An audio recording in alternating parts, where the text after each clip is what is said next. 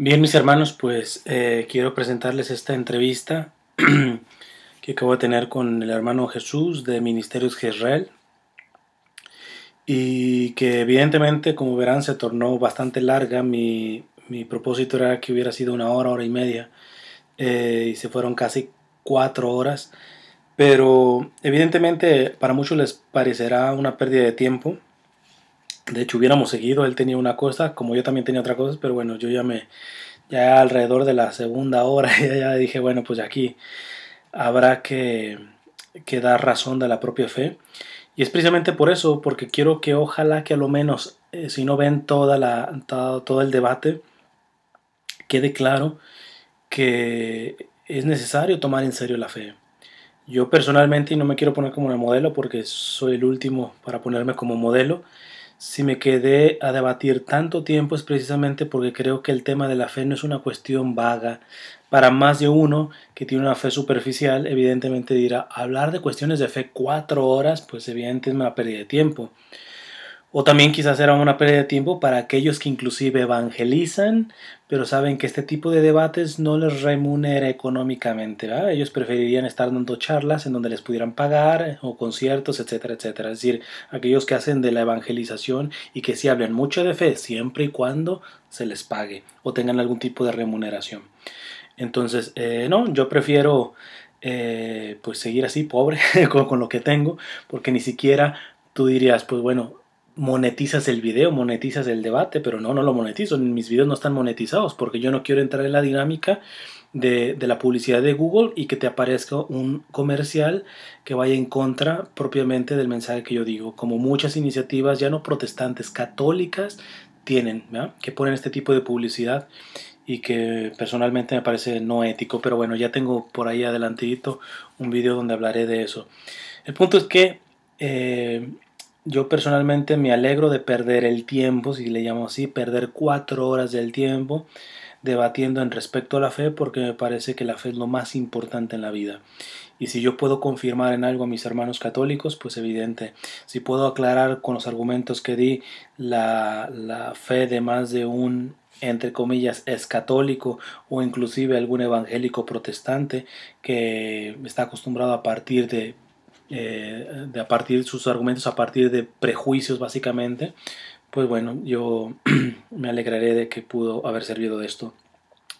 Igual como en el debate de, este del, del ateo, eh, yo quiero reconocer y agradecer infinitamente, en este caso el hermano Jesús, por tener los pantalones de poder debatir cara a cara. Eso, eso lo agradezco, independientemente de que evidentemente nos confrontamos, en unos momentos se volvió más intenso, etcétera, eh, el, debate. Pero pues bueno, eso también depende mucho del carácter de cada quien.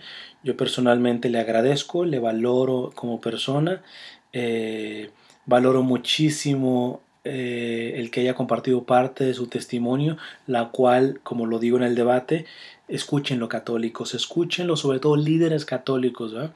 Porque no podemos seguir con una pastoral meramente funcional, institucional, ni tampoco sensibilista, ¿verdad?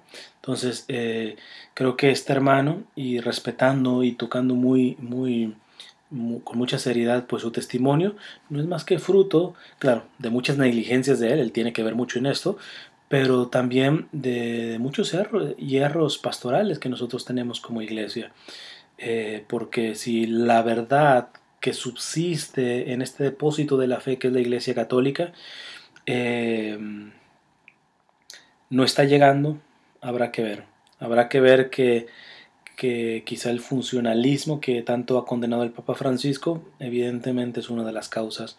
Pero también otra de las causas es que verdaderamente nos hemos protestantizado, hemos, hemos tratado de vender una fe meramente sensibilista. Y como decimos, ni tanto que queme el santo, ni tanto que no le alumbre. ¿va?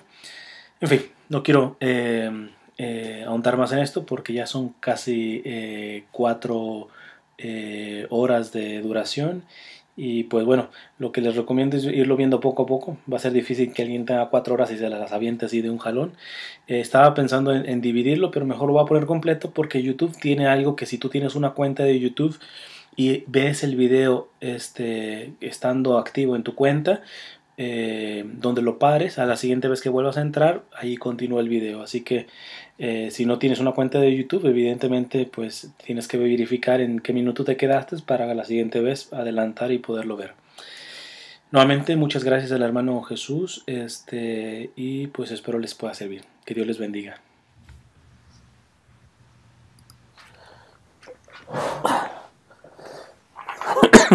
Em, mira, este, ¿cómo? Déjame poner este, mi cámara se me, se me salió. No, no, sí te veo. Sí, sí, sí, ok. La grabación que voy a hacer interna. Ah, ok, no, sí, también, si tú quieres hacerla, está bien. Ya quedó. Ok. Sí me, sí me escucha, lo que pasa es que tengo un micro eh, este, normalito. No, sí, te escucho. De, computadora y lo tengo aquí cerquita de mí. Puse un foco porque aquí está medio oscuro en mi cuarto. Ah, perfecto, no, no, te preocupes, no te preocupes. De hecho, se escucha más, más fuerte de lo que acostumbrado, así que no te preocupes.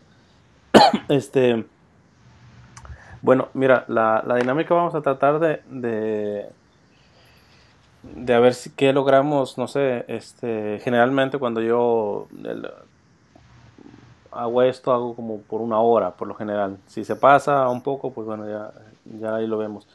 Pero este, eh, lo que te propongo son básicamente dos dinámicas. La más práctica es de que, por ejemplo, tú expongas unos primeros 10 minutos, vamos a decirlo así. Eh, por ejemplo, en este caso, que es lo que lo de la Eucaristía, expongas unos 10 minutos por razones, y después de otros 10 minutos, y ya después, este, eh, ya los tiempos se dan un poco más cortos para que sea un poco más de un diálogo. O realmente tratar de comenzar en un diálogo, este, tal cual, y este, y, pero si al fin nos interrumpimos, etcétera, pues sí, mejor es mejor poner los tiempos. Digo, lo, lo, lo más práctico va a ser este, eh, que tengamos un inicio, ¿va?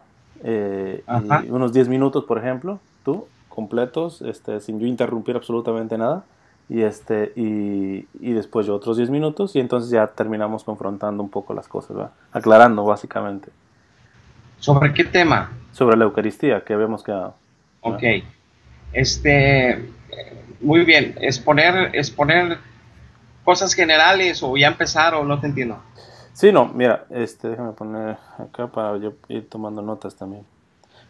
este, básicamente, este, tu postura sobre la Eucaristía, que fue lo que prácticamente eh, retabas la, la, otra vez. Entonces, es que expongas pues básicamente lo esencial sobre eh, el tema de la Eucaristía. Y yo después este lo eh, expongo propiamente lo que es este porque la, la Iglesia Católica cree en, lo que cree propiamente de la Eucaristía claro. Claro ok este aquí la situación es que ya se hable sobre la doctrina sobre la teología que cada quien tiene y luego obviamente nos contestamos uno al otro sobre nuestros puntos de vista en cuanto a lo que diferenciamos, ¿no? O lo que pensamos que la escritura nos está diciendo, ¿no? En Cristo. Ahora, la cuestión es 10 minutos de arranque y arrancamos, ¿verdad? Y luego 10 minutos tú y luego sería otros 10. No, no, o sea, ya serían tiempos más cortos o, igual si se necesita otros 10, como vea. Pero vamos a tratar de, tener como una referencia una hora, más o menos. 5 minutos, no, no, Sí, sí, ya, ya después serían. Muy bien. ok, y la idea es este. Muy bien, Cristian. La idea es exponer este lo que la escritura dice, obviamente, en los evangelios, lo que dice Pablo en 1 Corintios 11, eh, que es básicamente eh, en la forma práctica que la iglesia del primer siglo estaba haciendo la Eucaristía, pues estaba haciendo la cena del Señor, y que sabemos bien que por la cuestión cultural y las cuestiones de aquel tiempo, era exactamente como la hacía el Señor Jesucristo, como la hizo en su última cena. Era, literalmente y físicamente se reunían y cenaban, ¿verdad? Cenaban, o sea, no era obviamente lo que a través de los siglos fue cambiando, o sea, a que comiéramos nada más un pedacito de pan, ¿no? Sino que era una cena propiamente dicho, y eso lo vamos a ver ahí en Corintios, ¿no? Pero bueno, ese es ponerte lo que la, eh, el Espíritu Santo también, yo sé que tú también estás cerca, pero que el Espíritu Santo me ha mostrado en la Biblia, y no nada más a mí, a, millones, y no dudo que algunos católicos también lo hayan visto ya. Eh, pero la cuestión es, yo me voy a basar todo, obviamente, en la escritura como debe de ser, ¿no? Porque al final de cuentas es donde nosotros y ustedes tienen la referencia de cómo es la cena del Señor, ¿no? En la escritura sabemos bien que las teologías son diferentes y que se manifiestan como que Ah, cada, cada protestante la interpreta como quiere, cada denominación la interpreta como quiere. Y, yo sé que se tiene ese concepto, pero es un concepto equivocado porque la verdad es que, que la revela es el Espíritu Santo, y eso lo dice 1 Corintios 2, que el Espíritu acomoda lo espiritual en lo espiritual, y que Él es el que nos lleva toda la verdad, y Él es el que nos hace discernir espíritus como también la verdad. Entonces, aunque haya por ahí yo sé que hay católicos que están llenos del Espíritu, pero también sé que hay protestantes, bautistas, metodistas, pentecosteses, que tienen algunas diferencias a ellos, pero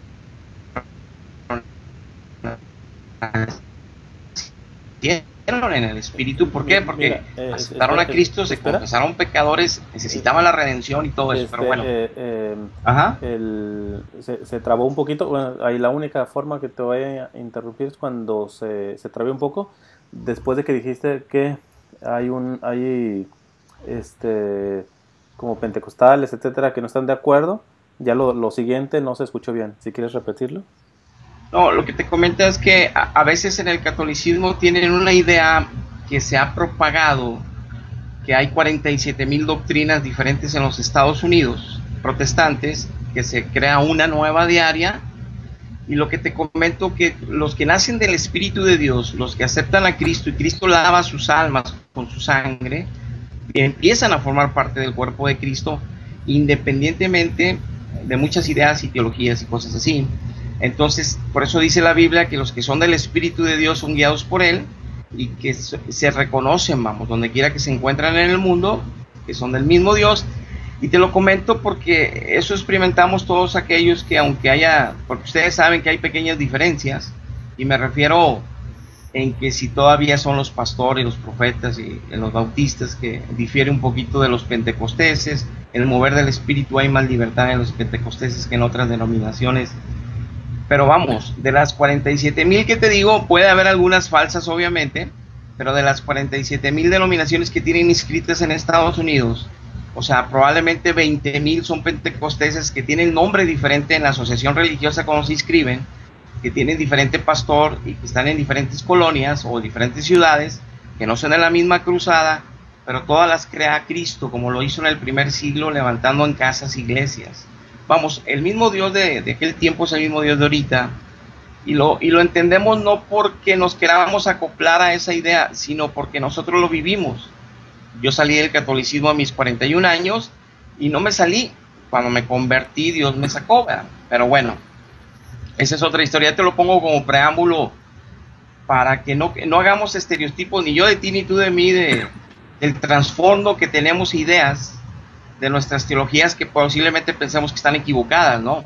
Sino que lo que quiero proponerte es que tú y yo veamos a la luz de las escrituras lo que Cristo nos dejó escrito a ti y a mí.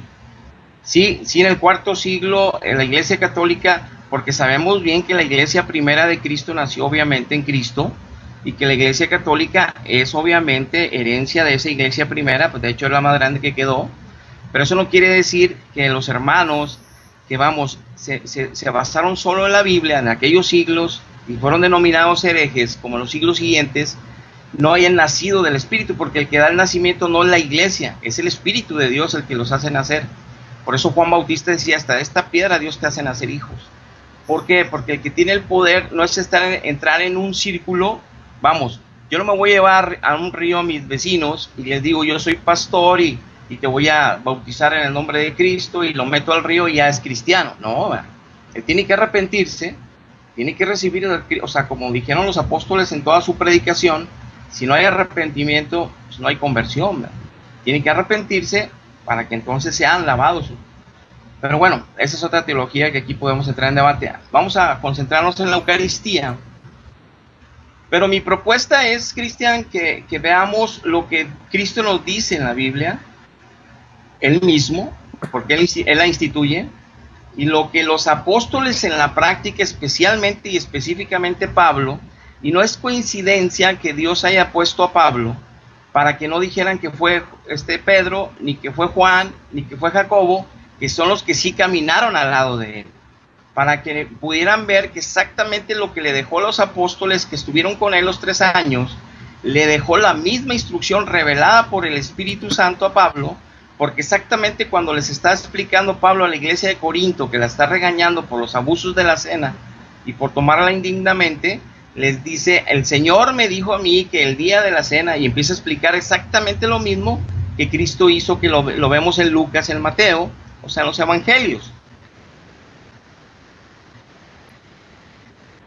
Entonces, lo que quiero decirte es que él pone a un judío que no estuvo con él, pero que sí estuvo con él en el espíritu, ¿me explico? Tenemos la referencia. ¿Hay un problema en la conexión? No. Salió una eh, leyenda por aquí. Sí, no, se, se, se, retrasó, pero sí se alcanzó a escuchar. No, nomás quería darte este pre antes de empezar. ¿Sí me escuchaste? Sí.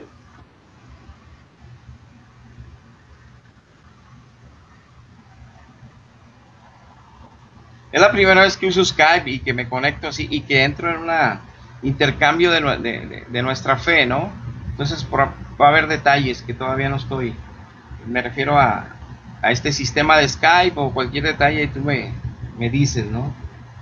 Para corregir. Ok. O sea, yo no estoy tomando mis 10 minutos, te estaba explicando al principio mi punto de vista para manejar esto. Ah, ok, yo, yo estaba considerando esto ya como los 10 minutos, porque sí llevabas, bueno, faltan 2 minutos para completar los 10 minutos. No, es que estaba platicando contigo, hablándote en cuanto a referencias de, de cómo quisiera que lo hiciéramos y que nos refiriéramos a, obviamente, a la escritura. Te explicaba eso. Si lo quieres tomar como sea, pero, pero todavía no te hablo de, vamos, lo importante es, no es decirte, eh, nosotros lo hacemos así, los de enfrente lo hacen así, sino lo que yo quiero hablarte y que quería exponerte es lo que la Biblia nos dice y el significado, el propósito, el por qué Dios la instituyó. Ahora, si quieres, arranco ahora sí. Eh, bueno, llevaste ya, ya los 10 minutos esto, pero si quieres arrancar, pues dale. Dale el tiempo eh, o si tú quieres, y, yo te o si quieres y yo te sigo. Eh, bueno, mira, es, como tomaste los 10 minutos, déjame entonces hacer también una introducción y, después volvemos con lo del tema. Eh, primeramente, el argumento de que la sola Biblia basta, que es básicamente lo que me estás diciendo, no es sostenible bíblicamente. ¿verdad? O sea, eh, por lo general citan a, la, carta de Timoteo, este, pero lo interesante es que es propiamente la iglesia la que escribe el, Nuevo Testamento. Entonces, cuando, cuando, Pablo dice eso, todavía no estaba el Nuevo Testamento. Entonces, se está refiriendo a el Antiguo Testamento. Y es un Antiguo Testamento que, curiosamente, tenía los deuterocanónicos. Entonces, si, vemos a la traducción, libros que no tienen las, Biblias protestantes. Y es curioso porque cuando se le preguntó a, Lutero este, sobre los libros que se habían retirado, él dijo, díganle esos, en, en, los diálogos de sobremesa, díganle a esos papistas del demonio que el doctor Lutero lo ha dicho. O sea, se pone como autoridad moral de interpretación. Ese es el inicio del protestantismo, concretamente. Entonces, es decir, porque, porque ahí sí se tendremos que definir realmente el argumento más importante del protestantismo, que es la sola Biblia basta, eh, no es bíblico. Entonces, eh, en este sentido, perdón, traigo un poco de tos.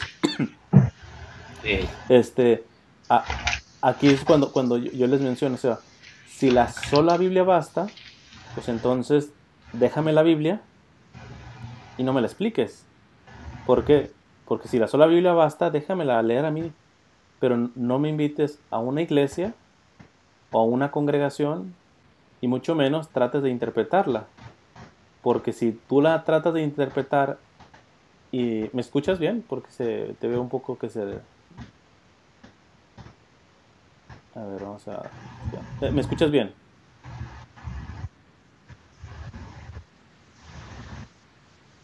Sí, sí, sí, Te oigo, te oigo, te, oigo interrumpido, pero sí te escucho. Ah, ok, porque... Sí te este, entiendo. Sí, no, no, porque como tu imagen se, se, estaba como perdiendo. Ajá, entonces, este, pero eso es la conexión de internet. Ah, ok, entonces lo que yo te mencionaba es, entonces, eh, el, el, mismo Pedro dice que, que, que, la escritura, en este caso las profecías, no son de este, interpretación privada. Entonces, hay, un aspecto de aquí que se llama el principio de autoridad. ¿Quién tiene el principio de autoridad para interpretarla? ¿Por qué? Porque ciertamente tú me estás diciendo de que puede haber varias iglesias pentecostales con diferentes nombres, pero la realidad es que, por ejemplo, en cuestión de moral, no todas están en, en unidad. O sea, no todas las iglesias pentecostales están en unidad. Y entonces, ¿quién declara eso? Porque, eh, mira, yo lo pongo a veces de una manera muy simplista, a veces cuando me vienen este, en las redes sociales y me dice, ¿y dónde dice eso en la Biblia? ¿Y dónde dice en la Biblia? Y yo les digo, ¿y dónde dice en la Biblia que tú tienes que tener canal de YouTube y estarme comentando los videos? ¿Dónde dice en la Biblia que tú tienes que tener un perfil de Facebook y comentarme mis publicaciones? ¿O qué dice la Biblia acerca de cuestiones, por ejemplo, la, ah, la clonación. Entonces, o sea, porque, porque hay, también un aspecto argumentativo de, por parte de los protestantes que hablan de que no religión, sí relación, o sea, que se rechaza la religiosidad, lo cual contradice su propio comportamiento, porque ¿qué es la base de una religión? La base de una religión es dogma, o sea, no da la misma que tú digas este, que Dios es un solo Dios en tres personas distintas, a, por ejemplo, y a ciertos protestantes eh, que eh, niegan el dogma de la Santísima Trinidad. Entonces no da la misma ya. O sea, tiene que haber un dogma concreta. Entonces, para la religión es dogma, culto. Si yo te digo, ahorita vamos a hablar de la Eucaristía, que el máximo culto este, que le podemos dar a Dios es la Eucaristía, posiblemente tú me vas a decir que no. Por consecuencia, si hay un culto que realmente le da gloria a Dios. Es decir, si tienen un culto ustedes. Y tercero, eh, este, moral. ¿Cuántas iglesias no aceptan ya, por ejemplo, el mal llamado matrimonio homosexual? Y, está, y, está, y están es una aplicación moral. Entonces, si no hay unidad en la doctrina, en el aspecto del culto y de la moral, pues evidentemente eh, si, estamos teniendo algún problema de, interpretación, ¿verdad? ¿Quién es el verdaderamente quien puede tener ese, ese, ese principio de interpretación? Y, y, evidentemente lo que se comprueba más es de que aunque la mayoría, por no decir todos los protestantes y evangélicos, digan que, eh, que no practican una religión, en verdad sí la practican porque tienen un dogma, tienen un culto y tienen una moral concreta. Entonces, eh, es decir, si hay una religiosidad en eso. ¿Qué partido de quién? Por lo general siempre hay un fundador humano ahí. Entonces, mi, mi, punto es, si, si realmente vamos a tomar la Biblia como la sola Biblia, para empezar, los católicos no creemos en eso. Nuestra fuente es la Sagrada Escritura, la tradición apostólica y el magisterio. El magisterio está puesto eh, en base a lo de Pedro, este, que tendremos que meternos en el texto ahí, no quiero ampliarme en esta parte. Eh, la tradición apostólica lo menciona también Tesalonicense, que invita a Pablo a perseverar en la tradición que ellos han recibido, que de ellos han recibido. Entonces, eh, inclusive cuando hablemos de la Eucaristía, nos vamos a dar cuenta de, lo que se pensaba de la primera Eucaristía en los padres de la iglesia, es decir, los primeros sucesores de los apóstoles.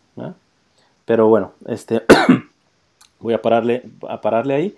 Este, lo, lo, que sí me queda claro es de que tenemos que resolver principalmente esto. Porque si la sola Biblia no se puede probar, y para empezar, la Biblia, bueno, déjame hacer una, un, paréntesis en, ese aspecto. Eh, es interesante que los libros deuterocanónicos, que eh, equivocadamente muchos protestantes y evangélicos les llaman apócrifos, no es lo mismo deuterocanónico que apócrifo, este, fueron retirados después de Cristo, allá por el año 90 en el, en el concilio de Jadmia de los judíos. Un concilio que fue anticristiano. En ese concilio Jesús quedó como un bastardo, declarado como un bastardo. Y ellos hicieron la diferencia de eso precisamente para diferenciarse de los cristianos. Es decir, la única iglesia que ha perseverado en la, en, la, tradición bíblica tal cual como la tuvieron los apóstoles es la iglesia católica. Entonces, eh, eh, y en el caso de acá del Lutero, empieza a hacer su mal llamada reforma, pues precisamente se une a un concilio anticristiano, ¿verdad? Anticristiano. evidentemente, si no se tienen los libros deuterocanónicos, también hay unos huecos grandes, el purgatorio, tantos huecos que hay, este, que, que evidentemente no nos podemos poner de acuerdo en esa parte, ¿va? Pero ya solamente de la Biblia revelada que aceptamos los dos, hay suficiente argumentación como para poner eh, que el fundamento este, eh, de la interpretación eh, no es bíblico, sino es apostólico. Y lo vemos pues en, casos, por ejemplo, lo de los gentiles que si se tenían que circuncidar, no circuncidar, ¿a quién van? Pablo, al que tú me estás hablando, ¿a quién va? Va y va a los apóstoles, a consultar a los apóstoles. Pablo le pega una regañada, y muy buena regañada, por ejemplo, a Pedro, pero son cuestiones morales, en el sentido del comportamiento que estaba teniendo un doblez, pero no doctrinal. Los que, ¿Qué dice Santiago? Este, eh, eh, hemos eh, discernido, nos queda claro que el Espíritu Santo y a nosotros, a nosotros, y empieza la declaración concretamente de, para resolver estos problemas. Entonces, vemos que que, la, autoridad apostólica es, eh, y es, simplemente hasta tan por sentido común. Existió primero los apóstoles, existieron primero la iglesia como tal, que la Biblia como la conocemos. O sea, y entonces sujetar a que la sola Biblia basta, pues entramos en ese terreno. Pero bueno, paro aquí. Ok, este, es importante como lo acabas de mencionar, que, que, sí expongamos la base que, estás, que estamos hablando con mi inicio y con tu, seguimiento de lo que fundamentamos nuestras propias teologías, la de mi parte y la tuya, obviamente, en el catolicismo. Pero sí es importante entonces que le dediquemos un poquito más de tiempo a esto, eh, antes de empezar con la Eucaristía, para poder entendernos un poquito mejor o dejar claro aquí en esta conversación nuestros puntos de vista, aunque ya lo hayas escuchado de otros. Mira, uh, yo sé que es como repetir versos bíblicos, pero tú sabes bien que la Biblia menciona en el libro de Hebreos un pasaje del Antiguo Testamento que el Padre nos enseñaría su persona, o sea, que él mismo, desde el más pequeño hasta el mayor, sabríamos quién es el Señor y no tendríamos necesidad de que nadie nos dijera dónde está el Señor. Ese verso no tendría para mí propósito ni significado si nada más lo recibo en una enseñanza, en una iglesia que yo me afilie, y que crea que pues ahí es la verdad, que sea mi situación humana yendo a un lugar, pero cuando lo vivo, cuando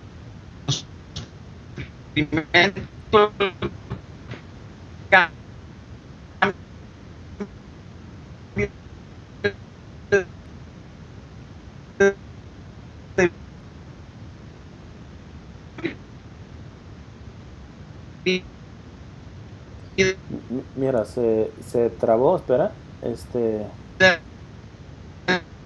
Y cuando cada verso se hace vivo en lo que dice ahí, el ni puede venir a mí si no lo trae el Padre. Sí. Sí, dice que hay problemas con la conexión a internet. Sí, este, eh, ya, se mejoró, ¿verdad? Ya se mejoró. Solamente te quedaste, dices, que cuando te afilias a una iglesia, eh, ahí, ahí quedó. Este, ok, la, cuestión, la, cuestión aquí es que cuando Cristo Jesús te convierte, o sea, cuando el Señor te recibe por, hijo, cuando te eres adoptado como hijo de Dios, en la tradición de los siglos, y que obviamente viene por la, religión católica desde el principio, este dicen que es pasar por cierto rito, obviamente cristiano, que, este, que es bíblico, obviamente fundamentado por ustedes como el bautismo, y ya formas parte de la familia de Dios, ya, ya eres recibido en la familia de Dios. Y la Biblia me dice que no, por ejemplo en Romanos, que no es el que corre ni el que quiere, sino el que Dios tiene misericordia. La Biblia me dice, todo el libro de Hechos, la práctica que los apóstoles hicieron fue predicar el Evangelio como lo mandó Cristo en Marcos 16, 15. A toda criatura, el que creyere y fuere bautizado será salvo. El que no creyere, ya no dice, y no fuere bautizado, dice, y el que no creyere no va a ser salvo. Entonces, eh, la cuestión aquí es que el, mensaje que Felipe lleva a Antioquía y que mandan a Pedro y a Juan a, sustentarlos era porque recibieron la palabra del Señor, entonces estaban llevando a, bautizar. Si nosotros vemos la práctica del bautismo, por ejemplo, entrando en este tema, vemos cómo Pedro le predica a Cornelio, se derrama el Espíritu Santo y ahora les dice, a estos no hay, ¿por qué les vamos a evitar el agua? Porque también ya los recibió Cristo, ya pero les predicaron primero. Pedro le predica primero a las multitudes de los judíos que estaban de vacaciones por la Pascua ahí en Jerusalén en ese tiempo, se convierte en cinco mil, se convierte en tres mil y se lleva obviamente el evangelio de todos esos países a través de ellos Dios, el Espíritu Santo, obviamente confirmando las iglesias, los obviamente Pablo abriendo unas, Pedro otras y lo que sea, pero también obviamente encontraron como en Creta Pablo que había iglesias, etcétera. La cuestión es, si no se predica el Evangelio, yo no sé que soy un pecador y que necesito un Salvador, que necesito arrepentir de mi pecado para que entonces tome la justicia del justo a mi favor. Yo tengo que estar consciente de que necesito ser rescatado. Ese es el principio que Juan el Bautista bautizó para arrepentimiento, pero la diferencia de Cristo es que él daría Espíritu Santo que Juan no podía dar. Recibían el perdón si aceptaban que Dios estaba mandando esa opción con Juan primero, pero iba a anunciar a un poderoso mayor, a Cristo. Aquí la cuestión es que en el bautismo, si no tengo conciencia yo que soy pecador y no tengo conciencia que ya tengo Señor, obviamente ya viene la tarea que cuando creces y, toda esa teología. Pero la cuestión es que cuando yo nace, naces de nuevo, porque naciste del Espíritu y, y después naciste del agua o al mismo tiempo de los dos, pero naciste del Espíritu, si no nacemos del Espíritu no podemos ver el reino de los cielos. Entonces, por toda la Biblia, Cristian, dice la Biblia, no es que nosotros digamos, sabemos que la, Biblia se conformó obviamente por el ministerio católico en el siglo IV, o sea, el Nuevo Testamento, y, pero sabemos bien que la aquí, sabemos bien que los 72 judíos tuvieron mucho que ver en esto en el Antiguo Testamento, pero quiero, quiero que, que tengamos en parte esto. Isaías 8.2 dice, la palabra de Dios, que la palabra de Dios saldría de Jerusalén solamente. Si solamente de Jerusalén iba a salir, lo puedes leer tú en Isaías 8.2, y que de Sión saldría también. Se está refiriendo al Antiguo Testamento y al Nuevo Testamento aunque todavía no estaba escrito y aunque todavía no lo juntaban aquellos que tenían el depósito de ese tesoro, que fue la Iglesia Católica en la herencia desde el primer siglo, porque yo estoy consciente que la Iglesia Católica es la primera iglesia, vamos, los millones que estaban en el siglo IV cuando Constantino se integra, y forma parte del catolicismo bueno, o del cristianismo, sé bien que es la primera iglesia. El problema va a partir de ese momento que se cambiaron algunas situaciones por la tradición oral, empezaron a cambiar algunas dogmas que van en contra de la Biblia y algunos de ellos sustentados en esos libros deutrocanónicos, que es donde sustentan algunas doctrinas, pero no estamos ahorita entrando en ninguna de ellas. Aquí la cuestión, sin entrar, porque hay para muchas direcciones de qué hablar en esto, eh, eh, lo que sí quiero enfatizar es que en 1 Corintios capítulo 2 dice Pablo, obviamente inspirado por el Espíritu de Dios, que los creyentes los creyentes no hemos recibido el espíritu de este mundo. Que en el momento que nacemos de nuevo, que somos nuevas criaturas en Cristo, que el Espíritu es puesto en nosotros como arras y como sello para aquel día, o sea, que, Dios nos llenó de su Espíritu, ese día se nos abre nuestro entendimiento espiritual, se nos abre, que pasamos de muerte a vida, pasamos de, de ser naturales a ser espirituales de Dios. En ese momento yo puedo leer la Biblia y entenderla, y eso me lo dice primera de Juan 2, capítulo, verso 20 y 27, que la unción del Santo, que es el Espíritu Santo, pues, sabemos que también es figura el Espíritu Santo como unción, aunque Él es Dios y es la tercera persona y lo amamos y Él nos guía, pero menciona primera de Juan que la unción está en nosotros que no tenemos necesidad de que nadie nos enseñe, porque la misma unción nos enseña todas las cosas. Tú lo puedes leer en tu misma Biblia, la misma, Primera de Juan, capítulo 2, versículo 20 y versículo 27, pero aparte tú lo puedes leer en Primera de Corintios 2 con Pablo, que dice que el Espíritu de Dios es el único que nos puede colocar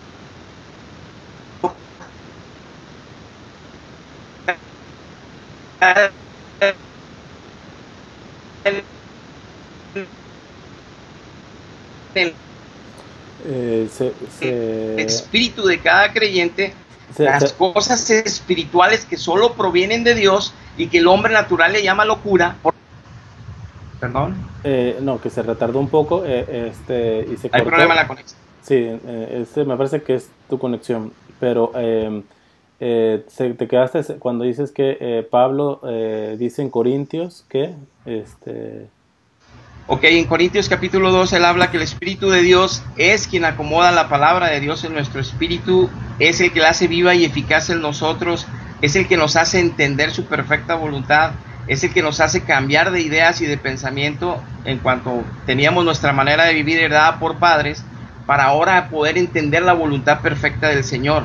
Vamos, en Efesios capítulo 6 sí dice el Señor que Él instituyó ministerios, cinco de ellos, para la edificación de la iglesia, pero esas, esa edificación, imagínate que los cinco ministerios, remontémonos en el, siglo primero, en la iglesia de Asia Menor, las siete iglesias que, que, que les manda una amonestación directamente nuestro Señor Jesucristo con el apóstol Juan. Ok, y esas iglesias, tú te metías a una y era muy diferente a la otra, el culto era muy diferente a la otra y todas creían en Jesucristo y, lo más, y lo más notorio de esto es que todas eran de Jesucristo. Las siete son de Jesucristo, lo dice mismo Jesucristo. Pero le dice a Juan, vas a ir a Pérgamo y, dices que ahí hay nicolaitas que hacen separación entre el clero y el pueblo que esos son los nicolaitas. Y les dices también que ahí tienen el trono de Satanás, está gobernando Satanás ahí. Que, tengan cuidado, que se arrepienten, que hay unos que son fieles. Te vas a ir a Teatira y ahí hay una profetisa que es Jezabel, que está corrompiendo mis pastores ahí y se están corrompiendo y los voy a mandar a la cama a ella y a ellos. Y empieza a amonestar a cada iglesia. ¿Qué te estoy diciendo con esto, Cristian? Que estaban contaminadas espiritualmente en el primer, en el primer siglo, las siete iglesias en un territorio tan pequeño, por eso lo hace Dios así de figura, para que entendamos que la guerra espiritual es local, individual en cada zona, por eso Dios funda iglesias en las casas, pero bueno, esa es otra historia. La cuestión es que si estamos guiados por Dios y nacemos en Dios, independientemente que haya falsas doctrinas evangélicas, que las hay, hay falsos pastores evangélicos que los hay, falsos profetas, falsos maestros, de eso nos advierte Cristo mismo en la Escritura, y los hay, yo los he visto, los he escuchado, pero eso no quiere decir que se haga nula la palabra de que el Espíritu Santo nos guía toda la verdad, que es el Espíritu de la verdad, que es el verdadero vicario de Cristo, porque la cabeza de la iglesia no es un hombre, es el Espíritu de Dios, es Jesucristo mismo quien la sustenta, y por eso Efesios 2.20 dice que el fundamento del Evangelio son, o de la verdad son los apóstoles, siendo la piedra angular Jesucristo mismo. ¿A qué apóstoles se refiere? A los primeros. ¿Por qué a los únicos? ¿Por qué no puede haber cambios después de esos primeros apóstoles? Precisamente Pablo lo dijo en Gálatas. Si yo mismo vengo, uno de nuestros otros como apóstoles, a cambiar la doctrina que ya fue escrita, que ya fue dicha, yo sé que eh, será maldito, o si un ángel se les aparece, no le vayan a hacer caso. ¿Cómo puede, ¿Cómo puede el catolicismo o el cristianismo evangélico descubrir un falso dentro de sus filas? Con la escritura. Eh, ¿Cómo Dios me va a demandar a mi santidad y aquel juicio voy a estar delante de Él, yo en el trono de gloria, siendo juzgado por Él, si Él no se asegura en su gran amor y misericordia que a mí me llegue la verdad, sin que nadie que a lo mejor por dinero, por avaricia, esté haciendo engaño en la enseñanza y me confunda como hay tantas religiones, tú sabes, testigos de Jehová, mormones, que han adulterado la doctrina, que tienen Biblias que no son la, que, han cambiado y quitado textos. Entonces, ¿cómo puedo ir yo y decirle, pues es que, pues obviamente que nos explique en la Biblia que iba a dejar su espíritu para que nadie nos engañara, que el espíritu de la verdad nos vaya, no nomás a los apóstoles, el que reciba el espíritu de Dios, él es el que nos va a confirmar en la verdad. ¿Cómo me doy cuenta que estoy en la verdad? La santidad. Ya, este, eh, mira, hay, una, hay una cuestión en este sentido. Em, em,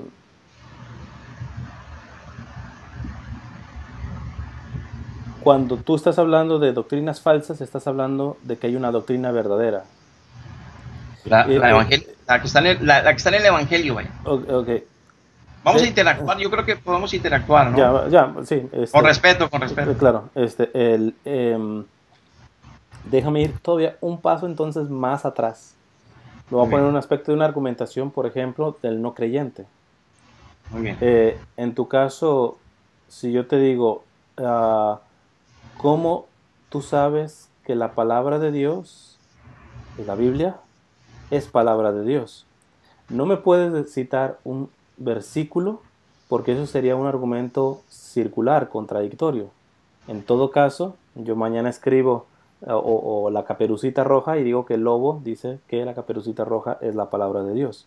Es decir, no podemos argumentar de que la palabra de Dios es palabra de Dios porque lo dice la palabra de Dios. Es decir, tiene que estar por fuera, porque si no es un argumento cíclico. Sí, te entiendo. Entonces, en, en, en, en, tu caso, ¿Tú cómo sabes que la palabra de Dios es palabra de Dios? Ok, por toda la Biblia menciona que la palabra de Jehová, que la palabra del Señor, que la palabra de Dios, la menciona en muchos versos, ¿verdad? Que esa es la verdad. Y Cristo mismo dijo que su palabra era la verdad. Sí, pero no crees que, esa... Sí, sí, sí, sí, sí, te entiendo el, punto de vista que quieres que... pero déjame te explico así.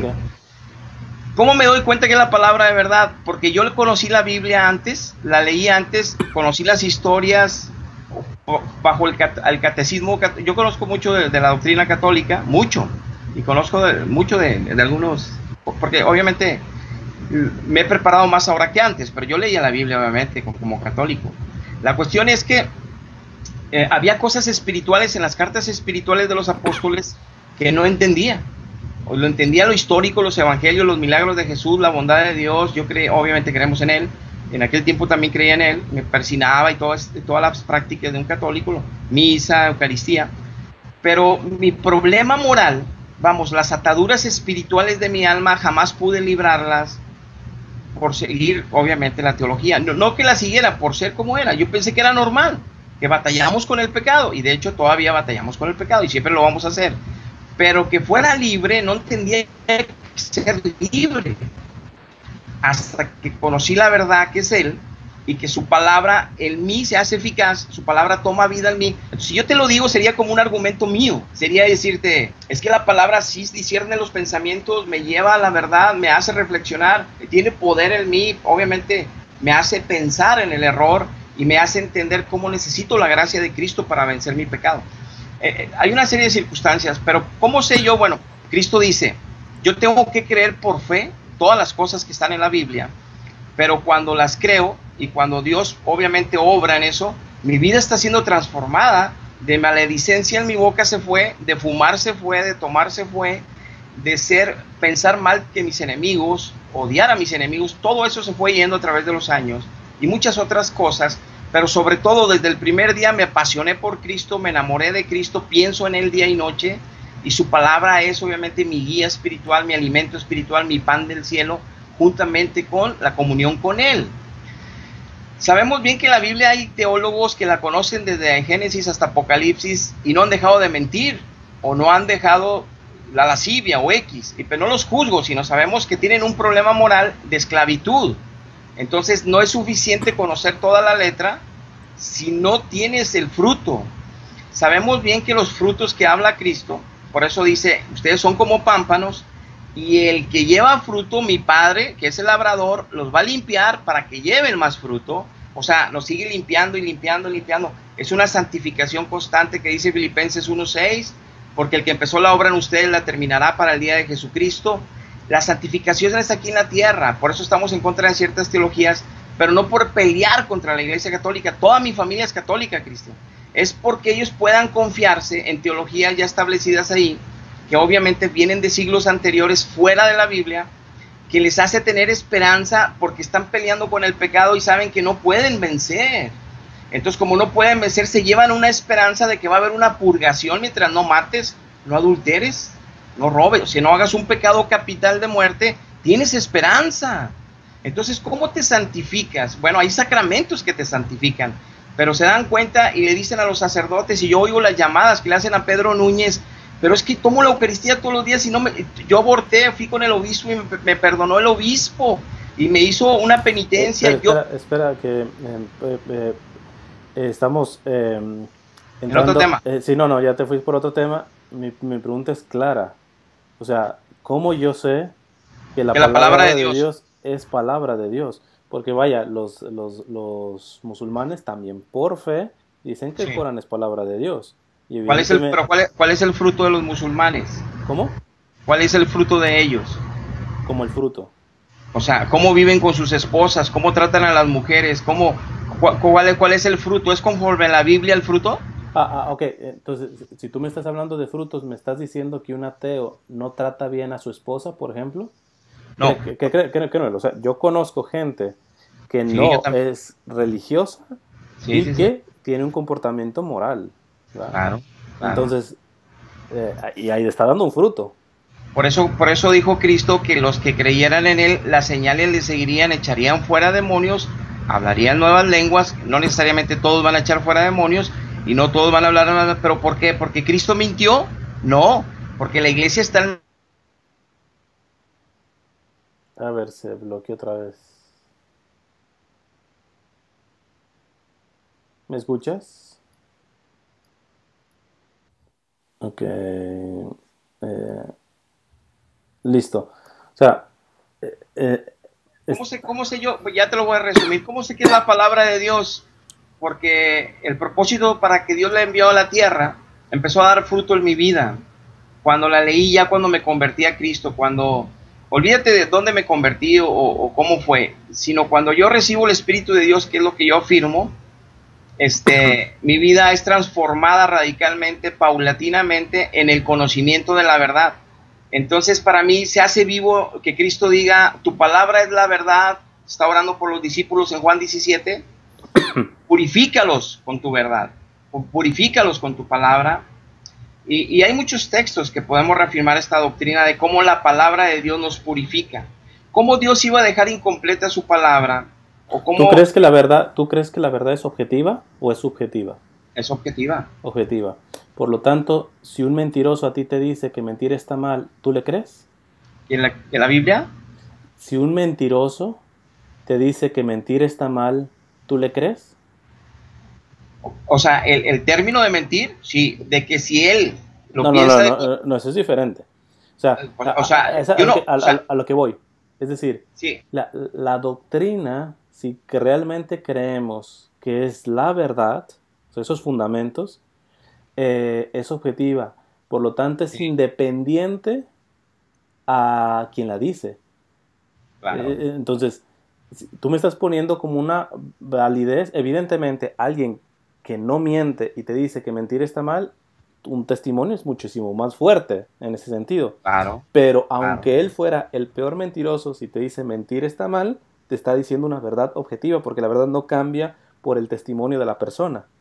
Entonces, aquí, está, aquí, aquí el aspecto está en eso, hay que declarar en eso, porque si tú me estás poniendo como verdad absoluta el testimonio concretamente, ah, hay que ver que en los primeros concilios hay gente que literalmente se aventó ciertas herejías, por ejemplo, con el aspecto de la unión hipostática, que seguramente lo sabes, de la, doble naturaleza del Señor, y que había dado, y que había dado testimonio siendo martirizado.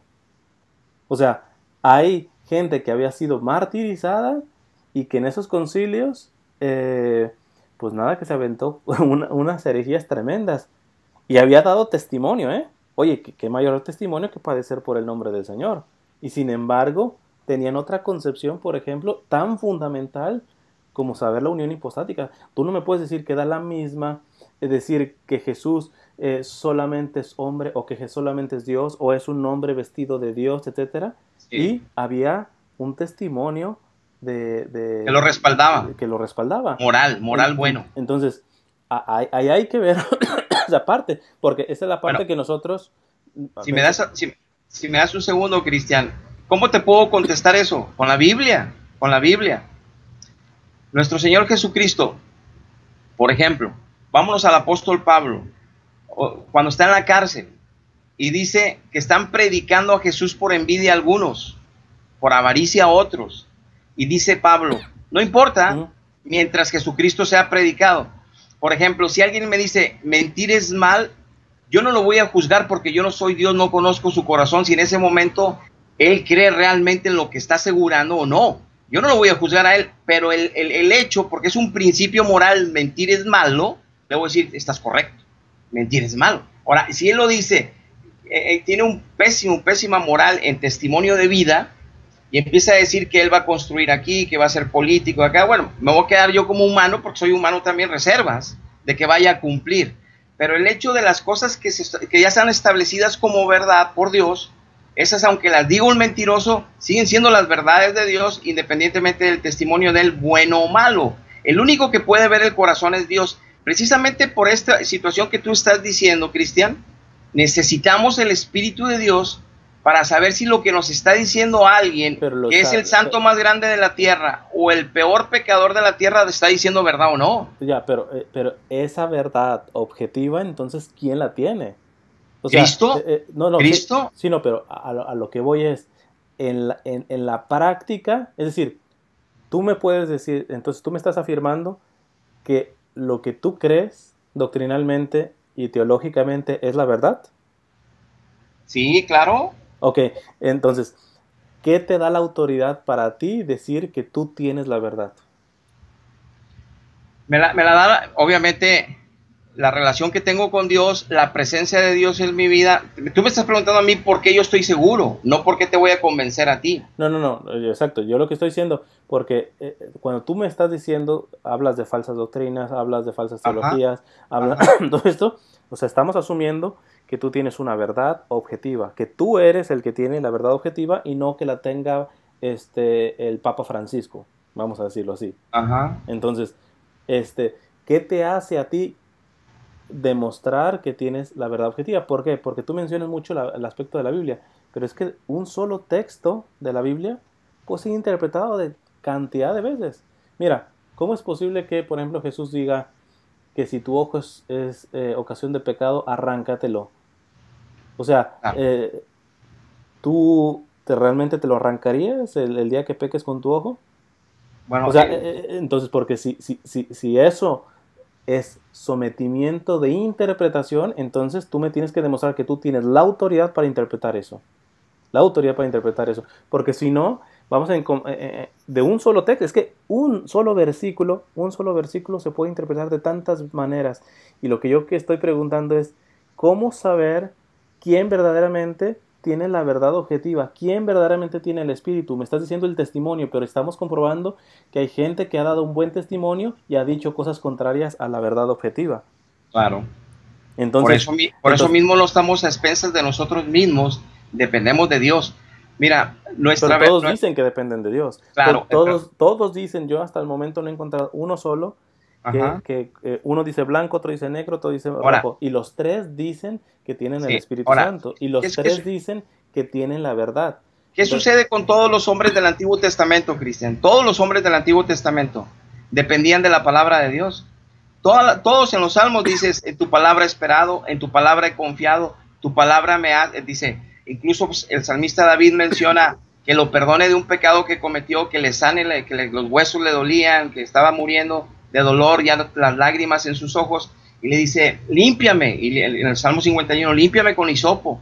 Y dice también que él va a predicarle a los pecadores su verdad de él, para, pero que lo sane, que lo restaure, para ir a predicar, para evangelizar. ¿A qué voy? Si tú ves a todos los, todos, todos, todos, todos los, el Antiguo Testamento mencionan que la palabra de Dios en tu palabra y en tu palabra. Pero, espérate, te estás quedando nuevamente en el aspecto de que ya estás asumiendo una interpretación concreta de los profetas. O sea, ya estás haciendo, por, eso, pero ya estás haciendo una interpretación. Es decir, porque alguien te puede decir, por ejemplo, es una cosa que yo con los ateos lo, menciono, porque ellos te toman, no sé, y a ver, ¿y el Génesis por qué esto? Y no distingue los géneros bíblicos, eh, eh, el estilo del geógrafo, que siempre lo respetó Dios, porque Dios no le agarró la manita al geógrafo, ¿verdad? respetó su humanidad en ese sentido. Entonces, eh, y, y, yo les digo, bueno, hace poco debatí con un ateo, ahí lo puedes ver el debate, yo le decía, ¿cómo es? si, si yo estoy buscando cocinar, y me meto a buscar en una revista de, este, de, carros, ¿quién es el tonto? El tonto soy yo que quiero encontrar cuestiones que no están hechas en un manual de carros. ¿Para qué es la, la, Sagrada Escritura? Principalmente tiene una unidad en donde el centro y toda la Sagrada Escritura es Jesucristo. Todo es Jesucristo. Y es para la salvación. Entonces, evidentemente, ya no puedo entrar más a profundidad con un ateo en ese sentido. Pero eh, el problema es que uno asume ya muchas cosas y tú me estás citando, por ejemplo, los profetas dicen, pero, pero, es que los profetas son parte de la Biblia y ya estás haciendo una interpretación de que el mensaje de los profetas, que el, que el versículo ese que dice los salmos acerca de la palabra, tú ya lo estás encauzando en una interpretación que cualquier otro también que diga que tiene la verdad objetiva y que tiene el Espíritu Santo, va a decir que se interpreta de otra manera, que no, que no es la manera que tú estás diciendo. Tú para, tú para ti eh, te está dando como un argumento para avalar que la sola escritura basta. Otro puede agarrar el mismo y darle la vuelta, y porque, mira, si no, no existieran tantas denominaciones que, eh, que dicen creer en Cristo, pero verdaderamente hay, hay diferencias morales, hay diferencias de culto, hay diferencias doctrinales tan diversas, tan diferentes, y, todas dicen saber interpretar la Biblia. ¿Te, puedo preguntar algo? ¿Tú sabes que en el juicio que vamos a tener todos los seres humanos en el trono de Dios, todos, ¿qué crees que nos va a decir Dios? ¿De qué iglesia vienes? No nos va a preguntar eso. Él no nos va a preguntar, ¿eres católico o eres evangélico o eres testigo o eres mormón? ¿Cómo lo sabes? ¿Cómo lo sé? Por la Biblia estás interpretando la Biblia. Si tú me dices, yo lo sé porque dice el Apocalipsis que esto, ah, pero ya está haciendo una interpretación de la Biblia que otro le puede interpretar. La Biblia, dice, la Biblia dice en Romanos que los que están bajo la ley serán juzgados por la ley y que los que no están con la ley serán juzgados sin la ley. Pero hermano, lo que me está, eh, pero vuelvo al mismo argumento. Eso tú lo das, esta interpretación y que te da la conclusión de que en el juicio Dios no nos va a preguntar por de cuál religión, etcétera. Es decir, pero esa ya es una interpretación de tuya del texto. No, es una interpretación del... Lo que pasa es que si te hablaría como... Sería como jactarme, decirte, la, decirte lo que yo creo, porque lo creo y la verdad sería como presuntuoso que yo te diga, no, a mí me lo ha dicho el Espíritu Santo. Y no nada más a mí, a millones que tienen el Espíritu Santo. De hecho, tienes que aceptar la idea de que millones de almas no es que sean fríos en una religión o sean calientes en otra religión o en la misma, y que eso denota las diferencias dentro de un cuerpo de Cristo. Hay falsos hermanos también y como hay verdaderos hermanos. Pero entonces, ¿qué va a notar la diferencia? El fruto de sus vidas. ¿Están siguiendo a Cristo o no están siguiendo a Cristo? Muy bien. Si dice la Biblia que el justo con mucha dificultad se salva, ¿cómo le irá aquel que no es justo? Y justo no es que tenemos un pase para divertirnos en este mundo porque somos cristianos y ya nos vamos a ir a salvación como algunas doctrinas creen. No. Justo es porque estamos caminando fielmente en Él, muriendo a este mundo para vivir en Él, como parte de un reino de los cielos, con ciudadanos celestiales de los santos, desde aquí, peregrinos y extranjeros, para llevar el mensaje con nuestra vida primero y con la palabra de Dios después, el mensaje de paz, el mensaje de salvación, para que la gente se arrepienta, que sepan que aunque creen que son buenos, hay pecado de ellos que tienen que ser liberados de eso, cubiertos por la sangre de Cristo por eso, y recibidos en la familia de Dios para que ahora el Espíritu Santo los guíe, como dice Romanos. Pero, es que tú estás, eh, eh, eh, o sea, eso suena bonito en teoría, concretamente. No, pero es lo que dice la Biblia también. No, no, no, pero volvemos a lo mismo. Esta es la interpretación tuya de la Biblia. O sea, porque alguien puede agarrar el mismo texto y decir totalmente lo contrario. Sí, pero, ¿cuál es la vida de, ese ah, contrario? Pero eso es a lo que voy, eso es a lo que voy. Es decir, la vida también ustedes la pueden reducir simplemente al aspecto espiritual, que es otra diferencia. Por ejemplo, eh, eh, nosotros como católicos no somos fideístas, no somos fundamentalistas en ese sentido. Hay una encíclica, por ejemplo, el Papa Juan Pablo II lo explica ya con mucho detalle, se llama Fides et Ratio, fe y razón. Entonces, eh, ¿por qué? Porque la sola fe te hace fideísta y el fideísmo es un fanatismo. ¿eh? Por eso hay un, hay un argumento que, este, que me parece grosero e inclusive blasfemo, que se lo he escuchado a muchos protestantes. No, esos son razonamientos de hombre. No, es que, espérate, espérate, ¿y quién te dio la razón? Le digo, tú, tú entonces no te paras cuando ves un, un, un, un semáforo en rojo. ¿Por qué? Porque es una, es una lógica humana. Entonces, ese es un punto en el cual nos, convertimos en fideístas, porque tú me estás dando de un testimonio de acuerdo a la sola fe. Y entonces nos olvidamos de la razón. Y, y, como dice Juan Pablo II, y son, es, es el, el, ser humano tiene que volar con esas dos alas, la fe y la razón.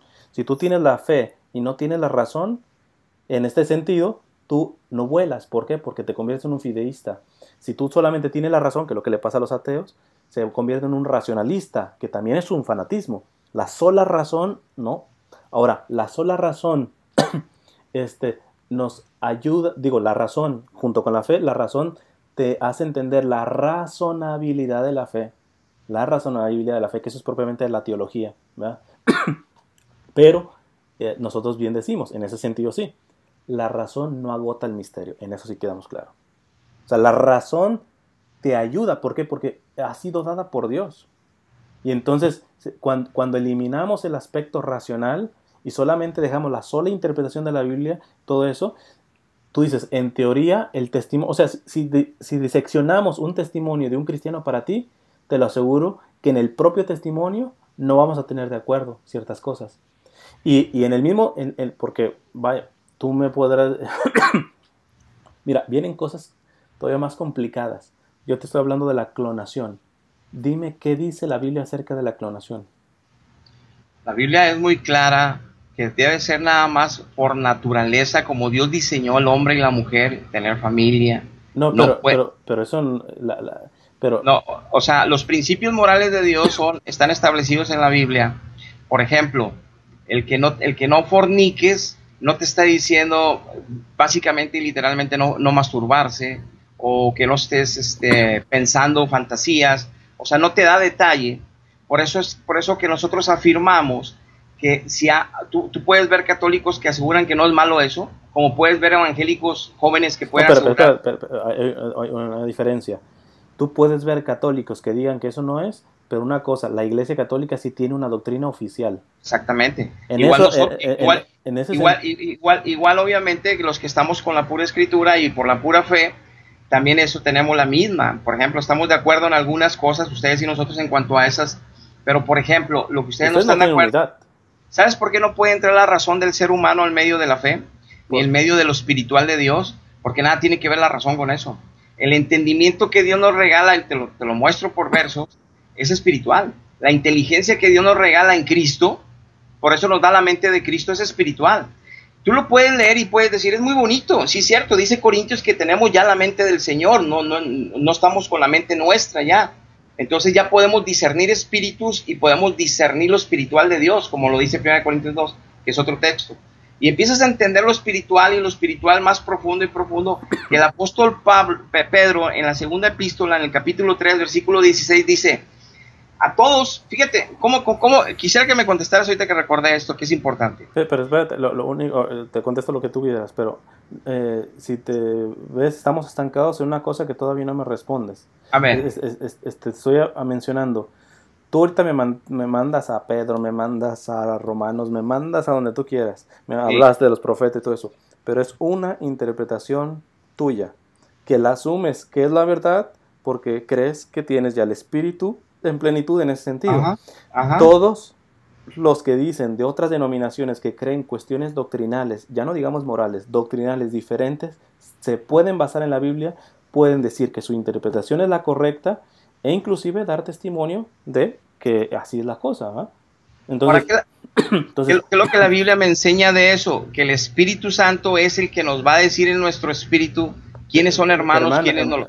me estás, no, sé si... Bueno, lo, que pasa es que yo no me puedo apartar de la verdad o de la realidad espiritual que vivo o que vive todo aquel que tiene una relación con el Padre y con el Hijo en espíritu y en verdad, no por hacer diferenciación o acepción de nadie, sino que poderte hablar de la verdad yo no la puedo maquillar o, o la puedo decir de forma diferente, te la digo como está escrita, no porque esté escrita y me lo aprendí de memoria, sino porque lo vivo. Pero, no, pero lo vivo. pero si es una interpretación, te estoy poniendo el ejemplo. Es una, es una vivencia, no interpretación, es una vivencia. Eh, no, pero si es una interpretación, ¿por qué?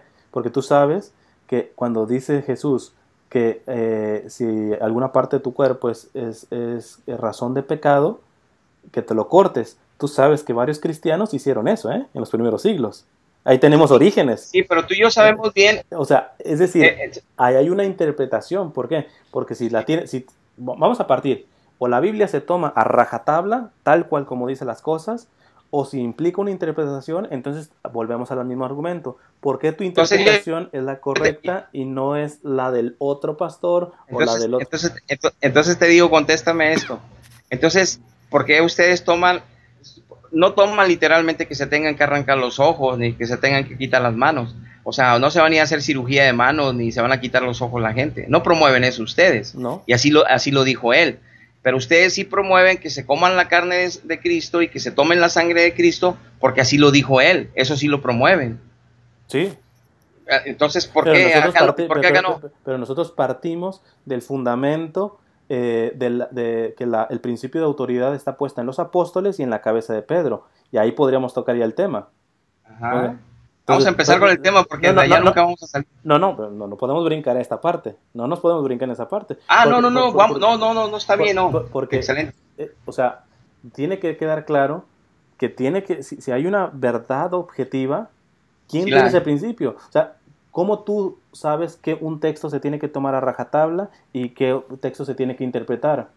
Me vuelves a decir, es el aspecto del espíritu, pero todos dicen tener el espíritu, me estás diciendo, bueno, es el testimonio, muchos dan testimonio.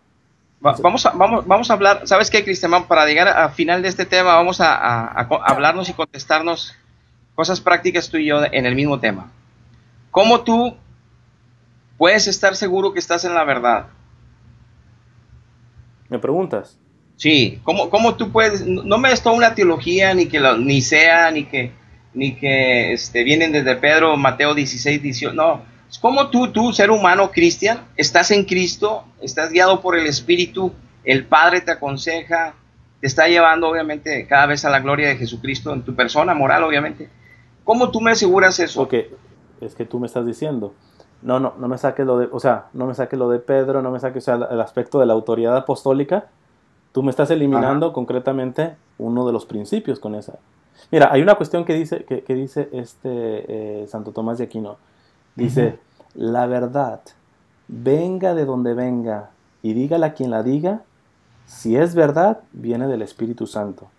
Lo cual implica reconocer, y eso la iglesia ha reconocido, que en, inclusive en otras religiones y en el mismo no creyente puede haber semillas de verdad. Semillas de verdad, en ese sentido. Porque si no, tenemos un grave problema y tú me estás ah, tú mencionaste hace poquito de que decía no yo no puedo ser o sea como un aspecto como de arrogancia decir que yo tengo bueno pero es exactamente el comportamiento que se está teniendo nosotros decimos que no da la misma ser católico o no católico ¿verdad? tristemente eso sí te puedo decir hay obispos sacerdotes que han hecho un menjurje dentro de la iglesia católica eh, que han hecho del ecumenismo una payasada literalmente. O sea todo ese tipo de, pero es básicamente por eso. Entonces es decir, nosotros creemos verdaderamente que la verdad, este, evidentemente la verdad no es algo, es alguien, Cristo, él mismo lo dijo, yo soy la verdad, no una verdad, la única que existe en ese sentido. Pero esa verdad le dio una autoridad que no se quiere reconocer eh, eh, en Pedro. Cuando a Pedro le dice, este, a ti te daré las llaves del reino, si yo te doy las llaves, ¿qué te estoy dando? O sea, tú con mis llaves, ¿qué puedes hacer? Puedes entrar en mi casa, ¿eh? Pues, o sea, sí, sí, han leído todo el contexto, ¿verdad? De ese, de ese, de, ese texto, el contexto. Sí. ¿Cuál es la razón de esa afirmación de Cristo? ¿Por qué llegó hasta ese punto? ¿De qué estaba platicando en ese momento Cristo con ellos? ¿Cómo? O sea, en Mateo 16, iniciando en el párrafo, en el versículo, creo que es desde el 16, 15, por ahí, del 15, el versículo que tú me hablas es como el 18, pero desde el 15 dice que salió de las regiones y llegó a, iba a llegar a Capernaum, Cesárea de Filipo, por ahí va. Eh, es un lugar, ahorita no recuerdo el lugar, pero, pero dice la Biblia que cuando el Señor salen de ahí, de que andaban predicando, le pregunta a sus discípulos, a los apóstoles. ¿Quién dice que la gente que ¿Qué dice que soy yo? No, pues que eres Jeremías y que eres este y que eres Juan. Y, entonces, entonces ya, y, ustedes, ¿quién dicen que soy yo? Ya. Y entonces Pedro le dice, tú eres Cristo, el Hijo de Dios, el, ok, el Mesías. Le dice, bienaventurado eres. Ya no le dice Simón, ya le dice Pedro.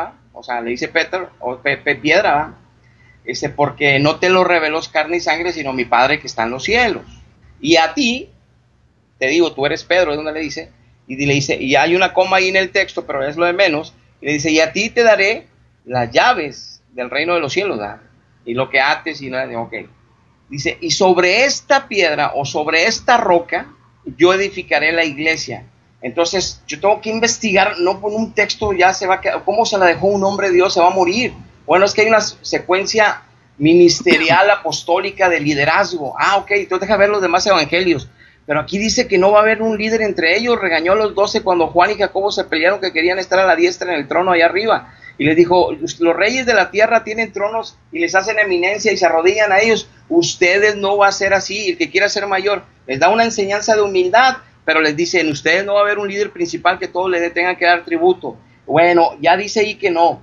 Entonces acá dice que es la roca, me voy a todo el Antiguo Testamento, que es lo que veían en la primera iglesia, y la única roca por 150 versos en diferentes libros dice que la roca es Jehová de los ejércitos. No, que la no, roca eso, eso, es falso, eso es falso. Bueno, espérame. En el Antiguo, Bueno, en el Antiguo Testamento... No, no, habla que la, que la En la- roca de las naciones era otra y que la roca de Israel era Jehová. a, a so- no, a solamente eso no es cierto. A Abraham se le da, es el nombre de roca también, ¿eh? No, pero, pero mira, de- de la cuestión aquí, sí sabes que hay 150 versos más o menos de que Dios es roca, independientemente de quién más tenga el nombre. Ya. Sí lo sabes. Sí, pero... ah, No, pero ok, ahorita, nomás para terminar. En, en, en el Corintios dice que la roca espiritual que lo seguía y les daba bebida espiritual era Cristo. O sea, ahí confirma que Cristo era la roca que alimentaba al pueblo en el desierto, espiritualmente hablando, como debe de ser. ¿A qué voy yo ahí? ¿Para qué él hace un diálogo y por qué esconde esto de, de Pedro? Entonces yo tengo que discernir, bueno, el Espíritu te lo acomoda, te digo, yo no te puedo convencer ni nadie podemos convencer a otro ser humano. Dios, si el Espíritu no te convence, Él es el que envió Padre, Él es el que le envió el Hijo a convencer al mundo de pecado, de justicia y de juicio. No envió a la iglesia. La iglesia, si está llena de Cristo, el Espíritu los va a tocar. Por ejemplo, ¿qué pasa con el proselitismo de todas las religiones? Meten muchos, así sean falsas doctrinas. Meten y meten. ¿Sí estás de acuerdo? Se hacen testigos de Jehová más, se hacen mormones más, se hacen adventistas más, de todas, católicos más. La cuestión es, ¿cómo es que los iban a convencer? ¿Cada religión a su manera? ¿O el Espíritu Santo es el que los debe de convencer de pecado, justicia y juicio? Si el Padre no lo va a llevar a Cristo, como dijo Juan, si no me lo trajera mi Padre, yo no lo puedo salvar. O sea, bueno, es otra... eh, Porque- lo- lo- cu- lo, cuando- lo que quiero, ya, o ya sea, para terminar, para resumir lo de la roca, mira. El contexto era que la roca que está preguntando por él entre todos y que ya lo reveló Pedro, y luego que dijo que no habría uno en autoridad. Entonces yo tengo que ver, para no confundirme, que vamos a suponer que no tengo el Espíritu Santo o que tengo un espíritu de error y no es el Espíritu Santo, por decir. Entonces yo como humano y que la razón, sigo lo que el Papa dice, que, hay que, que tiene que haber razón también, no nada más fe, unida razón y fe.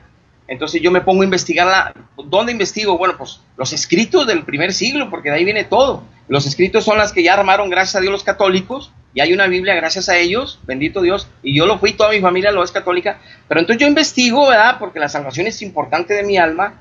Entonces si yo voy a un lugar me van a decir una cosa. Y si voy a otra, otra, otra. Bueno, pues entonces deja ver qué, me, qué dice la escritura. Pues a ver cuál se acerca más, ¿no? Te estoy hablando como yo en ignorancia.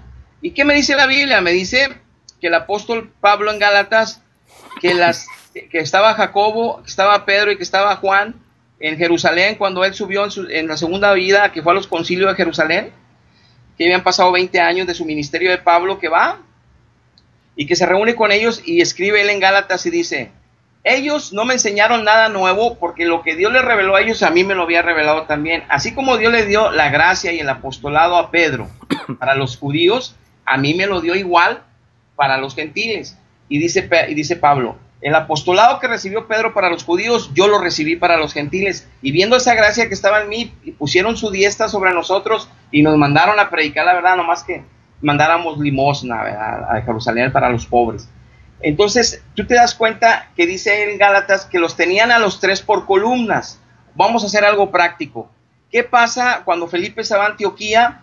Llega corriendo a Jerusalén, el apóstol Felipe, se están convirtiendo en Antioquía, están recibiendo en Samaria, en Samaria, perdón, la palabra del Señor. Dice que hay una reunión de apóstoles, todos los apóstoles y los ancianos se reunieron, cristianos ya de Jerusalén, se reunieron y decidieron, vamos a mandar a Juan y vamos a mandar a Pedro para que vayan y, confirmen a los hermanos que se están convirtiendo allá. Y los mandaron, órale, órale, vayan. No sé si me explico, no estuvieron en una silla sentado, estamos hablando 30 años después de que se fue Cristo. No estaba sentado en una silla Pedro, dando órdenes a todos.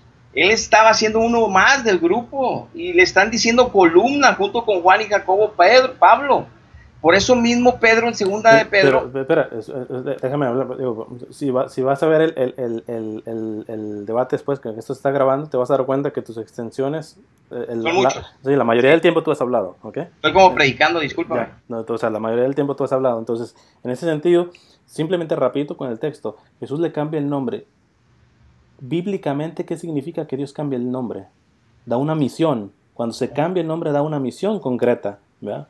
Entonces, que alguien me explique cuál era la misión concretamente que le estaba declarando este Jesús entonces, si no es la de la piedra, lo cual no significa que la iglesia de Pedro, ¿eh? que ese es un prejuicio que le ponen.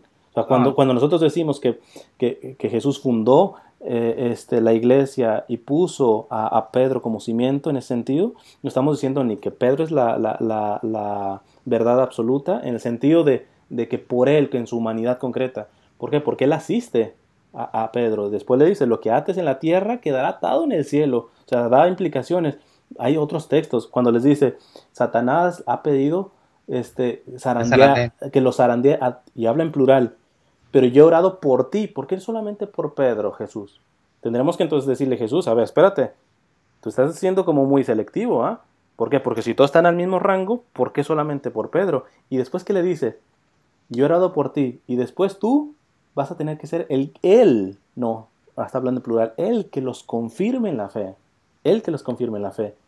Cuando Jesús resucita, este, y, que están en, el lago, este, que no podían ni con, ni con los pescados, no decía que no podían ni con los pescados, y luego dice que, que ya cuando llegaron a la orilla, Pedro agarra todo, él solo, él solo. O nos quiere decir algo, o simplemente Pedro era muchísimo más fuerte que todos los demás discípulos que estaban en la barca y que no habían podido cargar la, red. O sea, hay, muchas cuestiones en donde se ve, cuando tú vas a los padres de la iglesia también, te das cuenta de la supremacía de la iglesia de Roma, concretamente. O sea, hay, tanto aspectos bíblicos como eh, patrísticos en donde hablan de esa misión especial que tiene Pedro. ¿ah? Entonces, lo interesante es que el supuesto protestante, el supuesto protestante, eh, y no hablo de supuesto, en el, o sea, el argumento protestante, para cambiar la palabra, el argumento protestante es de que en pocas palabras cada quien es pontífice de sí mismo. ¿Por qué? Porque al final, al final volvemos a lo mismo. Tú ahorita te me fuiste que, que, que romanos, que todo eso, pero tú estás haciendo tu interpretación. Y tú me tienes que demostrar que a ti te dio Dios la autoridad concreta para hacer esa interpretación que diga eso, ese texto.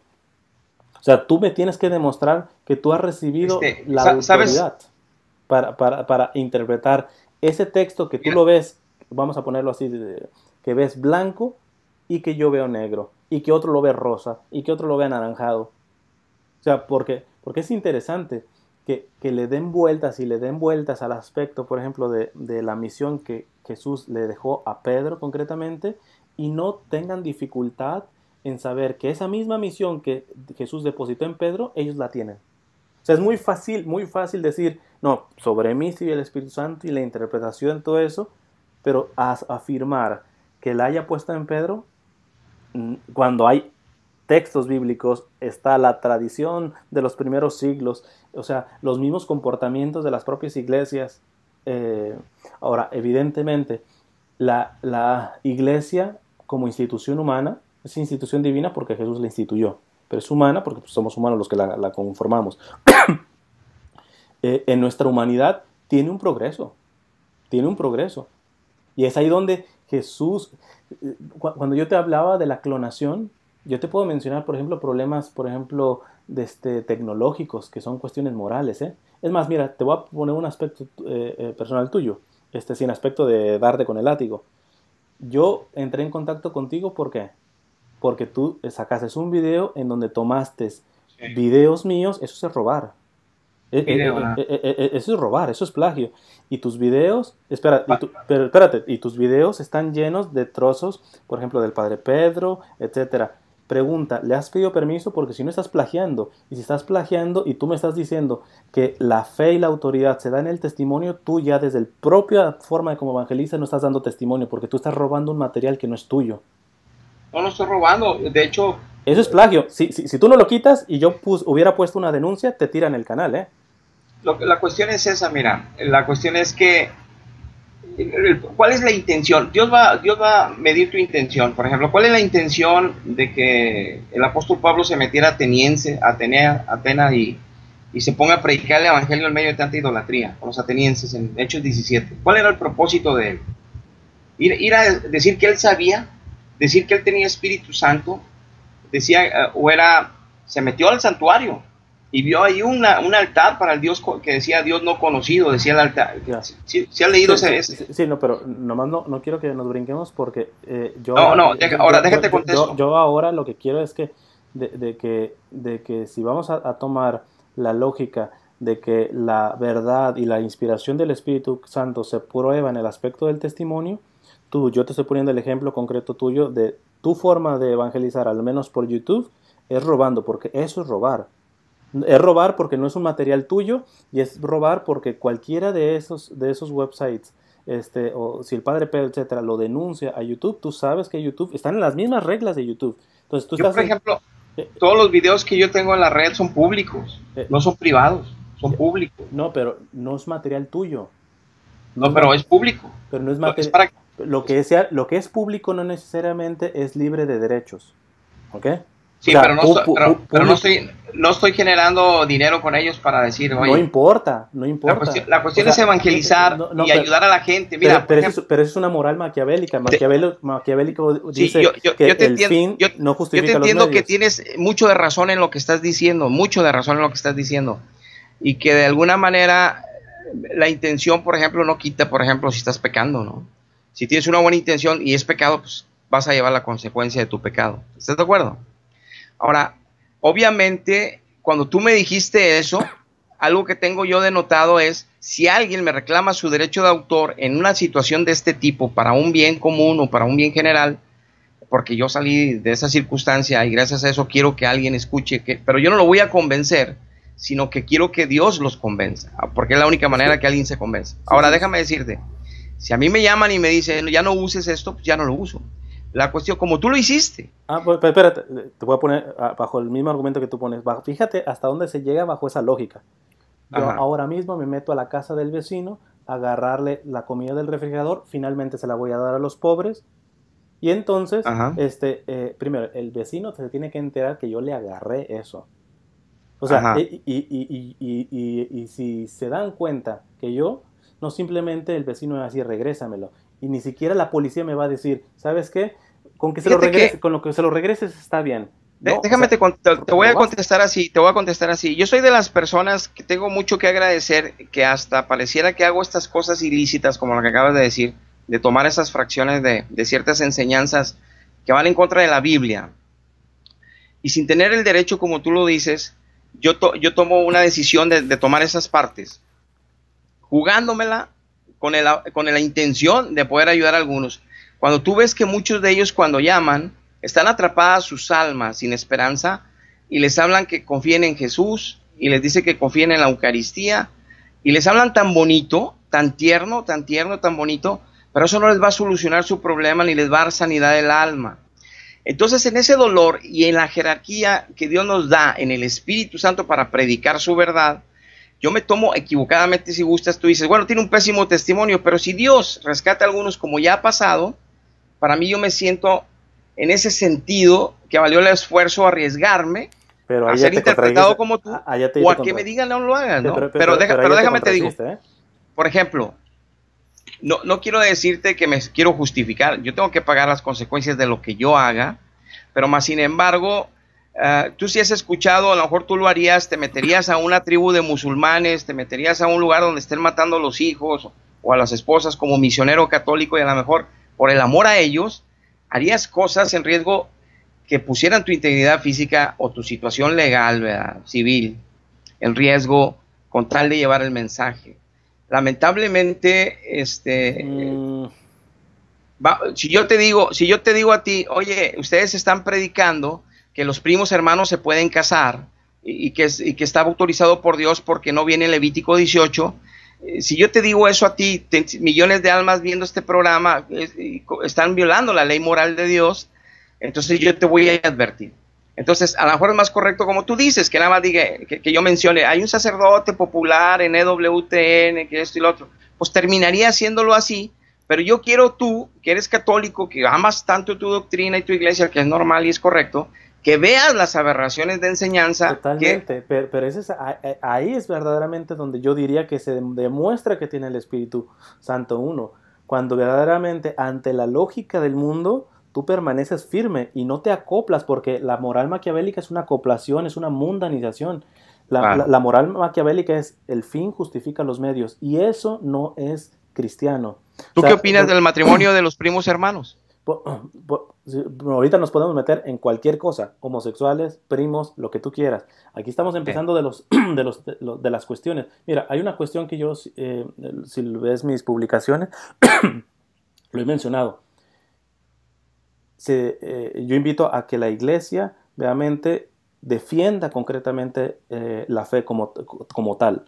Pero a lo que estamos viviendo, que viene una deformación terrible del matrimonio, de la familia, estamos en aspectos urgentes, ¿eh? pero urgentes. al punto de que si tú ves, por ejemplo, un, documento que acaba de sacar el, el, obispo de Filadelfia, hizo todo un examen y todas unas estadísticas acerca de la religiosidad propiamente de su diócesis. ¿Y qué se dio cuenta? Dice, bueno, más allá de los que se van, de los que regresan, de los nuevos, de lo que todo eso. Dice, nos hemos dado cuenta que en muy poco tiempo tener la moral cristiana va a ser delito. O sea, porque los estados están realmente poniendo, o sea, la educación a un niño va a ser, de un cristiano va a ser considerado abuso infantil. ¿verdad? ¿Por qué? Porque si el niño quiere ser niña, si quiere... Entonces, en ese sentido, yo lo he repetido muchas veces. En estos puntos tenemos que tener una unidad los que nos decimos cristianos. Porque si hay cristianos que ni siquiera tienen la mínima moral para reconocer la base moral de todo, por ejemplo, de la ley natural, que no se necesita ni siquiera la Biblia, la ley natural está puesta en la pura razón. ¿Cuál es el problema de Lutero? Que dice que la, que la naturaleza humana está corrupta, que está corrompida. Muy diferente. Eh, y no lo es. Está, está, afectada, pero no está corrompida. bueno, la corrupción viene siendo el pecado. ya. es el pecado. Pero bueno, ese es otro tema. pero el punto está que la, que, que, que la sola ley natural nos da para, por ejemplo, cuando yo defiendo el aborto, yo no saco ni un versículo de la Biblia. Son puros argumentos de la propia razón tengo cantidad para poder defender el matrimonio entre hombre y mujer, entre, entre la, eh, entre la, ah, el aspecto de la, de la, vida desde su nacimiento hasta su muerte natural, etc. Pero ¿por qué está ocasionando esto eh, la sociedad? Porque los cristianos no hemos puesto una argumentación al punto de la gente, o sea, queremos resolver las cosas a bibliazos, ese es el problema a bibliazos. Y la pregunta es, y está demostrado en la vida de tantos santos, por ejemplo, un santo Tomás Moro, que le tocó que lo mataran, básicamente, pero, pero se puede usar el uso de la razón en eso. ¿Por qué? Porque si hay una razón que obviamente está iluminada por la fe, que ese es el punto fundamental, la, razón por sí sola está perdida, este, pero que está iluminada por la fe, entonces hay una coherencia de una ética y de una moral. Tu comportamiento no es ético ni moral y sin embargo dices que estás iluminado por el Espíritu Santo. Y sin embargo, me dijiste hace poquito que realmente tú crees tener la verdad en ese sentido. Y sin embargo, en el solo comportamiento tuyo, tú estás usando una cuestión que va contraria a la verdad misma. Oye, yo, yo, te dije que tengo al Espíritu Santo, no que era, no que era como Jesucristo. Ah. Yo también, no, no, no, no, yo también me equivoco. como Jesucristo. O sea, yo también me equivoco. la verdad. No, sí, claro. Eh, por ejemplo, por eso te acepté lo que es bien y lo que es mal en, las cosas que hice, que me, que me cuestionaste, y, y, te dije no hay justificación ninguna, pero vale la pena arriesgarse para mí. Pero eso, eso, eso, es ir en contra de la verdad. Porque, pero no, pero, mira, es, muy diferente. Pero el, hecho, el hecho mira, hay, una cuestión. Sí, sí pero por ejemplo, es, muy diferente. Tú arrancaste diciendo, bueno, si nos vamos, si nos vamos por los testimonios, es, es, muy diferente, es muy diferente. Decir, este, como el ejemplo que me pones, estoy entre los musulmanes y no se están abusando de las mujeres o lo que tú quieras, de las cristianas, etc. Yo no tengo problema en poner mi vida enfrente para que me maten a mí antes de que a un hermano cristiano.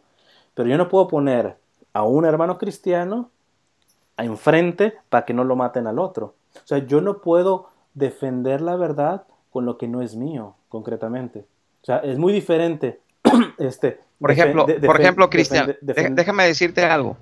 Si tú defiendes, si tú proclamas la verdad bíblica, que la proclamas, y proclamas la fe, te, estás metiendo en el territorio de Dios, te estás metiendo en el territorio de Jesucristo y del Espíritu Santo. Si yo estoy en ese territorio, digo estarlo, y tú también, y tenemos diferencias, las aclaramos. Pero, por ejemplo, si yo veo y siento y vivo como tú, ¿estás de acuerdo que hay, tú lo has dicho, obispos y sacerdotes dicen aberraciones, hacen aberraciones? doctrinales incluso en contra del catolicismo. Totalmente. Entonces te das cuenta que hay líderes, como lo hay en todas las denominaciones, que no tienen al Espíritu Santo, que no tienen la presencia de Dios por más sacramentos que coman. Entonces, la cuestión aquí es que es un problema de espiritual que hay en algunos líderes, ¿verdad? como lo hay en muchos creyentes. Muy bien, entonces, yo sé que ustedes han hecho la unidad en la fe, la unidad del bautismo al tener su propia teología a través de los siglos. Y es lo que les hace es tener el baluarte de la verdad como ustedes lo creen y que sea una madre la iglesia. Pero cuando nosotros nacemos del Espíritu Cristiano, el Señor nos lleva a toda verdad, porque Él es la verdad, no hay más. Y dice Efesios 4:21, le dice Pablo regañando a los Efesios, les dice, si acaso, le está hablando a gentiles, no a judíos, en Efesios 4:21 lo puedes leer tú, dice, si acaso han sido enseñados por Jesucristo y a Él han estado escuchando, entonces están en la verdad que está en Jesús. En Corintios dice Pablo, si, llega alguien y les predica un Jesús diferente al que nosotros les hemos predicado, y si aceptan un espíritu diferente al Espíritu Santo que una vez ya habían recibido, y si aceptan con gusto un evangelio diferente al que ya habían aceptado en primer lugar, bien lo toleráis, dice así Pablo. ¿Si has leído esos textos? ¿A qué se refiere Pablo? Se refiere que aunque seas cristiano, que aunque seas nacido en Cristo, que sabemos bien que las doctrinas te llevan para allá cuando no estás firme y todo, pero te dice que hay alguien que puede creer en Jesús y ser un Jesús de mentira, sea un demonio, vaya. Puedes creer en el Espíritu Santo y sea un demonio. Puedes creer en el Padre y sea otro espíritu de error. Y te puedan estar convenciendo con la Biblia de que estás en la verdad. Entonces, por eso Cristo fue muy determinante, independientemente de los errores. Claro que yo me confieso con Dios, claro que yo tengo que estar pidiendo perdón por errores. No soy santo, santo, ¿verdad?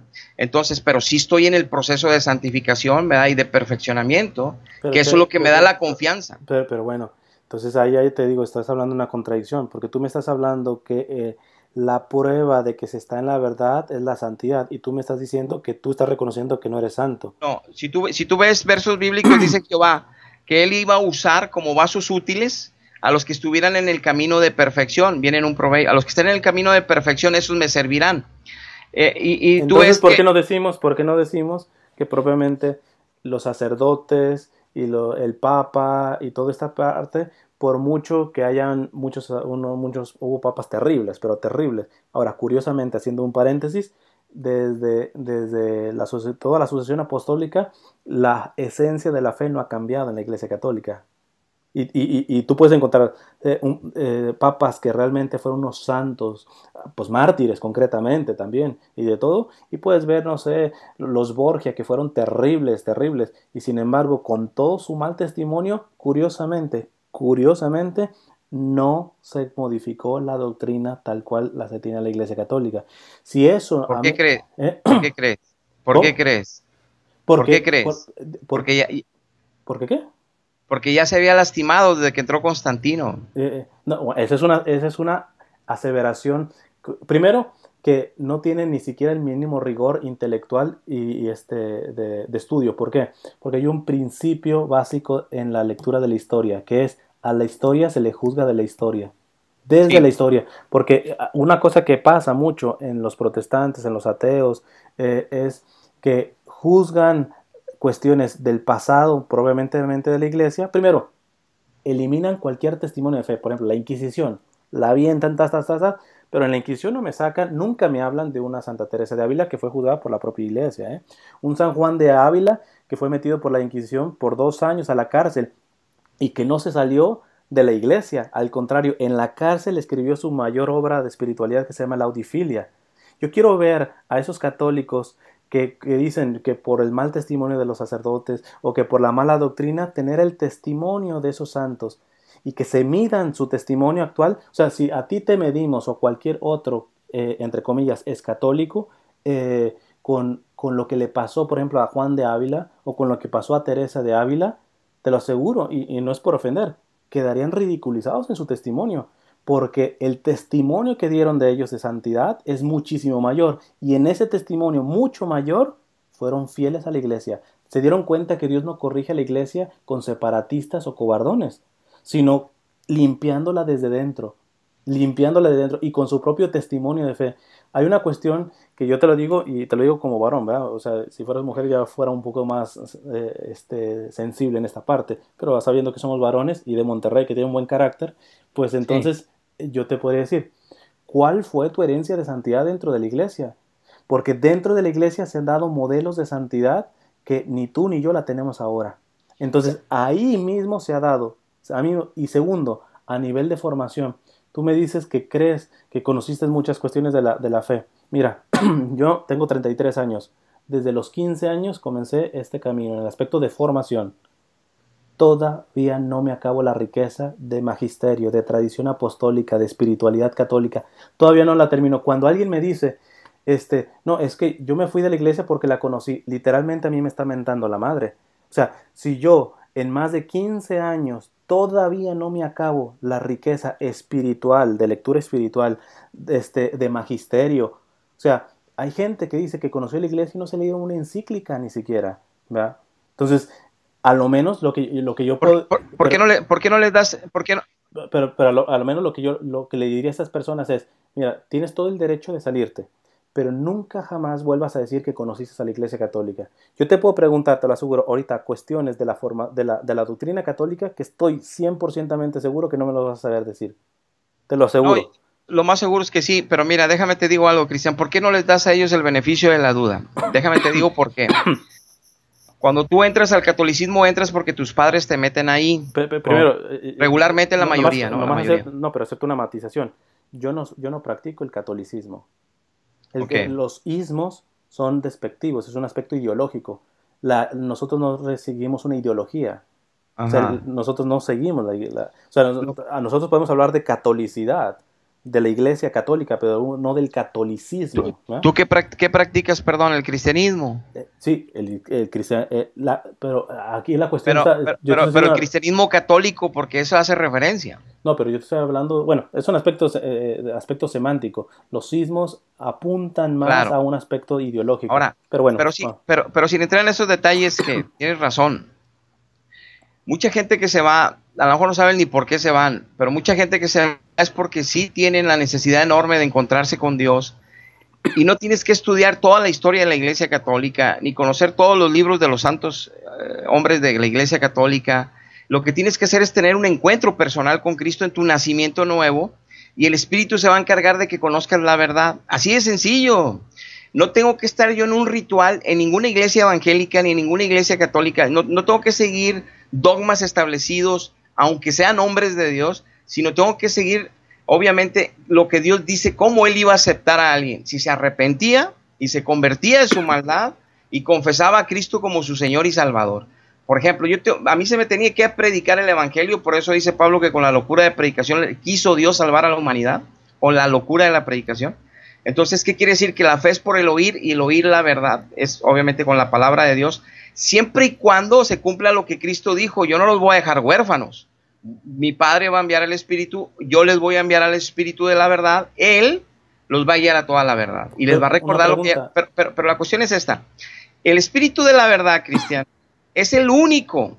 Yo quiero que lo creas porque está escrito y porque te lo dice tu Dios y mi Dios. El Espíritu Santo es el único que comisionó el Padre y que comisionó Cristo, y lo dijo bien claro a sus doce apóstoles, que es el único que en la tierra, en el mundo, puede convencer a un ser humano que necesita salvación. Es el único que puede convencer a un ser humano que necesita rendirse a Dios porque es pecador.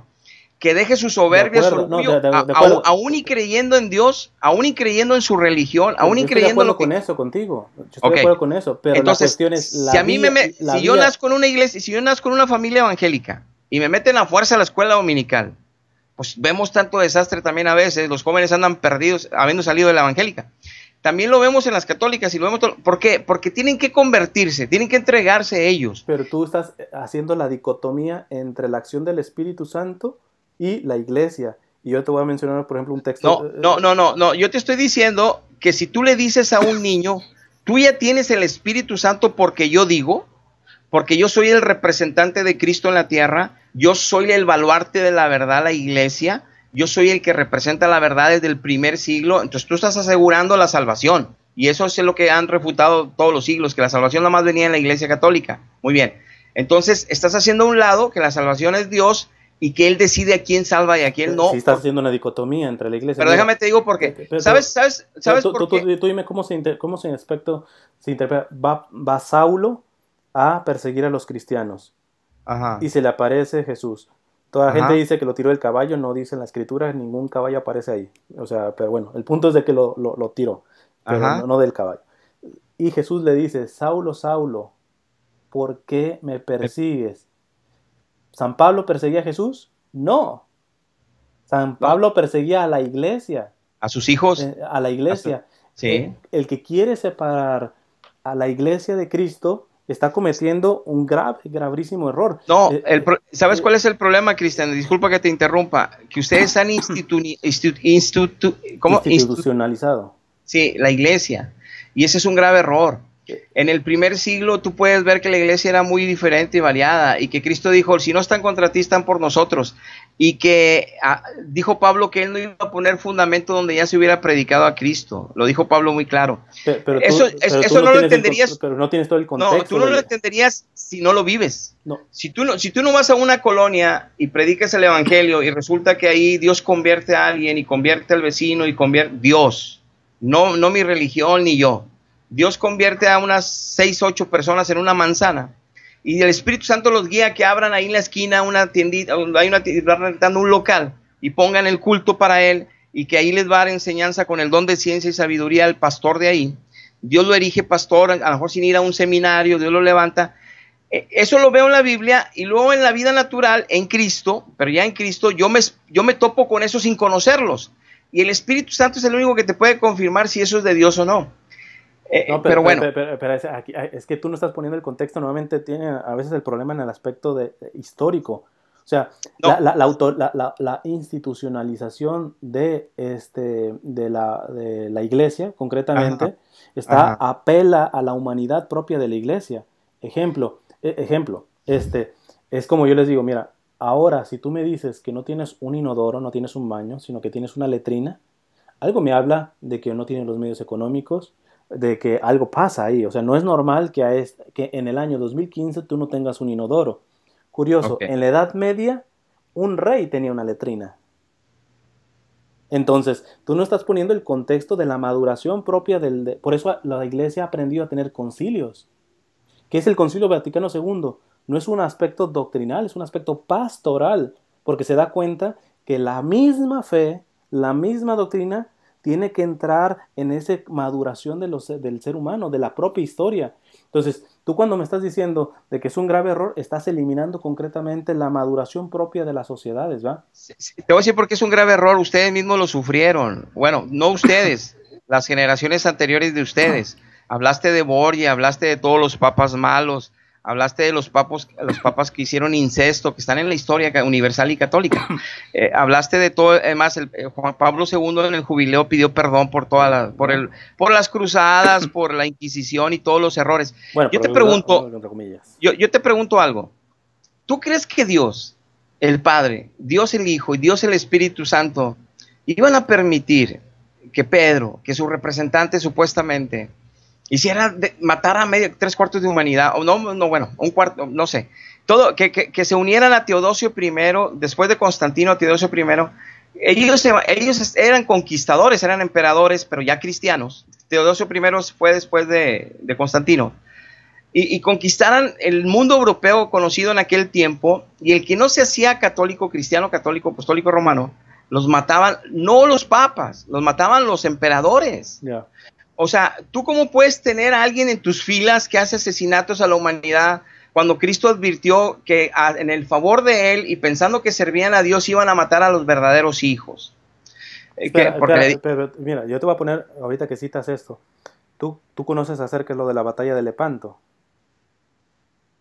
Sí, eh, eh, no conozco toda la historia, pero he leído algo. Ok, mira, mira, mira nada más el contexto, ¿eh? Fíjate, estamos hablando del siglo XVI.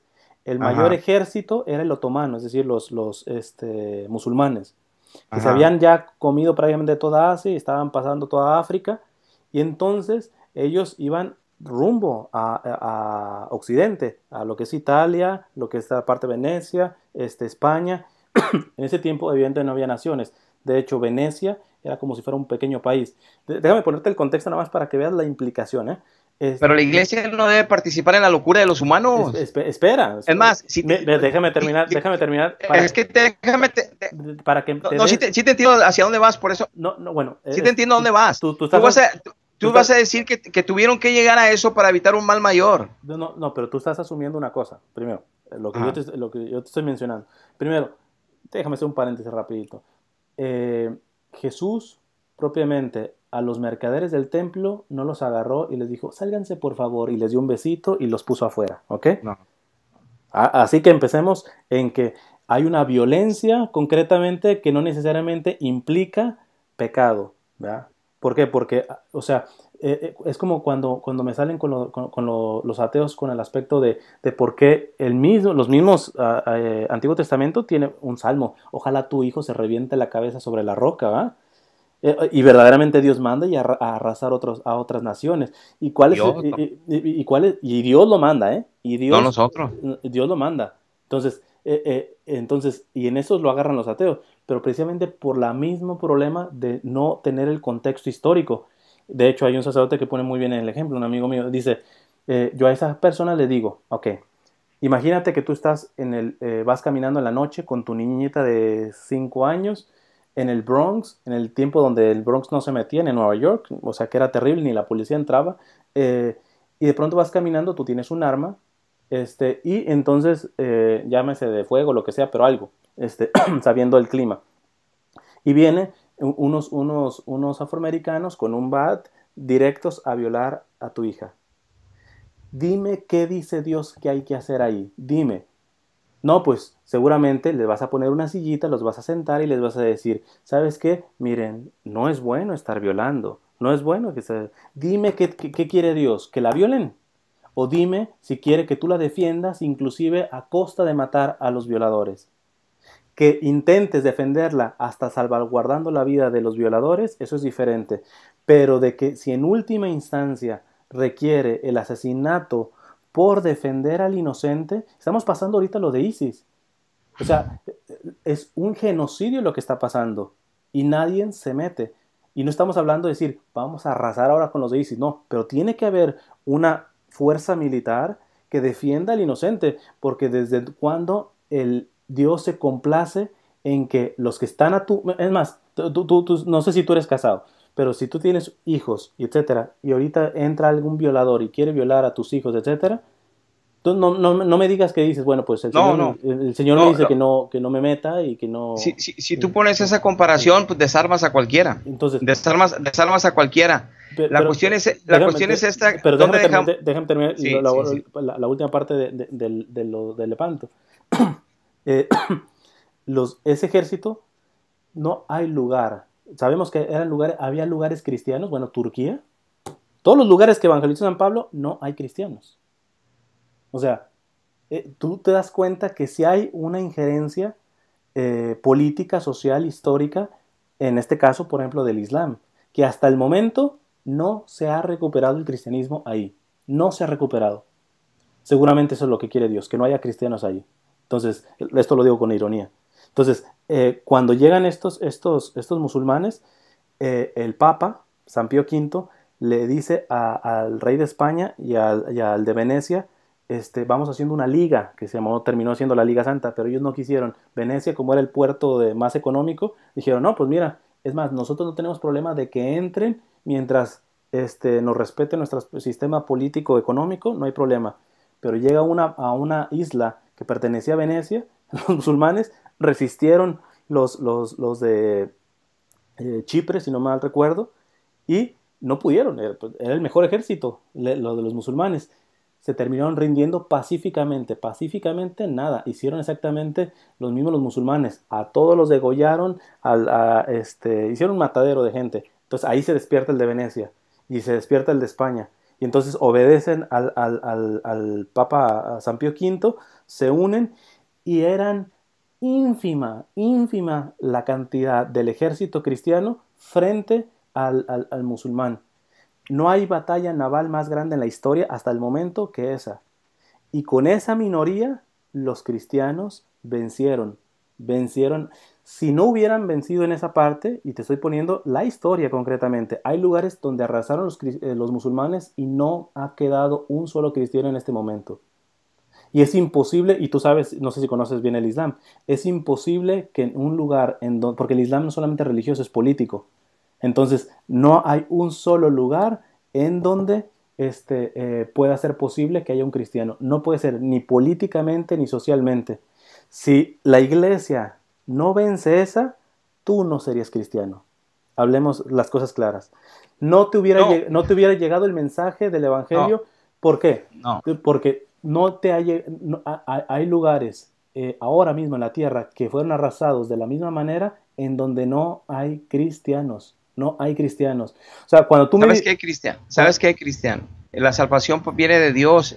Por eso no iba a permanecer ni el mismo infierno contra la iglesia, porque la iglesia no es una institución, la iglesia son el cuerpo de Cristo, la iglesia son todos aquellos que tienen a Cristo Jesús, lo crean los demás o no. La cuestión aquí es esta, el que está en Cristo sabe que está en Cristo, que está fallando a qué nivel, él solo lo sabe. Tú respóndeme, entonces, ¿es voluntad de Dios que no haya cristianos en ciertas partes del planeta donde antes hubo? Pues tú mismo puedes leerlo en Génesis. Él mismo dijo que las doce tribus de, Ismael, él tenía un propósito para ellos y tenía un plan ya estratégico. Y si tú ves, y si, tú, claro, o sea, Dios tiene un plan ahí, o sea, yo te voy a decir. Ah, ok, entonces con esto. Por ejemplo, yo cuando das toda la razón a los Mira, yo te voy a decir una cosa. ¿Tú qué crees? Dios ¿tú qué es crees? un Dios sádico, entonces, en ese sentido. No, no, no, no, no, no, no malinterpretes. Mira, déjame te explico. Dice Dios que va a mandar el poder engañoso, el anticristo. Él lo va a mandar para que todos los que no han creído la verdad sigan apacentándose en su libertinaje moral en este mundo y sean condenados sin poder arrepentirse. Dice eso la Biblia, no yo. Que Él va a mandar Él el poder engañoso para que sean condenados porque no quisieron escuchar la verdad. Viven en el libertinaje moral, crean en Cristo todos, crean en Dios, toda Latinoamérica cree en Dios. y, y, tienen algún tipo de religión cristiana, algún tipo. La mayoría católicos y luego evangélicos y todo. Pero el que no está en Cristo fielmente, ese se la está jugando y eso lo sabemos, pero bueno. Pero estoy de acuerdo contigo. pero mi pregunta no va en ese sentido. Mi pregunta ahora, el problema es que en las teologías, si yo estoy hablando algo que no es conforme a la verdad, el Espíritu Santo no va a estar ahí. No va a estar ahí para que sea tocada la gente, porque yo no la puedo tocar. Yo puedo convencer gente y poner mi propio sequito, pero fuera de la verdad y fuera del Espíritu de Dios, que, hay muchos. Entonces, me va a, ¿qué voy a hacer yo si me separo de la verdad? Pues Satanás va a estar bien contento, me va a mandar principados para apoyarme, aunque no me ponga de acuerdo con él. Yo voy a pensar que tengo muy buena labia, que conozco la Biblia muy bien y que les estoy lavando el coco a las personas, pero no me doy cuenta de lo que dice Pablo, que hay espíritus de error cuando se altera la verdad que controlan a la humanidad. Por eso tú ves tantas doctrinas tan fieles como los musulmanes, budistas, hindúes, y ves tantas doctrinas cristianas tan fieles de error que te la defienden a capa y espada y te aseguran estar en la verdad Y tú los ves y dices, oye, pero haz de cuenta que son de la verdad. Lo estás volviendo exactamente lo mismo. No, es claro que sí, claro que sí. Entonces, por eso digo que por los frutos es la única manera. Pero, ya te demostré. O sea, pero por los frutos nada más. Pero, ¿a qué te quiero reducir todo eso? Ya para terminar lo que te explico. Que es imposible, ¿verdad? Querer abarcar por la razón, ¿verdad? Eh, lo que debe estar o no la verdad. Ahora, yo no voy a cambiar, obviamente, tu forma de pensar, no la intención, este, no voy a, y, porque te repito, yo te puedo, vamos, mismo, este, eh, Pablo, eh, ¿quién fue eh, cuando está escrito en la Biblia que se, aunque se, aparece, ah, en el diálogo que pone Cristo allá en el Seol de Abraham y el, y este, el rico, ¿verdad? Que le avisaron a sus hermanos que sí existe el tormento eterno y que le dice Cristo, mira, o sea, está haciendo el diálogo entre Abraham, que Abraham le dice al rico, le dice, aunque se les aparezcan los muertos, no van a creer. O sea, aunque haya apariciones, no van a creer la verdad. Que crean a Moisés y que crean a los profetas, que fue lo que creyó la primera iglesia en el primer siglo. No están diciendo que se bauticen, hombre, o que sigan a una, a una estructura, porque esa es la única verdad. No, entonces para que tú creas una cosa o yo la otra, o me la asegures porque ya la vivo y ya veo la diferencia. Pero si yo estoy siempre en el mismo esquema desde que nací aferrado a eso, porque es la más grande, la primera y todo, qué bueno. Entonces tengo que preguntar. Pero, o sea, yo estoy de acuerdo de que hay gente que está dentro de la Iglesia Católica y tiene una, una fe eh, simplemente eh, de tradición, no de convicción. Eso, está, clarísimo. Pero eso ahora te, pero, espérame. Pero no, nada más te voy a decir esto, que para que me contestes junto con lo que me vas a decir. ¿Qué pasó entonces con los sacramentos? O sea, no tienen poder. Sí, pero ¿y qué tiene? O sea, eso no, quita una cosa a la otra. Hay gente que llama, llama llorando a Pedro, a Pedro Núñez, al, sacerdote, y le llaman llorando. Y le dicen, fui con mi obispo, o sea, quiero que me expliques, eh, gente sufriendo, jovencitas, y que le ponen ahí en el correo, le ponen en la llamada y dice, fui con, fueron con su sacerdote, ¿verdad? Primero, y luego fueron con el obispo, o sea, ellos están buscando solución a su alma, Fíjate, fíjate lo que pasó aquí. Sí, no, ya, ya, me lo explicas, es decir... Del aborto, ¿sabes qué le dijo? ¿Sabes, ¿Sabes, cuál es la teología católica? ¿Sabes cuál es la teología católica de esa respuesta? Le dice, mira, ya te confesaste, ya hubo la absolución sacerdotal, la reconciliación sacerdotal, ya hiciste tu penitencia, te arrepentiste, por eso estás lamentándolo. Un aborto de una joven. Tienes años, cinco años, es una llamada que tenía cinco años sufriendo. Dice, ya pedí perdón a Dios con todo mi corazón, me arrepiento, mi niña. Y dice él, dice él, Dice él, el alma está tu cicatriz de tu pecado ahí, esa no se te va a quitar hasta que no te lleven al purgatorio. O sea, todo el dolor de los pecados que tú cometiste graves contra Dios, esos vas a estar, los vas a tener ahí adentro. Si eso fuera verdad, Cristian, yo no conocería a Cristo. Ah, es que tú estás. Yo tenía pecados más grandes que esos, pero, yo. espérate, es que tú estás. Es exactamente. Tú me estás dando la razón. Cuando tú me estás diciendo que tiempo atrás que no necesitas conocer ni nada de doctrina ni todo eso, etcétera, por eso llegas a ese tipo de prejuicios, porque es, claro que tú no estás identificando entre la culpa y la, o sea, entre el pecado y la consecuencia del pecado. No, tú, tú, malentiendes esto, mira, la consecuencia del pecado ella ya la vivió cinco años, el sufrimiento y el dolor. No, no, no. pero ella ya no tiene que, ya no tiene que cargarlo. No, no, es que no estamos entendiendo, no, no estamos entendiendo porque tú careces de una formación de la naturaleza del pecado. o sea, eh, tú puedes creer o no creer en lo que la iglesia dice en cuanto a toda la doctrina del pecado, en cuanto a toda. tienes la libertad de creer o no creer, pero tú no puedes estar asumiendo dentro de, de, una cosa que está específica que tú no conoces. no, sí conozco, sí conozco porque yo tenía arrastrando mi alma también y Dios me cuando me liberó, cuando, cuando dice Juan, mira, si mira, te liberares serás verdaderamente libre, sé lo que es eso. ya no sentirme culpable, ya no estar sufriendo. No, no, por eso estar alabando su nombre. Pero, eso es una actividad subjetiva, tú estás eliminando. No, es un poder espiritual del Espíritu Santo de sanidad interna. Eh, tú, tú, o sea, cuando tú estás reduciendo la... Es que ese es el problema de separar el aspecto de la naturaleza humana con la acción misma de Dios. O sea, hay un principio básico de la teología católica. Y, si me dices que realmente sí lo conoces, explícamelo. Dice la, dice la, teología católica. La, eh, este, la gracia supera, digo, la gracia supone la naturaleza. No la elimina, sino la perfecciona. ¿Entiendes lo que significa eso? Sí, sí, yo te, yo te entiendo, pero, A ver, explícamelo, porque si no, porque si, si no me queda claro que tú entiendes esto, entonces en realidad no entiendes el pecado. ¿Crees que entiendes lo que nosotros entendemos? Es como lo que decía Fulton Sheen. Dice, dice, muchos católicos odian en la iglesia lo que ellos creen que es la iglesia. Pero es ignorancia lo que tienen.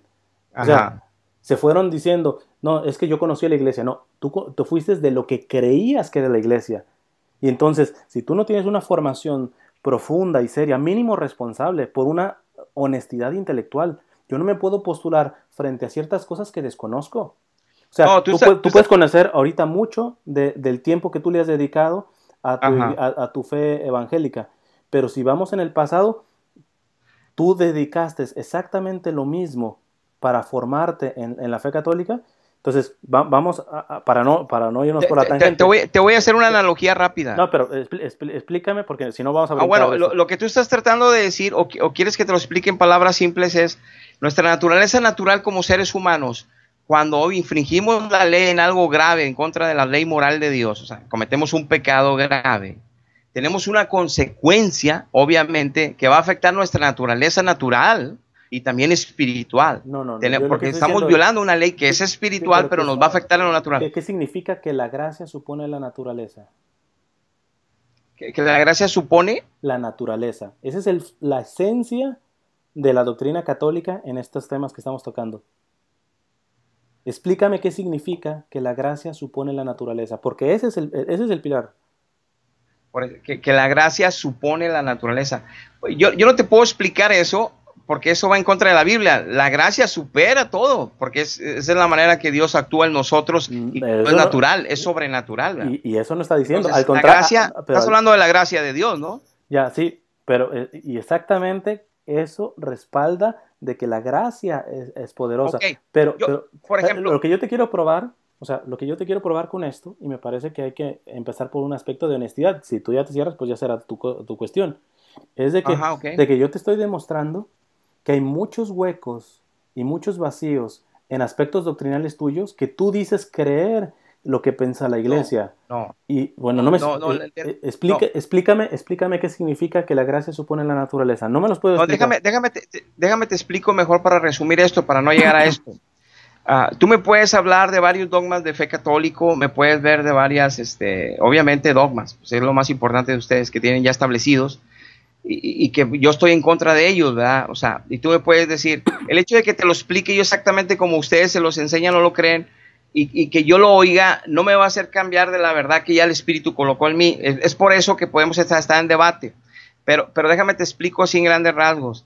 No se trata de que yo entienda la teología católica para poder debatir la teología católica, sino que entendamos la escritura porque es lo que nos dejó Dios para salvarnos, el Antiguo Testamento a los primeros, y, tú no has querido creer porque obviamente sí lo has leído, pero no le has dado importancia, cuando el apóstol Pablo decía, Todas las cartas que les estoy enviando, léanselas a la Odisea como están en Filipos, y todas las cartas que están leyendo, espero que las comprendan como hasta el fin, como las están entendiendo ahorita. Es importante. O sea, estuvo evangelizando Dios a través de los apóstoles a la primera iglesia con todas las responsabilidades morales dentro de la iglesia y dentro de la sociedad. Asumiendo, estás asumiendo. Espérame, espérame. Ahora, te estoy hablando de lo que está escrito. Pero es que no me estás respondiendo, es que tú te estás yendo por la tangente. No, no, no, no, te estoy respondiendo. la, la, gracia de la naturaleza te lo estoy resumiendo.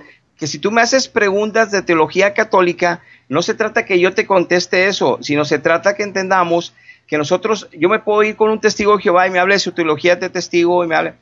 Ok, entonces hay ciertas doctrinas como las que tú, y yo podemos hablar, como la Eucaristía, como la reconciliación sacerdotal en en la absolución de pecados y ciertas doctrinas como el bautismo de bebés y una serie de cosas que podemos hablar con la Biblia. ¿De qué me baso yo para poder defender, aunque no puedo decir de algo sobrenatural porque pues no sería de alguna manera que tú lo creyeras o alguien, sino te voy a decir, bueno, vámonos al manual de vida que Dios nos dejó, entonces tú vas a decir, pero tenemos que interpretarlo.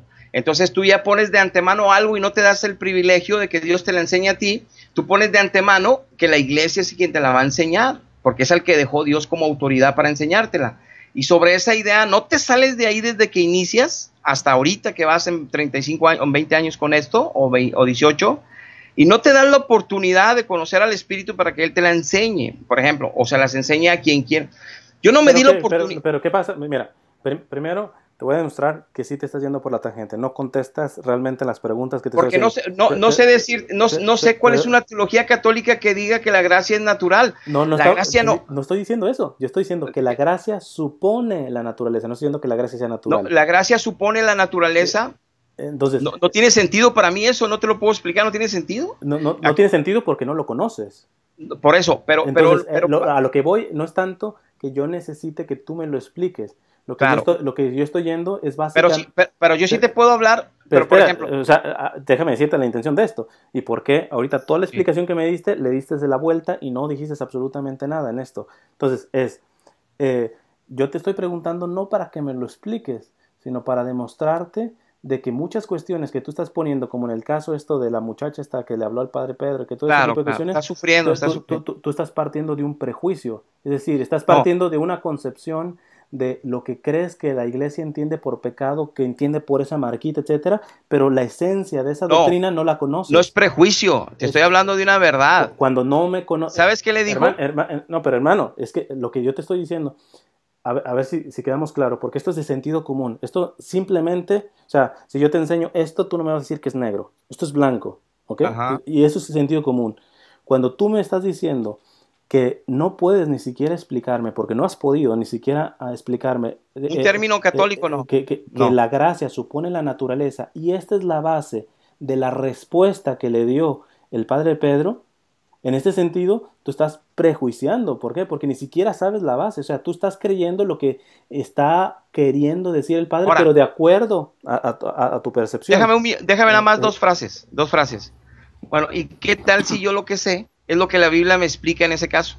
Y eso es lo que me ha resultado a mí a muchas almas que han sido liberadas y sanadas. E, exactamente. Estamos partiendo nuevamente de una fe subjetivizada.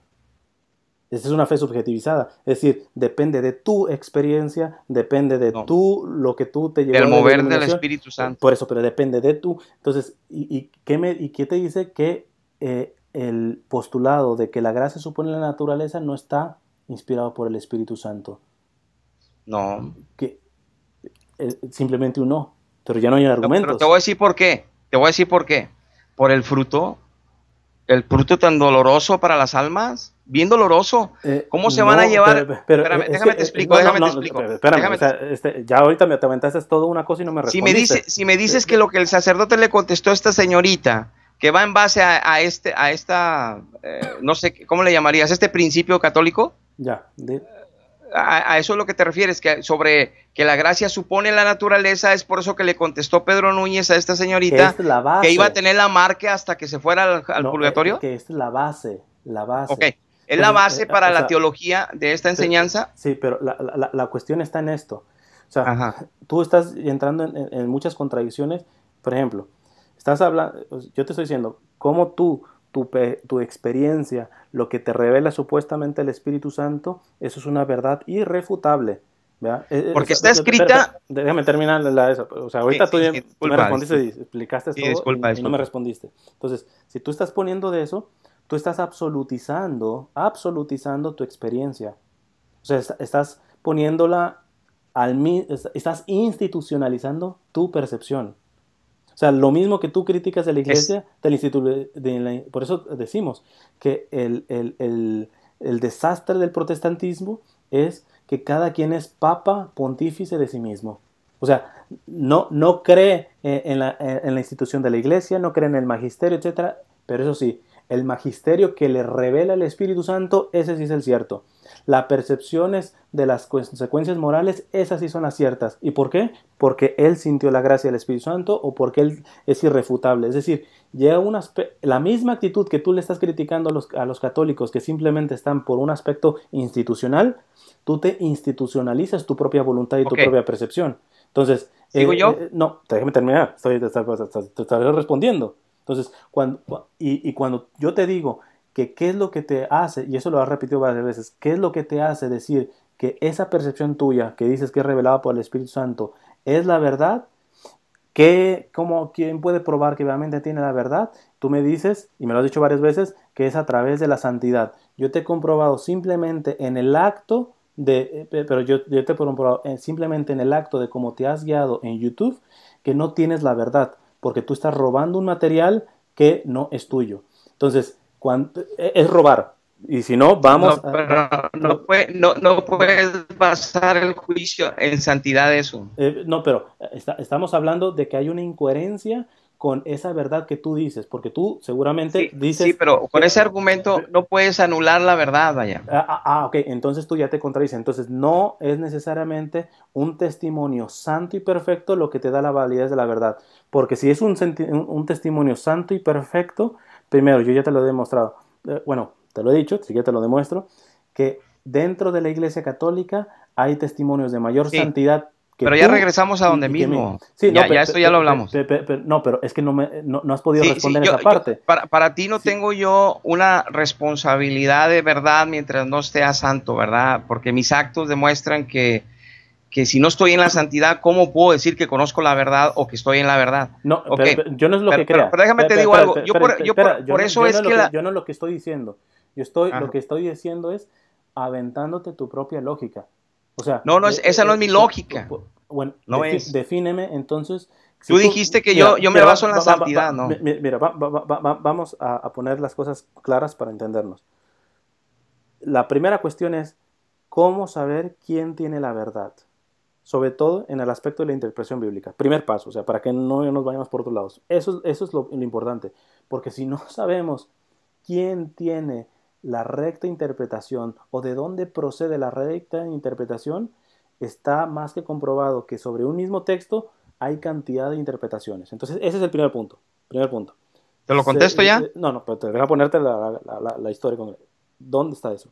Segundo, tú me dices que es por la santidad, y eso me lo dijiste, y, lo, Testimonio, testimonio. de la verdad, todos estamos siendo perfeccionados. Hay unos que son más santos que otros. Eso ah, no tiene que ver ah, el nivel de santidad. Total, ¿no? Eh, ah, ok. Entonces, si, si, lo que me estás diciendo que estén en el camino de santidad. Sí, hay quien nace. Eh, ¿Qué te da a ti para demostrar que el Papa no está en ese camino de santidad? ¿Qué te da para, para que otro líder religioso no esté en ese camino de santidad? Porque siguen pensando en cuestiones fundamentales de doctrina diferente a ti. Y todos van a poder decir que están en el camino de santidad.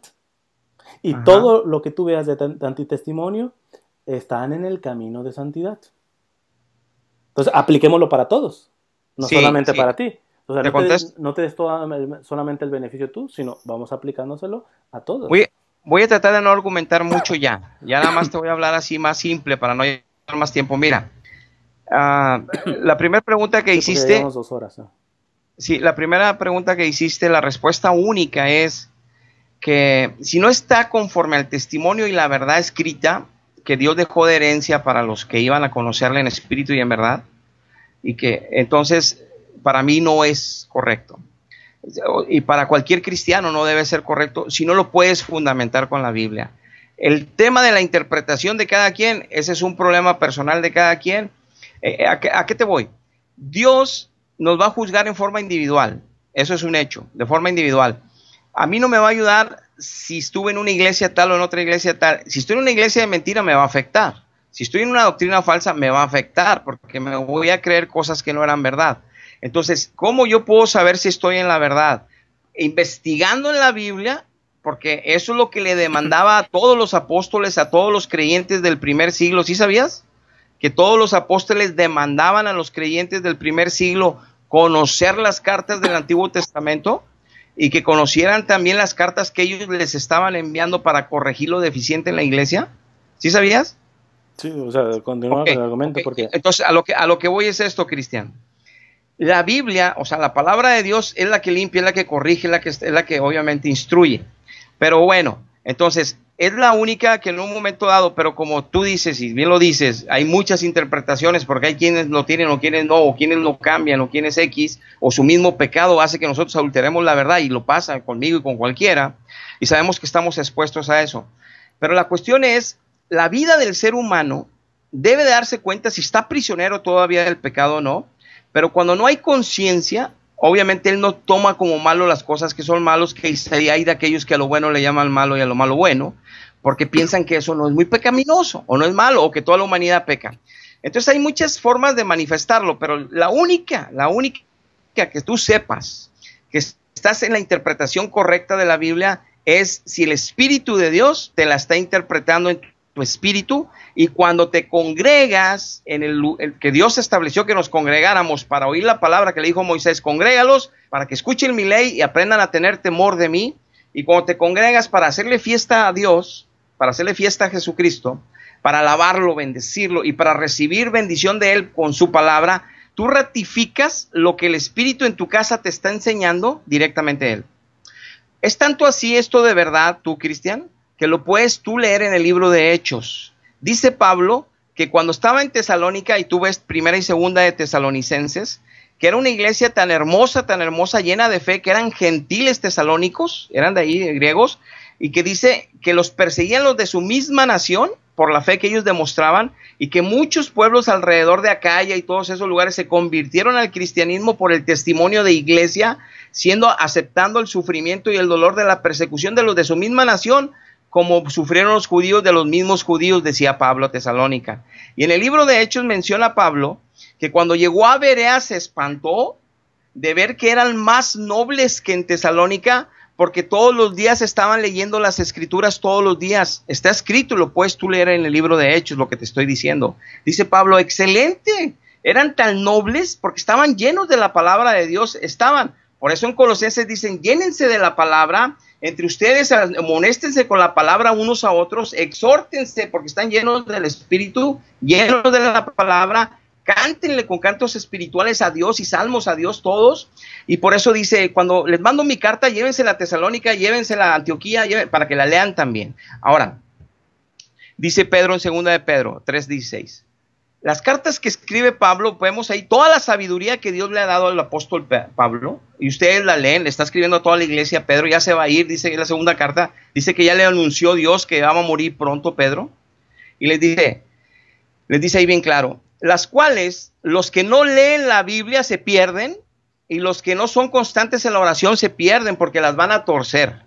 Tienen que leerlas para que no las estén torciendo, orando y siendo disciplinados en la lectura bíblica. Y yo lo resumo a esto. ¿Cómo le llamas tú un ministerio que se autojudica la verdad y que nada más la puede enseñar él, ese ministerio y esa autoridad y esa institución, y te prohíbe para que no cometan errores las ovejas que la leas desde el siglo IV hasta 1961 con Juan 23, que dice, la, eh, Populus Católico, que, ya todos pueden leer la Biblia. Y tienen estudiando la, que tú eres parte de ellos, 40 años. Todo el pueblo, ya no nomás los sacerdotes y obispos, todo el pueblo. Ya no nomás los, y ahora sí puede haber apóstoles, para eso fue el Vaticano II, ya puede haber laicos con los poderes ahí, apóstoles laicos, profetas, o bueno, maestros laicos, ya puede haber todo eso. Cuando toda la iglesia lo tuvo todos los siglos en Cristo. O sea, no me no, vas a defender, yo sé esto y lo otro, pero yo quiero que me defiendas en contra de lo que te estoy hablando que está escrito, no en contra de lo que te enseñaron tus teólogos o tu doctrina. Tú tienes que cómo Dios va a dejar a hombres que estén haciendo argumentos por tradiciones orales de siglos después, cuando dijo en Isaías que solamente de los judíos vendría la verdad. Por eso puso él que nos va a demandar justicia y santidad, porque la dejó con puros judíos. 40 judíos escribieron la Biblia y todos los apóstoles son judíos. ¿Por qué? ¿Quién les dio autoridad a otras nacionalidades, aún sean apóstoles? Nadie puede cambiar lo que ya está escrito y lo advierte en Deuteronomio 4 Dios y lo, advierte en Apocalipsis. Nadie puede añadirle ni quitarle. Eso no lo puedes entender hasta que no estás en el fuerte y que el Espíritu te diga, todo esto no, Señor. Por eso dice, mis ovejas oyen mi voz y me siguen y las tengo en mi mano y nadie me las va a quitar. Esas ovejas son mías. Por eso dice Efesios 4:21, los que escuchan la voz de Jesús y son enseñados por él en la doctrina, son los que están en la verdad de Jesús. Si no estás siguiendo un Jesús diferente. Es por eso que a veces somos groseros, Cristian. Te voy a decir algo que parece grosería. Y vas a decir que es herejía y te vas a espantar. Pero te lo voy a decir para que veas qué tan cierto estoy, qué tan seguro estoy de lo que Dios ha hecho en mi vida y en millones que conozco, que conocemos al Espíritu de Dios. Y no te digo, no que no soy jactancioso, sino por eso predicamos, aunque no seamos bien aceptados. De eso se trata, que el que predique la verdad lo van a correr de todas partes. Ahora mira, solamente quiero que contemples. Ya nada más dos, eh, no, más un minuto. Espera, espera, espera, solamente te lo voy a dar el minuto. Quiero que contemples que te he dejado hablar y que te has aventado y varios Te voy a dejar hablar. Ok. Cosa que tú no has hecho. Pero yo quiero que me hables ahorita lo que vas a continuar con lo que está escrito en la Biblia, que es lo que te ha ilustrado Dios a ti para que crezcas en la verdad. Sí, porque Su no me has respondido, ¿eh? Todo lo que has dicho te voy a comprobar que no me has respondido. Le diste vuelta nuevamente. No, Pero bueno, ya te, dije que la, no, no, no la gracia. Termina, termina y te lo voy a demostrar. Lo de la gracia por la naturaleza. Todo el discurso que has aventado no ah, me ha respondido. Bueno. Okay, pero termina el minuto que querías. Hiciste dos, hiciste dos preguntas. Una, la verdad es conforme a la Biblia y la vivimos con ella ayudados por el Espíritu Santo. la segunda vez que, que, dijiste que era que la santidad es lo que nos aseguraría, o sea, el testimonio, dice Isaías 8, 20, que si no es conforme a la ley escrita de Dios, la palabra, y al testimonio de vida sobre esa ley, no les ha amanecido. Entonces yo te confirmo con la Biblia que si no estás conforme a la verdad escrita, tanto uno y otro, una revelada por el Espíritu Santo para que crezcas en esa verdad y la otra, no es tu manera de vivir ni tu regla, la palabra de Dios, ayudado por el Espíritu, claro, va a haber interpretaciones. Eh, ya te contesté esas dos. Por otro lado, el minuto que te pedía era Jesús de la misericordia, que yo creí tanto en él en esas estampas, y Jesús del Sagrado Corazón de, de Jesús, ¿sabes quién está atrás de esas dos imágenes? Lo estoy diciendo yo. Demonios demonios. Me atrevo a hacerte esta afirmación, y no para ofender, para decirte, como les dijo el apóstol Pablo en Atenas, ustedes tienen un altar aquí, son muy religiosos atenienses, miren, tienen altares a varios dioses, pero también tienen un altar a mi Dios del cielo, porque aquí dice al Dios no conocido, que sé que es al Dios que yo vengo a predicarles. Y les dice Pablo, yo no sé por qué no lo pueden leer ustedes, les dice Pablo, Dios está en los cielos porque en Primera de Reyes le dijo Salomón que ni los cielos pueden contenerlo y que no pueden hacerle casa allá en la tierra. Se fue del tabernáculo, se fue el arca, ya no está Dios contra el pueblo, más que desciende y obviamente bendice al pueblo. Pero él no habita en medio de templos, dice Pablo. Él ya no habita en templos hechos con manos humanas, no habita. Estás hablando del primer siglo de la iglesia poniendo por práctica la fe de Jesucristo, ya se había ido Cristo, y dice Pablo, Cristo no habita en templos hechos por manos humanas. No crean que aquí lo van a tener encerrado. Y no crean que oro y plata, o sea, esas cosas que ustedes tienen en ese altar, divinidad, ya pueden ser figuras, a Dios lo honras con figuras o con oro o con plata. Él es espíritu, Él llena todo, en Él andamos, en Él somos, les dice Él así. Si lo has leído, te das cuenta que Pablo da una revelación que Dios, desde segundo mandamiento y tercero lo dice, que Dios no lo puedes tener encerrado en un templo, en un santísimo, que Él está en el cielo, a la diestra del Padre, y el Padre está allá, y vienen y hacen morada en nuestro espíritu, es como nosotros somos templo de Él, no lo material. Y en el lugar donde nos reunimos, que es un templo de Él, una casa de oración, Él desciende y lo invitamos que descienda y le damos gloria y alabanza. Eso que te estoy diciendo yo, que yo creo y que yo interpreto, es lo que vivo desde hace 14 años y vivo y disfruto de la gracia y de la bendición de Él, pero millones, no la más yo. Pero esa parte tú, Cristian, que te he estado diciendo desde el principio, lo que está escrito para que nadie me engañe. Entonces tengo dos ventajas, Cristian, para contestarte eh, en resumen esas dos preguntas. No solamente está escrito, tal y como los primeros apóstoles que dice Efesios 2.20, que ellos son el fundamento de la fe y la piedra angular Cristo, no solamente está escrito, sino también lo vivo en la práctica espiritual. Y tengo el disfrute de que dejé de mentir, dejé de ser lascivioso con las mujeres, dejé de hablar mal con mi boca maledicencia, dejé mi infinidad de cosas, el cigarro, el alcohol, infinidad. Pero bueno, eso nada más lo sabe Dios y yo. Pero lo que te digo es que a mí me resultó seguir lo que está escrito y que el Espíritu me lo enseñara y estar en un lugar escuchando su verdad. Que hay lugares que se llaman como nosotros y son falsos, sí, sí los hay, Cristian. Por eso nos va a juzgar independientemente. Continúa. listo. Era un minuto y te vendes como cinco. Eh, este, primero, no respondiste estrictamente hablando, le diste vuelta nuevamente. Muy bien. A lo menos porque es contradictorio lo que estás diciendo. A lo menos. ¿Por qué?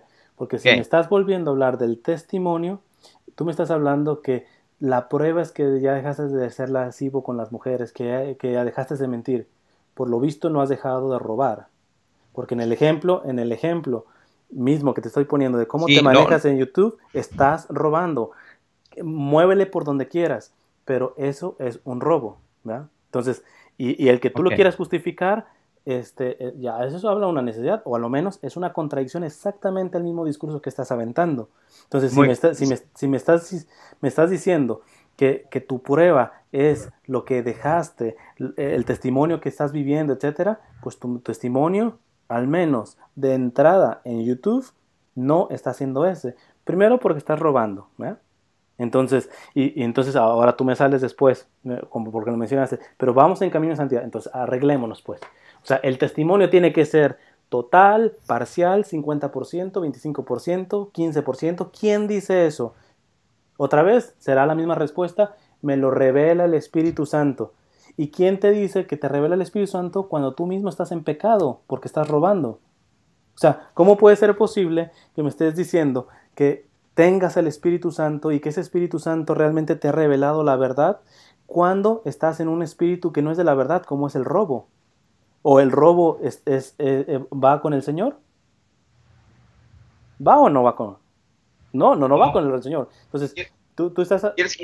Tú, tú, estás asumiendo eh, primero esa parte. me, dejas me, dejas leerte un, me dejas leerte un texto, disculpa que te interrumpa, pero es importante para lo que estás diciendo. Yo tendría muchísimas cosas que, este, eh, que, interrumpir. No, no, pero, no, yo, no, no, no, no, es que, eh, o sea, cuando tú estabas hablando, yo también tenía ganas de interrumpir en muchas ocasiones y con muchas cosas importantes, ¿no? Entonces, lo primero que te pido es de que, que me escuches y no tanto que prepares tu defensa, porque la cuestión es escuchar, simplemente por decencia, ya ni por cristianos, decencia humana, ¿eh? escuchar. Entonces, este, entonces en, esta, en esta parte si hay una contradicción. Si tú me estás hablando que tienes esa, esa verdad, ahora eh, me pones en el aspecto de, la, de, que la iglesia cuando no prohibía todo eso, volvemos al mismo error y la misma responsabilidad intelectual que es juzgar la historia desenfocado del contexto histórico propio. Y si nos metemos ahí, te lo aseguro, y, si quieres, bueno, ahorita llevamos ya dos horas, casi dos horas y media, y ya es, ya es bastante, pero si quieres, en cualquier momento podemos dialogar sobre las verdades históricas, los contextos históricos, y te vas a dar una sorprendida de cómo no solamente estás prejuzgando, estás calumniando. Y segunda cosa, ya robas, Ahora calumnias. Es tercera, no me pudiste explicar ni siquiera el fundamento de esto de la respuesta del padre eh, Pedro. Y me dices que no hace falta. Eso también estás, estás asumiendo. ¿Cómo se le habla, cómo se le dice una cosa que yo no sé y digo saber? Es una calumnia. Eso es asumir, eso se llaman juicios temerarios. Y los juicios temerarios tú sabrías que es pecado. ¿Por qué? Porque el interior lo ha repetido muchas veces. ¿Quién lo ve? Dios. Y estás asumiendo cosas sobre un contenido que ignoras, ¿verdad? Con un contenido que ignoras.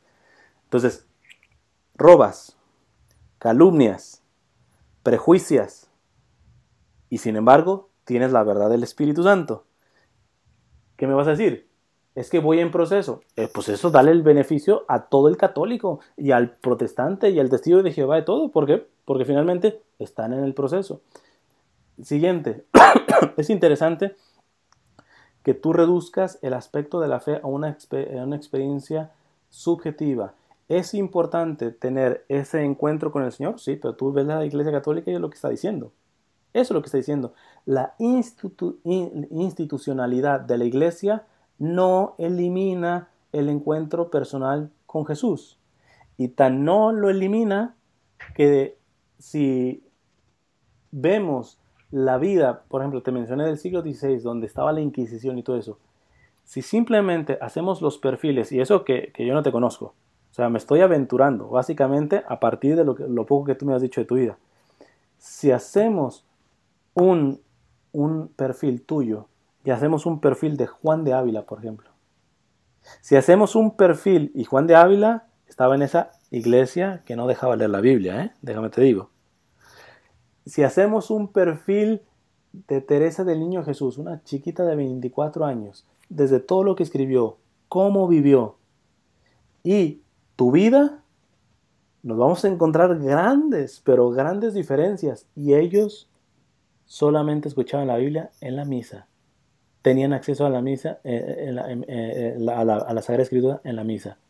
Y daban más testimonio que tú si hacemos e, e, esas cuestiones. Entonces, aquí hay algo que como que no, no entra, porque me estás diciendo que no es jactancioso, no, si estás siendo jactancioso, porque cuando tú te declaras que es tu experiencia, que es la verdad revelada a ti, y que fuera de eso, básicamente o sea, ¿cómo es posible que, este, que, que, que hay una institución que simplemente deje la, la, verdad? Es que tú estás, estás partiendo del prejuicio, no entiendes lo que implica la institucionalidad de la iglesia. Ojo, hay partes de la institucionalidad humana de la iglesia que yo soy el primero que está en contra. ¿eh?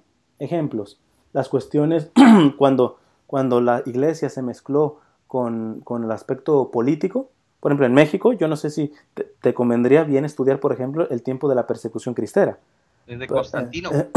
Este, prejuicio, totalmente prejuicio. Cuando quiera nos metemos en la historia y es un burdo prejuicio. O sea, estás parte, es, un burdo prejuicio y te lo puedo comprobar.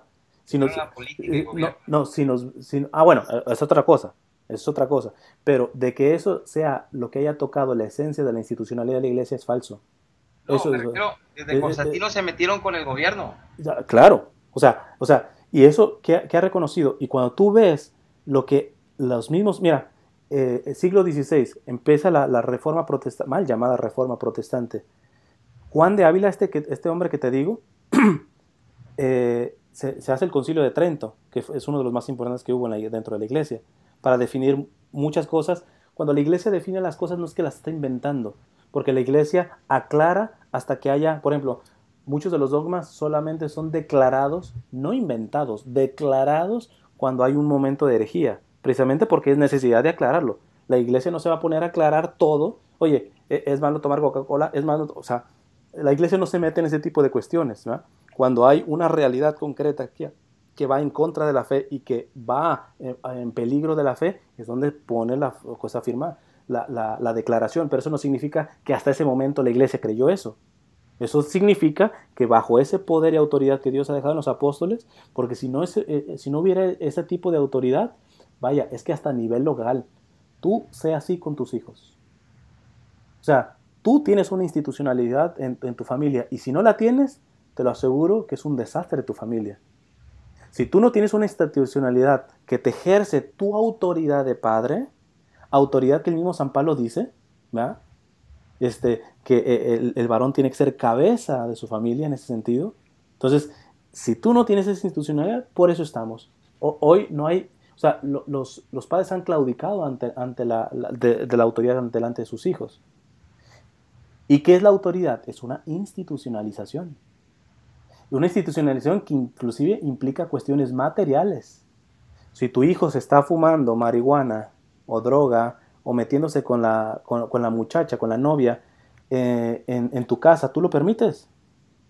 Si tú lo permites, entonces estamos, estamos diciendo que, entonces, no está tu moral. Y si tú le dices, en esta casa es santa y en esta cosa no va a ser esa cochinada, él te puede juzgar. Ah, dictatorial, ¿por qué no me dejas hacer lo que mi, propia naturaleza dice, etcétera? O sea, la, la condena protestante a todo lo que implica la razón, lo que implica la institución, es primero una hipocresía, porque en otros ámbitos ellos aplican dicha institucionalización. Vaya, hasta esa institucionalización mínimo en la, en la, recogida de diezmos. O sea, quien me diga que un protestante no, no está institucionalizado es mentira. O sea, cuando tú vas a tu iglesia, hay una institucionalidad, una institucionalización en ciertas cuestiones, quizás hasta del vestir, quizá de lo que se paga, quizá de cómo se dicen las cosas, quizá en el orden de que se dicen las cosas. O sea, hay una institucionalización. La cuestión es que no es la institucionalidad de la iglesia romana. Es decir, la institucionalidad protestante es así. Es decir, no hay autoridad de, este, eh, de los apóstoles eh, con su cabeza Pedro. Pero el magisterio mío, personal, que viene de mi propio encuentro con el Señor, ese sí es magisterio. No, la iglesia no puede tener el tipo de institucionalidad en donde quiera proteger ciertas cuestiones, pero tú simplemente en el ámbito de tu paternidad y la administración de tu propia iglesia sí la tienen. Y decir que no la tienen es mentira. Porque cuando me dicen, por ejemplo, hay una cuestión de, de esto los cristianos, se da mucho aquí en Estados Unidos, de los no denominacional. No, es que en realidad yo no soy ni que protestante, ni eh, pentecostal, evangélico, o sea, no denominacional. Pero es curioso, cuando tú ves iglesias, inclusive no denominacionales, tienen un numerito a dónde marcar. Pregunta, ¿ese es el número del Espíritu Santo? ¿Ese es el número de Jesús? No, ese es el número de un pastor que ejerce un tipo de pontificado, querámoslo o no, porque hay una enseñanza, ejerce una institucionalización, porque si yo llego eh, o una muchacha llega en bikini, te lo aseguro que no me dicen, pues ah, no hay problema, pueden venir así. Ejerce una institucionalización en el ejercimiento de cómo se maneja esa iglesia, por muy no denominacional que sea. Entonces, no, no nos pongamos con el cuento de que este, de que la argumentación que desvalida en ese sentido a la Iglesia Católica de la percepción tuya de la fe son estos argumentos, porque es exactamente lo mismo que practican en otro ámbito, con otro color, con otra tesitura, pero es la, como decimos en México, es la misma gata pero revolcada. Es la misma gata pero revolcada. Ahora, no cerré el paréntesis cuando yo te decía, yo estoy en contra de las institucionalizaciones que verdaderamente generan mundanidad. Ejemplo, eh, cuando vino la persecución este, cristera en México, que no sé si sabes, esto yo todavía en, los libros de texto nunca supe que había pasado eso. O sea, el gobierno ha tapado e, e, e, ese evento de México. Curioso, ¿verdad? Y la gente se puede admirar. Evidentemente yo respaldo esa lucha que hicieron los cristianos, porque si no, México no tendría pizca de cristianismo, ¿eh? pizca ni siquiera. Entonces, eh,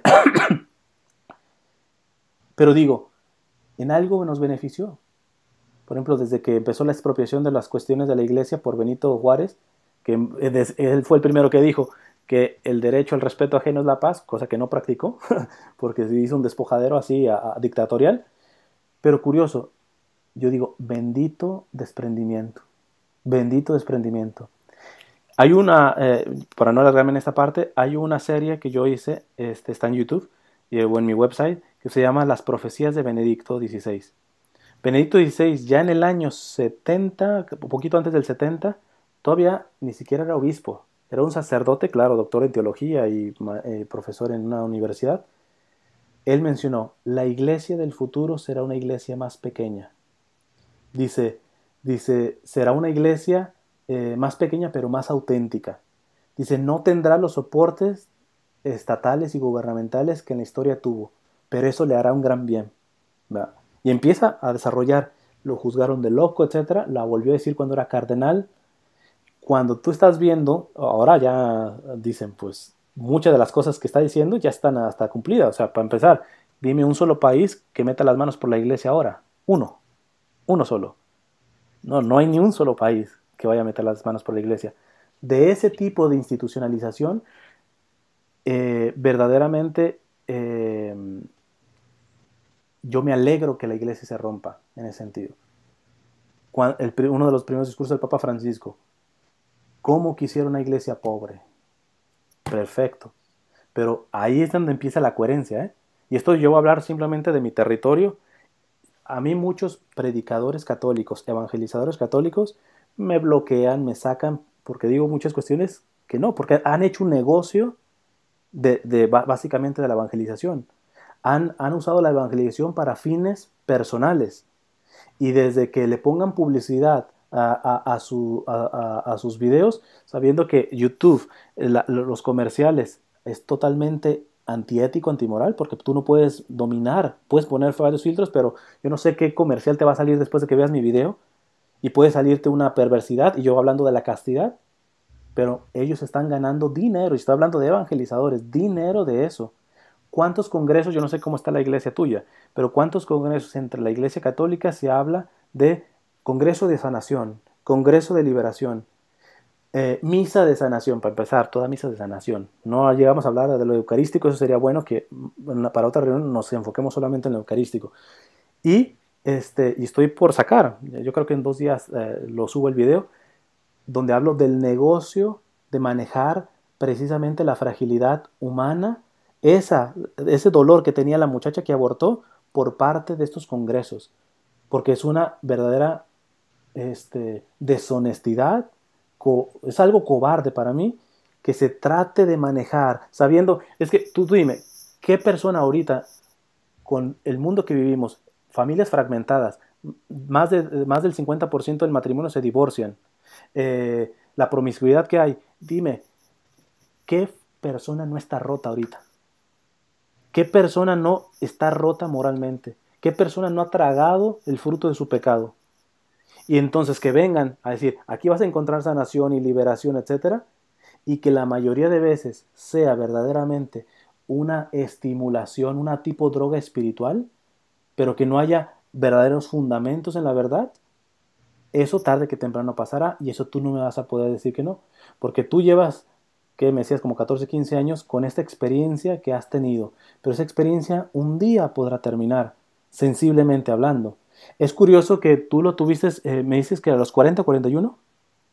41. 41. Tú sabes eh, acerca de la crisis de los 40, que entra desde los 35 a los 45, ese rango. Esa, esa crisis lo que dice es, y, esto es meramente conocimiento científico, es psicológico, eh, em, hasta antes de esa crisis, todo ser humano psicológicamente se va proyectando en la vida. Entonces tú te vas proyectando. Cuando empieces, tú te vas revisando y es donde empiezan los problemas.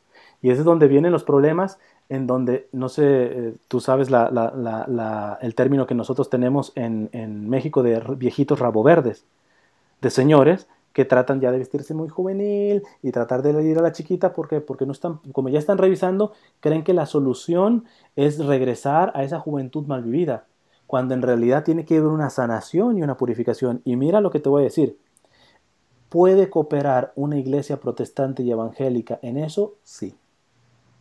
Sí puede.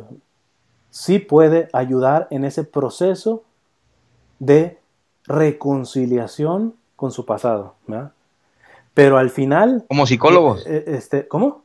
¿Como psicólogos o qué? Eh, no, espiritualmente también. O sea, o sea, Dios está con ellos también. Sí, la iglesia nunca ha dicho que, que no. O sea, la, cuestión está aquí en, en, donde que te pueda ayudar en el mismo proceso de... Me recuerdo, no sé si, bueno, eso, eso ya para que lo, después lo veas. Hay, hay un testimonio de, de, uno de los narcotraficantes más grandes, este Jorge Valdés que fue la parte del, del, del, eh, cártel de Cali en los Estados Unidos. Él fue el primero que inició básicamente esta, eh, la, droga en esta parte. Eh, se llama Jorge Valdés, lo puedes, lo puedes buscar. Él, este, cubano, después se volvió ateo, con el dinero, con todo, o sea, llegó a la podredumbre. Adivina quién lo sacó. Un evangélico. Un, un, y, y, cómo, y, él mismo dice, y, me dicen a mí la gente, ¿cómo fue posible que te sacó? O sea, lo sacó literalmente de una podredumbre terrible. Este, eh, eh, y él, pues, este, era un, maestro de karate. Y este maestro de karate, entonces, este, señor le dijo, este, ok, enséñame karate. Y dice el, el pastor, bueno, el evangélico este, ¿sabes qué? Te voy a dar primero tu arma, la espada. Y saca una Biblia. Y este se enoja y le dice, Dice, te estoy pagando mucho como para que me vengas esto. Voy a dejar. Entonces dice, no, ¿sabe qué? Lo que usted me paga, no, usted no lo va a poder pagar. O sea, lo, que yo, más bien, yo lo que le doy, no me, me, lo va a poder pagar. Y entonces este, este, este señor dice, y, continuamente fue predicando. Y como las cosas que dijeron, hicieron mucha raíz en mí. Pero lo que me dio mucho, eh, realmente me marcó, fue que yo veía cómo él era un carrito sencillito y era fiel a su esposa y yo con un montón de mujeres y no era feliz. Y entonces, eh, o sea, el testimonio, el testimonio concretamente, aunque sí le predicó. Curiosamente, después conoce también un testimonio de un buen católico y se vuelve católico. Y fue principalmente por el conocimiento de la realidad eucarística. No he conocido los protestantes con mayor seriedad, porque hay de todo, ¿eh? O sea, este, conocemos eh, lo que acaba de decir este, ¿cómo se llama? Jesús Adrián Romero, de la, esta escritora de, de la libra de libros de vampiros, que fue por mucho tiempo eh, católica, pero católica entre comillas, porque se convirtió, porque tuvo una experiencia sensible cuando ella quedó en coma por, por una diabetes, y fue una experiencia espiritual, y ella dice, yo dejé todos mis argumentos, o sea, me quedó convencido, el espíritu me tocó, pero curiosamente, después eh, su hijo se declara gay, y entonces ya el cariño de madre, y entonces se puso en contra de lo que la iglesia decía de esto y entonces por eso terminó diciendo yo dejo la iglesia porque es una bola de, intolerantes, etcétera. ¿Por qué? Porque no le aceptaron los desmanes de su hijo, ¿verdad? Entonces, hay ciertas realidades que si nosotros no, no consentimos de que la naturaleza humana ciertamente la toca Dios, toca nuestros sentimientos, los toca, toca nuestra psicología, la toca, sana nuestros sentimientos, la sana, sana nuestra memoria, la sana, pero es naturaleza frágil, inclusive para ustedes corrompida. Tiene que haber una verdad sólida que aunque los sentimientos y la razón me diga que no es, es porque es. Y es a este nivel de verdad al cual tú no estás llegando, a, lo que es firme independientemente de la experiencia personal. Lo último que voy a hacer es, eh, déjame em, leerte este fragmento. Se abra. Eh, aquí está.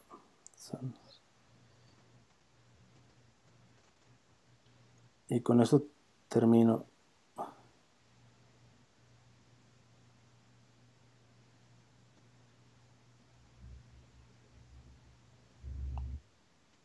Aquí, aquí está.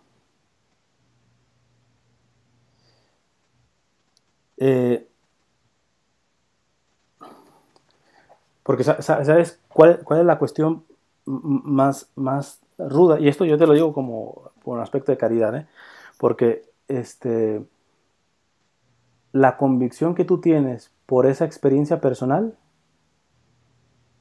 cuando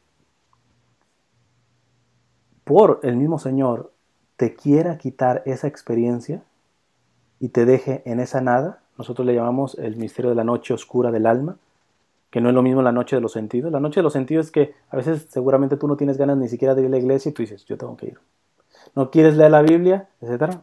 ¿Por qué? Porque estamos hablando de esa purificación continua que tiene la, la, misma naturaleza. No, yo no estoy hablando de, esa noche de los sentidos, estoy hablando de la noche oscura del alma. Y, y, para eso podrías leer Santa Teresa y San Juan de la Cruz, que lo explican, no porque ellos hayan sido los primeros que la hayan tenido. Pero esta noche eh, te lo voy a hacer referencia en cuanto a una carta de Madre Teresa de Calcuta. Madre Teresa de Calcuta, eh, me acuerdo cuando empezó el proceso de beatificación, me vinieron varios ateos en mi canal antiguo. Ahí está, la madre Teresa de Calcuta era atea. Era atea. No tenía ni noción de lo que es la noche oscura. Mira, la madre Teresa de Calcuta a los 18 años deja su país. Se va a la India a servir a los más pobres. En, en, pleno conflicto entre los hinduistas y los musulmanes. O sea, tú dices, esta verdaderamente tiene que tener una experiencia de Dios para aventarse así. O sea, ella tenía otro panorama muy diferente para vivir. Creo que debemos darle el derecho de decir, esta mujer tiene fe para meterse de esta manera esas cosas y sin embargo después quiere fundar una congregación y lo que sabíamos es que en un tren al ver la pobreza de Calcuta dijo, este, tengo que hacer algo, pero en realidad fue una experiencia mística que tuvo y en ese contexto eh, dice esta carta, checa, checa al nivel de la que llega una mujer que sabe dónde está fundamentada la verdad, aunque emocionalmente perceptivamente, inclusive mentalmente, no le dé para entender las cuestiones de fe. Hay un oscurecimiento completo y total de la realidad de la fe. O sea, tú solamente experimenta, porque sí creo verdaderamente que tú has tenido una experiencia de fe, ¿eh? yo sí creo que la tienes. Pero yo te, yo te diría, así como te veo, que dejaras de sentir al Señor, que no te entrara un solo pensamiento de la fe que hoy entiendes, que estuvieras en una oscuridad completa, te lo aseguro que sería un dolor profundo para ti, después de haberlo vivido. Checa lo que dice Madre Teresa Calcuta. Ah, pasa la noche oscura y le dice, Muy bien. Y, le, dice este, su director espiritual, solamente lo supo su director espiritual y el obispo, esto salió hasta después. le dice, explíqueme, porque no todas las noches son iguales, cada alma es eh, diferente. Y él le dice, no, es muy doloroso. Entonces el, el director espiritual le dice, ¿sabe qué? escríbale una carta a Jesús y sea muy honesta. Diga las cosas como son, por mucho que inclusive las considere blasfemia. Diga para ver qué realmente está pasando en su alma, el, nivel de la, de la, densidad de su noche oscura. Y Madre Teresa escribe, esto. Desde, desde, Jesús mío, desde mi infancia tú me has llamado y me has guardado para ti. Y ahora cuando ambos hemos tomado el mismo camino, ahora Jesús yo voy por el camino equivocado. Dicen que la gente en el infierno sufre un dolor eterno por la pérdida de Dios. Resistirían todo ese sufrimiento si solamente tuviesen un poco de esperanza de poseer a Dios. En mi alma siento precisamente ese dolor terrible de pérdida, de que Dios realmente no existe, eh, de, que, de que Dios no es Dios, de que Dios realmente no existe. Jesús, por favor, perdona mis blasfemias, se me ha dicho que lo escriba todo. Esa oscuridad que me rodea por todas partes, no puedo elevar mi alma a Dios, no entra luz alguna ni inspiración en mi alma. Hablo del amor a las almas, del amor tierno a Dios. Em, las palabras pasan a través de mis labios y anhelo con profundo deseo creer en ellas. ¿Para qué trabajo tanto si no hay Dios? Eh, si no hay Dios no puede haber alma. Si no hay alma, entonces Jesús tú tampoco eres verdadero. Cielo, qué vacío. Ni un solo pensamiento del cielo entra en mi mente, pues no hay esperanza. Tengo miedo de escribir todas las cosas terribles que pasan en mi alma, te deben herir. En mi corazón no hay fe, ni amor, ni confianza. Hay tantísimo dolor, el dolor del anhelo, el dolor de no ser querida, Quiero a Dios con todas las fuerzas de mi alma y sin embargo allí entre nosotros hay una terrible separación. Ya no rezo más. Eso no significa que paró de rezar, porque nadie se enteró que esta noche, porque ella siguió orando como siempre en esa institucionalización que le pedía la iglesia, la institucionalización de su propia congregación, y con la misma sonrisa y con el mismo cariño, nadie se enteró de esto. Cuando dice que ya no rece más, significa ya no siento el fruto de la adoración ya no tengo esa experiencia. Dice, pronuncio las palabras de las oraciones comunitarias y hago todo lo posible para sacar de cada palabra la dulzura que tiene que dar. Pero mi oración de unión no está ahí, ya no rezo. Mi alma no es una contigo y sin embargo cuando estoy sola en las calles te hablo durante horas de mi anhelo por ti. Qué íntimas son aquellas palabras y sin embargo tan vacías porque me dejan lejos de ti. La obra no contiene alegría ni atracción ni celo, Recuerdo que le dije a la madre provincial de su antigua congregación que dejaba Loreto por las almas, por una sola alma, y ella no podía entender. Hago todo lo que puedo, me desvivo, pero estoy más que convencida de que la obra no es mía. No dudo que fuiste tú quien me llamó con muchísimo amor y fuerza. Fuiste tú, lo sé. Es por esto que la obra es tuya y eres tú incluso ahora, pero no tengo fe. No creo. Jesús, no permitas que mi alma sea engañada ni me dejes engañar a nadie. En la llamada tú dijiste que tendría que sufrir mucho. En esa experiencia mística, cuando iba en el tren de Calcuta, sintió una locución, la voz del Señor, concretamente. No sé a qué rama evangélica, porque unos dicen eso es locura, eso es psiquiatría, etc. Pero tengo que reconocer que muchas ramas este, evangélicas eh, rescataron el aspecto de los carismas y de, los, de las cuestiones sobrenaturales. Entonces, aquí lo tiene. Y le dice Jesús que iba a sufrir por 10 años, pero ella pensó, bueno, voy a estar entre los más pobres, pues eso va a ser mi sufrimiento, ¿no? 10 años con esta noche. Y dice, y termino con esto ya. Dice, en la llamada tú dijiste que tendría que sufrir mucho, 10 años. Jesús mío, tú has hecho conmigo según tu voluntad. Y Jesús oye mi oración.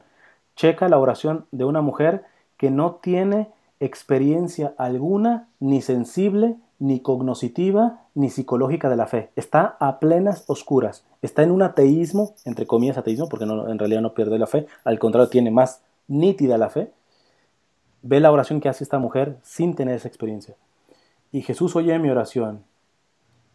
Eh, si esto te complace, si mi dolor y mi sufrimiento, mi oscuridad y mi separación te dan una gota de consuelo, Jesús mío, haz conmigo lo que tú desees, el tiempo que tú desees, sin una sola mirada mis sentimientos y dolor. Te pertenezco. Imprime en mi alma y mi vida los sufrimientos de tu corazón. No te preocupes por mis sentimientos, no te preocupes ni siquiera por mi dolor. Si mi separación de ti lleva a otros a ti y en su amor y su compañía encuentras alegría y placer, entonces Jesús, estoy dispuesta con todo mi corazón a sufrir lo que sufro, no solo ahora, sino por toda la eternidad, si esto fuera posible. Tu felicidad, Jesús, es lo único que quiero. Por lo demás, por favor, no te molestes, incluso si me ves desmayar de dolor. Es mi voluntad. Quiero saciar tu sed con cada gota de sangre que tú puedas encontrar en mí.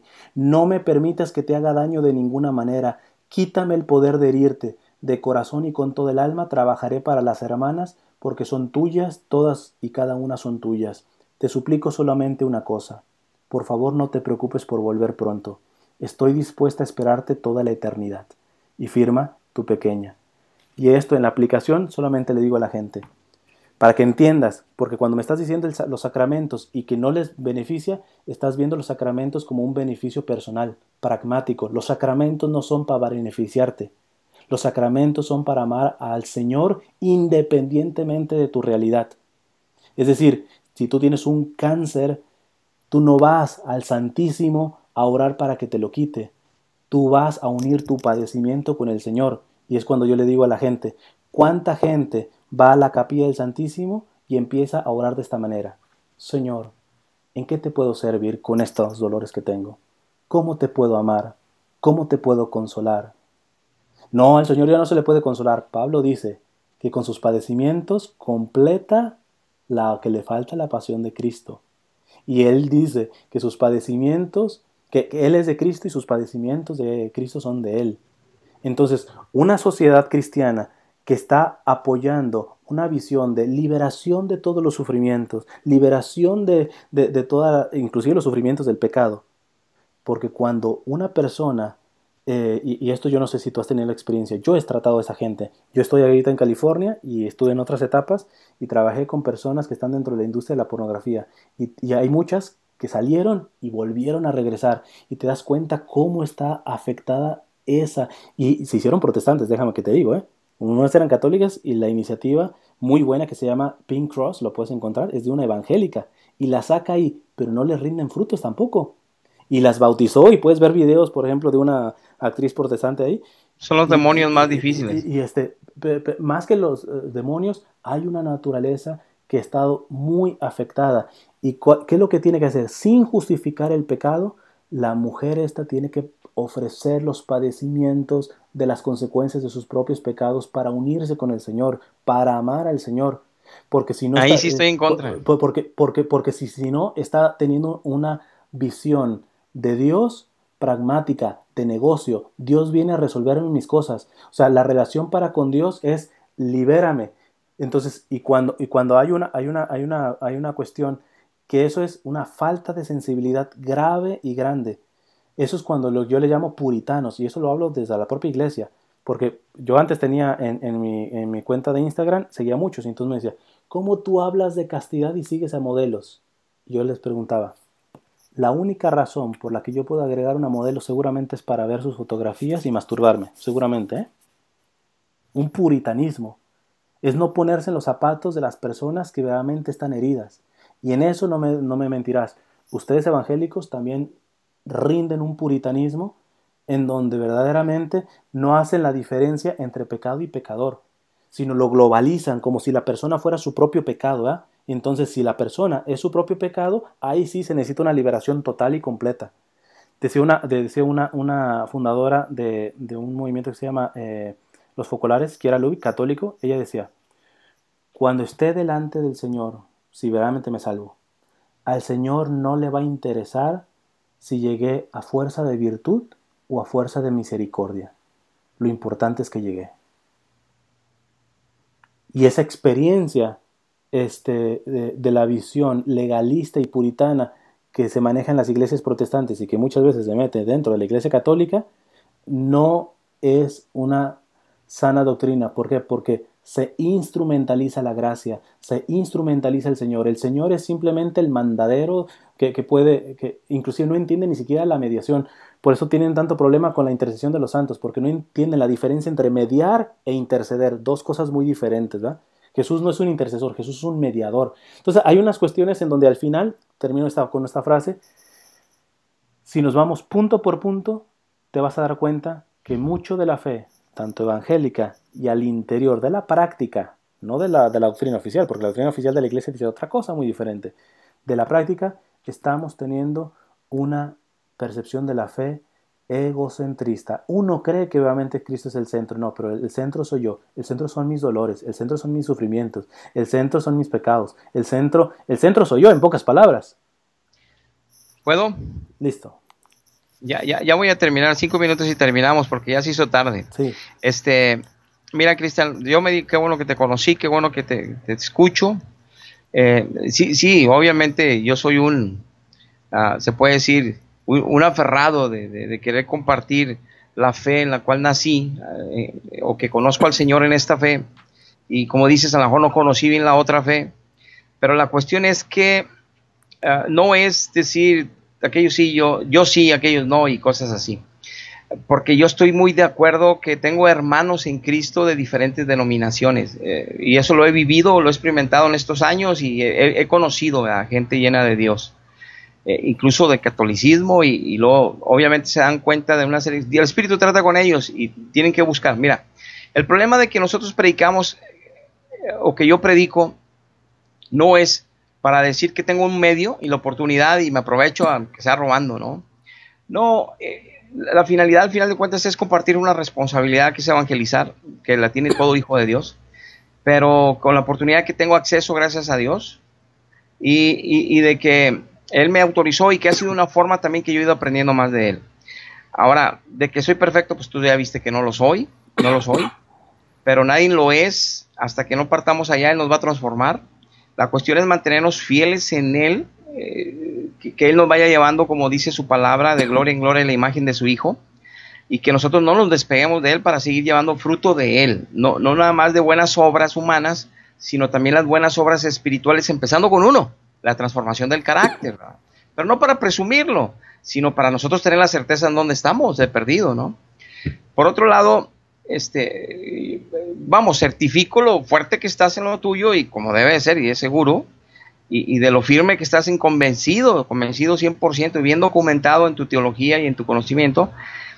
Y en lo último que te escuché, saco, saco a relucir claramente cómo estás en contra hasta de tu propia, en la práctica de algunas personas en liderazgos o en congregaciones o en, congresos y cosas así, que para tu propia visión o tu propio entendimiento de la verdad enseñada por, el por la Iglesia Católica, en la teología que estás, están equivocados. Y eso es bien, eh, eh, te entiendo, o sea, es, bien difícil. Otros católicos que te ven, como dices tú, te acusan y este qué, ¿verdad? No, no, yo, a mí me han bloqueado y todo, o sea. Sí, ahora, la cuestión es esta. Eh, tú tienes que tener la certeza, Cristian. tú me lo dirías a mí, yo te lo digo a ti como, porque ese es el propósito evangelizarnos, ¿verdad? Yo no, yo no quiero que te hagas de mi iglesia. Mi ministerio se llama Ministerios General. Yo soy parte de él, no soy el líder principal. Estoy en el liderazgo, parte ahí, pero no, no, no estoy ahí. Somos pequeños, somos 25 almas ahorita. Y, te lo confieso por fe, el Señor dice que vamos a hacer 300 mil, entonces pronto seremos 300 mil, porque Él lo dice. Pero ahorita somos 25 personas. Para cuando suceda algún día en un futuro, nosotros no te... ¿Mande? ¿Dónde dice que son, van a ser 300 mil? Ah, bueno, nosotros sí creemos en lo sobrenatural que tú dices, que Dios te habla, y en el espíritu, en oración y estar en consagrado en un tiempo, y que también usa profetas, también lo creemos porque lo vivimos. Yo respeto a los que no creen en eso, Este, con eso no te estoy diciendo que tú lo creas, No, no, yo, yo, yo, yo, creo eh, lo que te digo. Ahora, pero yo, pues, sí, conozco los carismas, no solo porque están escritos en Romanos 12 y Corintios 12, primera, sino porque he sido, yo he experimentado esos talentos que Dios ha puesto en mí y que también lo ha puesto en hermanos de la misma fe, de, aunque sean de otras congregaciones con otros nombres y que también disfrutan de estos talentos. Y entonces yo lo veo la manifestación de Él en personas humanas que, aman a Él con una pasión y que están buscando celosamente de agradarlo y que también cometen errores, como todos, pero no, no trágicos, pero sí errores al fin. ¿Por qué? Porque denota que su gloria es la de Él y que nosotros estamos en un proceso. El Salmo 101, que lo busqué el 6, es el que habla tú, Cristian, que, que los que están en el, en el proceso de perfección espiritual, de santidad, son los que le van a servir. O sea, el que se pone en las manos de Jesús, o en las manos de Jehová, o en las manos del Espíritu, para ser renovado, transformado en, de gloria en gloria, o sea, de santidad en santidad, es el que le sirve no el que ya llegó a la, máxima santidad. De acuerdo. Entonces, eso está escrito, a eso me refería eh, de, que podemos participar de predicar o podemos participar de él si estamos esforzándonos en, buscarlo, como dice su trono de la gracia, por el socorro oportuno, para que Él nos siga llenando de gracia, para que Él nos siga llenando de, de su poder para vencer la carne, ¿no? Para, porque lo dice Romanos 8, nomás el Espíritu de Dios nos puede dar el poder para nosotros crucificar nuestras pasiones en Cristo. Y eso es un, ese es un tener una relación personal profunda con Él. Por otro lado, eh, ya, para terminar, este, como tú ves, sí, hay muchas diferencias, ¿no? En cuanto, yo me baso, sí, tú, tú diste cuenta, todo el diálogo mío es no conoceré mucho de algunas cosas católicas, pero sí, lo que sí, no es porque conozca la Biblia, yo digo la Biblia y se acabó y seco. He tenido la experiencia espiritual con él, aún sin conocer la Biblia. Cuando nací de nuevo no conocía nada de la Biblia. Y, esa pasión que tuve por él, ese amor por él, ese, ese, ese, ese, ese, ese, mover que lo veo en aquellos que nacen de nuevo, pues, me confirma que pues, no más fui yo, ¿verdad? Y cuando, se y cuando una persona recibe a Cristo, yo veo cómo eh, pasa de la tristeza a la gloria. Y yo veo que te decía en la práctica, aunque esté escrito, te puedo dar versos, como a, niñas que han abortado, a jóvenes que han abortado, eh, que han asesinado, este, reciben a Cristo en su corazón ahí en la cárcel. Y Dios hace una limpia con su sangre en el alma de ellos, exactamente limpia, perfecta ellos empiezan a gritar gloria a Dios, empiezan a alabar a Dios, empiezan a bendecir el nombre de Dios, como pasaba con los ciegos, como que pasaba con los sordos y los mudos en el tiempo de Cristo en la tierra, porque sucedió algo sobrenatural en ellos, porque recibieron el favor de Dios sin merecerlo, como todos, y porque hay un fruto en ellos, y ellos sienten como la opresión, como yo lo sentí una vez. Entonces yo era alcohólico, y te puedo decir una historia muy triste, yo estaba separado ya de mi esposo cuando conocí a Cristo, eh, punto de divorciarme, tenía problemas muy fuertes, muy bien en los negocios, pero terriblemente mal. era una buena persona, sociable, buen padre, entre comillas, como nosotros nos calificamos, pero en los reglamentos de Dios pésimo, en, en otras áreas. Pero yo lo que te comento es que Dios quitó todo eso y yo me sentía tan culpable de mi fracaso matrimonial, tú, Cristian, tan culpable, que pues fui con un sacerdote, fui con un obispo, hice Eucaristías y todo porque me sentía muy mal y obviamente que yo no me perdonaba a mí mismo, ¿verdad? El no. Una pregunta con eso de, tu testimonio. Eh, ah, bueno, con los sacerdotes pues se pueden encontrar de todo, inclusive obispos, pero que Eucaristías y todo eso. ¿Tú ibas con el propósito de que la Eucaristía te solucionara tu problema? No, no, yo iba, yo iba a buscar consejo porque ni siquiera conocía a Dios, ni conocía de Dios, ni de la Biblia. Pero me refiero, es decir, cuando tú ibas a la Eucaristía, bueno, tú ibas con la intención de que eso te ayudara en tu problema? No, yo, yo iba porque supuestamente iba a entrar la paz de Dios a mí, porque Dios me iba a ayudar, porque Dios me iba por, por un beneficio, en pocas palabras. yo, iba por tener ayuda, no iba, no sabía ni cómo adorarlo, no sabía ni cómo orar, no sabía ni cómo bendecir el ah, nombre de él. O sea, yo no quiero, me, refiero de una... o sea, yo no quiero desvirtuar tu, tu testimonio. O sea, ¿eh? yo busco, pero ¿por qué, buscamos a Dios? Lo que, yo lo que yo te quiero poner es que si te fijas es exactamente la misma argumentación que yo te daba. O sea, cuando, cuando se va al Señor y se va con una intención de beneficiar a ese Señor, yo no digo que esté mal, pero eso no plantea el fundamento propio de la fe. O sea, cuando, cuando, cuando, yo estaba en, en, en, em, bueno, que no crea San Bernardo, que él decía, bueno, él ponía que la oración, por ejemplo, era como si fuera un aspecto del cuerpo. Dice, una persona que tú que no conoces, etcétera, tú, tú te agachas, ¿verdad? O sea, la, la, pena. Entonces dice, y es un primer beso en los pies, ¿ya? Y después, cuando tú vas creciendo, ya es un abrazo. Y después ya puedes dar el beso en la boca, ¿verdad? Entonces, pero tiene que ver, el primer paso, curiosamente, es el, el vencimiento, es el reconocer la propia ah, naturaleza herida y llegar ahí a rendirte concretamente. Mi pregunta es, ah. ¿cuántos católicos hacen eso delante de la Eucaristía? No. Pero, pero déjame, déjame, déjame terminar. Mira, ¿sabes qué? ¿Sabes por qué no? ¿Por qué dejamos de, yo dejaba de ir? No, en aquel tiempo ni me lo preguntaba ni me lo explicaba. Yo pensé que pues que me gustaba el juego de joven, o sea, yo dejé de ir en la adolescencia, juventud, iba de vez en cuando en la preparatoria, en la facultad misa, lo que decía, o sea, iba de vez en cuando, no fui ferviente, pero cuando yo analicé ya después por qué dejaba de ir, porque ahora conociendo la diferencia que yo viví, la diferencia que yo vi, lo claro, es que este, cuando yo estaba ahí y cuando necesitaba de él, como en el caso extremo que te hablé, que busqué ayuda de consejo con líderes y que yo me acerqué a los sacramentos de nuevo en arrepentimiento y en fe, pensando que iba a tener ayuda. Porque si nos acercamos a Dios, cuando no tenemos un buen conocimiento de Dios, ni de la teología de Dios, ni de la enseñanza de la iglesia, aunque sea católica, o sea, ahí estábamos. Ese error de los líderes. O sea, no sabes ni qué, no sabes muchas cosas. Pero déjame decir esta, parte, porque si esto lo ve a un católico, quiero que le quede claro la grave irresponsabilidad de líderes de grupos, sacerdotes y obispos que cuando llegan a, pedirle consejo, etcétera, dan literalmente palmaditas en la espalda o teología superficial, etcétera. No orientan verdaderamente, o sea, a ti no te orientaron a rendirte al Señor, a que en medio de tu pobreza y tu, y tu fragilidad y tu culpa te rindieras a Él. No, quizá te habrán dicho una cuestión pues como más déjate, ve la Eucaristía y te déjate claro ahora mi experiencia en el Espíritu. O sea, en aquel tiempo... perdón, una, pregunta. Cuando tú fuiste por consejos, ¿qué tipo de consejos te dieron los sacerdotes? ¿Cómo pasabas de eso? Obviamente que, primero, todo lo mal que estuve haciendo, pues obviamente cometí pecados. Todo lo mal que hice tenía que entregarlo, tenía que confesarlo, tenía que arrepentirme y, obviamente cumplir una penitencia. Ahí me dieron 40 padres, no es cuánta de María, es cuando me confesé. Y este, y, y, estuve, yo lo creí, yo lo creí, ahí estuve hincado, además, no me lo sabía. O, sea, te, te dieron, leyendo una hoja que estaba ahí en el confesión.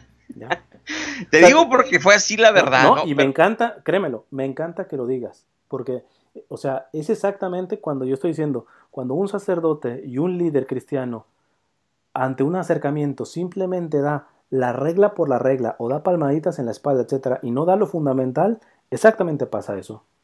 Pasa eso. en eso te lo aseguro que no tuviste ninguna experiencia de Dios a la hora de confesarte, te lo aseguro no, 100%. No, no, yo seguí peor, seguí peor. ¿Ya? Seguí peor, entonces por eso, eh, eh, bueno, cuando yo encontré la, la, solución, la solución me encontró a mí, Cristian. Yo tuve la gran fortuna que Cristo me alcanzó a mí.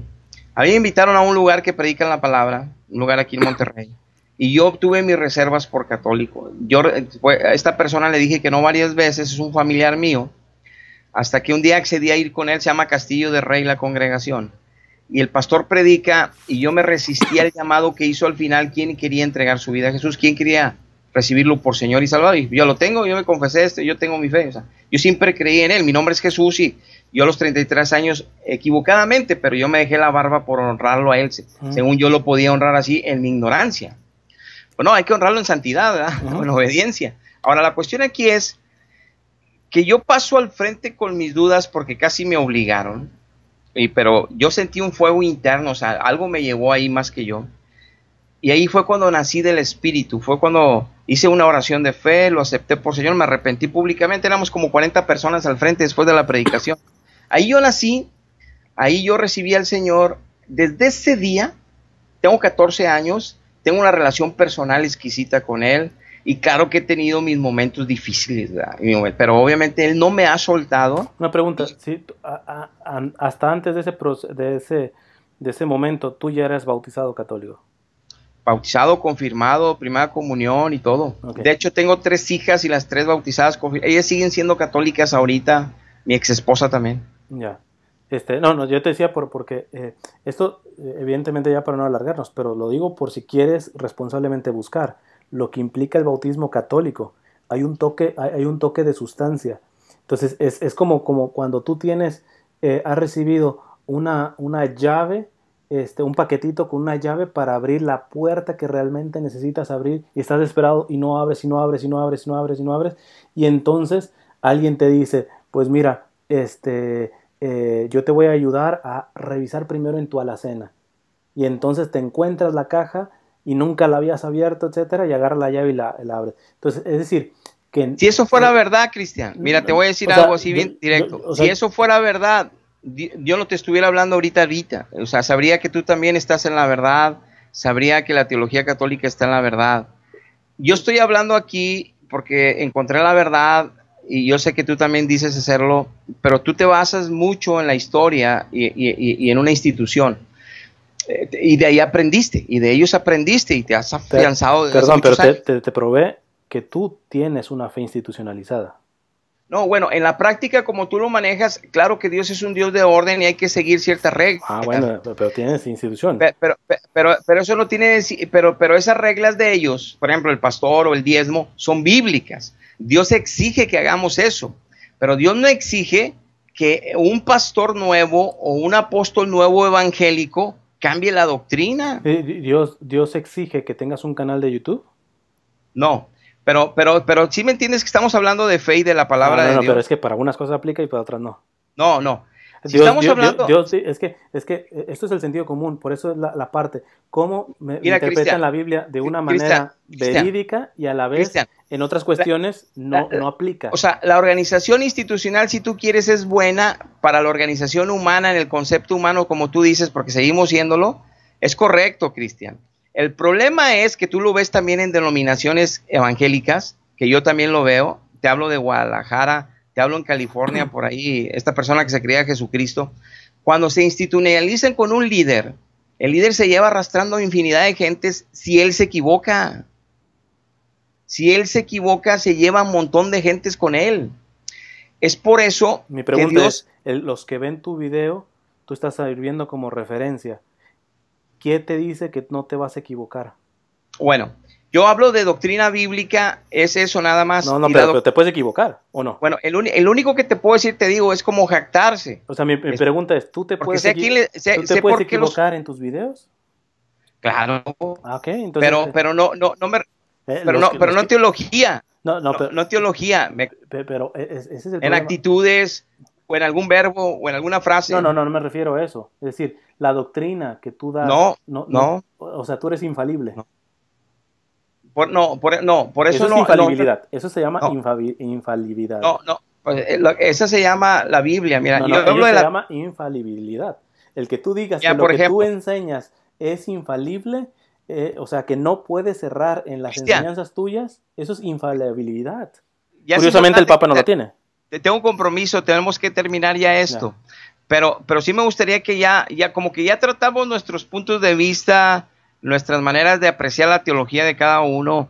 Tú conoces muy bien los errores míos, yo conozco bien los errores de la teología católica, eh, porque ah, los conocemos ambos. No, no, no me demostraste ni siquiera lo de, la, lo de que la no, en la naturaleza. Yo no te puedo demostrar nada, no te puedo demostrar nada. Es más, yo te puedo hablar de Génesis hasta Apocalipsis, lo que dice la Biblia, y tú no lo vas a aceptar como que es palabra de Dios si Dios no te la coloca en tu espíritu. O sea, si yo te leo, te leo así literalmente, tú lo leíste, lo de que si te quitas los ojos o las manos, esto, sabemos que es figura. Y, lo de la carne y la sangre ya no es figura, ya es literal. Entonces, todo ese tipo de cosas, yo no te puedo convencer, pero, pero, tú, tú, me dices que eh, solamente lo voy a entender hasta que lo tenga el espíritu. Es decir, en este momento yo no tengo el espíritu. No, no, yo lo que te quiero decir es esto. Yo, otro ser humano, aún en la misma fe. Mira, vamos a hablar claro yo en este momento para ti tengo el espíritu, sí o no? Mira, por la forma de tu doctrina, ¿qué es lo que te va a denotar estar en la verdad? Conocer al espíritu de la verdad. ¿Qué te, lo, qué te va a denotar que tú conoces al espíritu de la verdad? Que predicas la verdad. Y ustedes se la pasan defendiendo mucho, mucho, mucho las tradiciones de los siglos, la religión, los estatutos y dogmas que a través de los siglos han, impuesto obviamente en los concilios. Defienden tanto eso que... Mi pregunta es, ¿yo tengo el espíritu sí o no? Mira, para que tú puedas tener el espíritu, digo, son cosas que solo Dios lo dice en la palabra, dice que los que son de Él... Tú que tienes el espíritu y que me dices que no fallas en tu interpretación de la Biblia, dime, ¿yo tengo el espíritu sí o no? No. Yo no lo tengo. Lamentablemente. Ok. La autoridad con la que tú dices que no tienes el espíritu, cuando hablas de que no puedes fallar, no estás poniéndote como jerarquía institucional, institucional, claro que sí, lo estás haciendo. no, es la, te voy a decir cuál es la jerarquía y cuál es la autoridad, la Biblia. No, no, pero es que tú estás haciendo como si fueras la Biblia humana. dice que los, dice que los que son de la verdad hablan conforme la verdad. Okay. No, ¿sí me entiendes? Ya, pero si, tú, si a ti te guía el espíritu de la verdad. O sea, ya cambiaste de tesis, ¿eh? La, primera tesis fue que la verdad se prueba con el testimonio. Ahora, no, la verdad se prueba predicando la verdad. ah, qué bueno que aclaraste eso. Te lo iba a aclarar ahorita que hablaste un buen rato. El testimonio que habla Isaías no es que seas tú un santo. El testimonio que habla Isaías es la ley, que el testimonio tuyo es conforme a la ley que está escrita. ¿Qué quiere decir? Que te vas a reunir un día para su alabanza, que tú ya eres el fruto que te como dice Efesios, para alabanza de su gloria, para alabanza de su nombre, que te vas a reunir para recibir palabra de vida, para congregarte, como dice Pedro, para que seas edificado en la verdad. Que vas a dejar, no vas a dejar de leer la palabra para que seas noble como los de Berea y seas un ejemplo como los de Tesalónica, que no vas a dejar las cartas de Pedro, ni de Pablo, ni de Juan, porque son las que Dios dejó para tu crecimiento espiritual. Entonces, nosotros seguimos lo que el Espíritu nos guía, no nomás lo que leemos, sino lo que el Espíritu nos enseña y que nos da fruto en eso. Si tú no estás conforme a esa verdad que dice primera de Juan, el apóstol Juan, quiénes son los que son de Dios y quiénes son los que están conforme a la verdad, y quienes creen estar en la verdad y no lo están. Eh, ¿Sabes cómo se llama esa parte? Manipulación, por una, una, una, cuestión. ¿Tienes eh, no, no, no, claro, es que, es que eso es una manipulación. Bajo esa lógica se puede argumentar cualquier resquicio de cualquier líder religioso, pero cualquiera. Y te voy a poner, y te voy a poner un ejemplo de, dentro de la Iglesia Católica. Tú sabes el desmadre que hizo este sacerdote eh, Marcial Maciel. Ajá, sí, claro yo, yo conocí bastante bien a la gente dentro de los legionarios. ¿Y sabes que predicaban bastante dentro de ello? Una virtud que seguramente tú estás a favor de esa virtud. Se llama la benedicencia. El siempre hablar bien del prójimo. Pero, ¿qué heridas tan grandes hicieron en mucha gente? Dame un segundo, sabes que tengo me están llamando muy constantemente, había una situación familiar. Ya no me contestaron. Es que me está hable y hable, pero... No, terminamos. Lo, que, te iba a decir del, de Marcial Maciel. Y hablaban de la benedicencia, pero ¿por qué?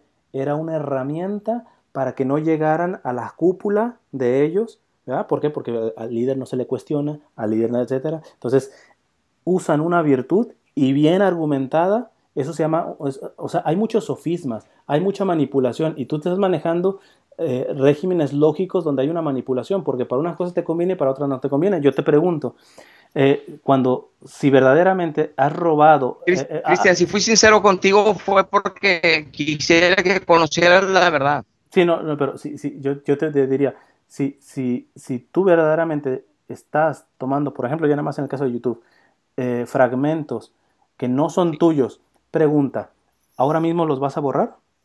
No, lo que voy a hacer es dejar de hacerlo. Lo voy a dejar de hacer. Ah, ok. Se queda uno con lo robado. Perfecto. Eh, no, eh, no, te estás quedando con lo robado. Por, ejemplo, por ejemplo, robado. Está bien. Mira, te, repito lo que te dije al inicio. Si tú no borras eso, si tú no regresas y restituyes propiamente lo que has robado, estás permaneciendo robado por mucho que ya no lo sigas haciendo.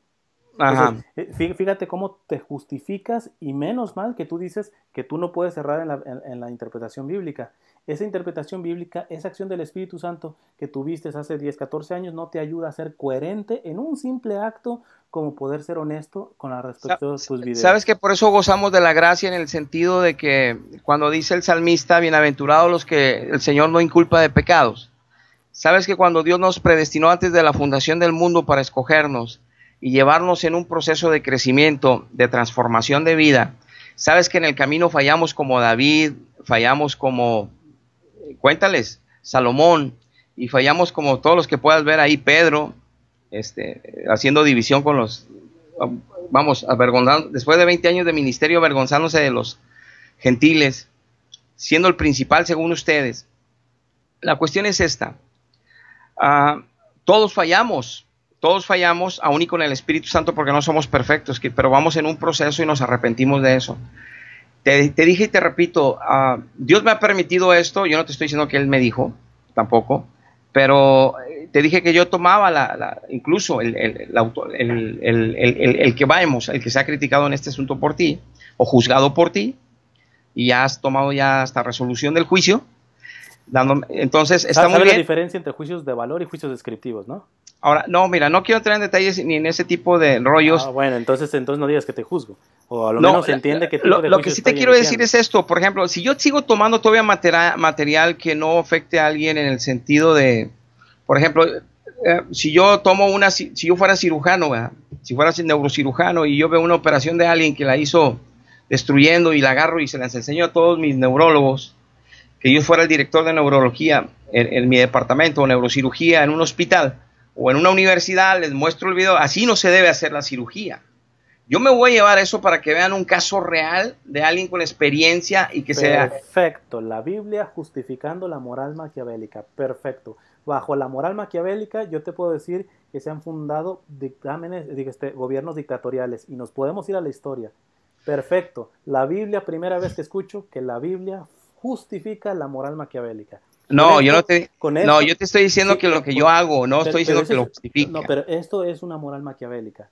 no, pero yo no te dije que lo justifique la Biblia. Te estoy diciendo lo que yo hago. Lo justifica por una razón, porque tú no hierras en la interpretación de la Biblia. Y tu interpretación de la Biblia, como tú no hierras, dime cómo explicas ese comportamiento. Hay una contradicción. O hierras de acuerdo a la Biblia o la Biblia no es lo suficiente que te ha transformado. Punto. Déjate una, Cristian, déjate hago una pregunta. ¿Tú tienes el permiso de cada uno de los estudios que tomas del Papa y de otros para hacer tus estudios? Sí. ¿Tienes permiso escrito por ellos? Eh, eh, ¿Por cada uno de todas las personas que tú tocas? No, no se maneja por, necesariamente por escrito. ¿Sabes por qué tienes permiso? Porque tú te lo das porque es la misma fe. No, no, no, no es cierto, no es cierto, no es ¿Sabes cierto. Qué, bueno, ¿sabes, qué pasaría si yo todos los videos que usa... Estás, calumniando, eso no es cierto, eso no es cierto. Si quieres te puedo proveer cómo se maneja en los escritos de los documentos la iglesia. Bueno, igualmente, déjame te digo, yo puedo tomar un argumento evangélico de cualquier video para seguir sustentando una doctrina o apoyar una doctrina, eso lo harías tú. Pero, pero tú estás tomando el material de un video católico, de una productora católica que le cuesta el dinero hacer ese programa, etcétera, etcétera. no, pero a eh, nosotros nos cuestan almas. Ok, pero entonces estás justificando la moral maquiavélica. o sea, el fin justifica los medios. mi acción es en favor de las almas, así se ha juzgado por ti y por otros como pero tú. Pero tú estás diciendo que el fin justifica los medios. Eso es moral maquiavélica. Ajá, por eso te digo que es conveniente, eh, que conveniente no poner tropiezo a la doctrina ni poner tropiezo a la finalidad de pues esto, dejarlo de hacer. Imagina, no, pero tú sé honesto, regresa. ¿Qué dice, qué dice, qué dice Mateo? Mateo cuando se convierte, ¿qué hace? Tú dime, ¿qué hace Mateo cuando se convierte? Reposición del daño, eh, no solamente del daño, iba a dar hasta más. Del honesto. Les voy a mandar unos míos para ver si la EWTN los quiere. No, no, pero, o sea, da, hasta más. Entonces, e, es decir, tú no, tú te quieres justificar de que no, eh, no te estás justificando. Entonces, si, si, tu moral es... No, yo lo te estoy diciendo que yo tomé esa decisión, no la tomé por la Biblia, la tomé yo. Ok.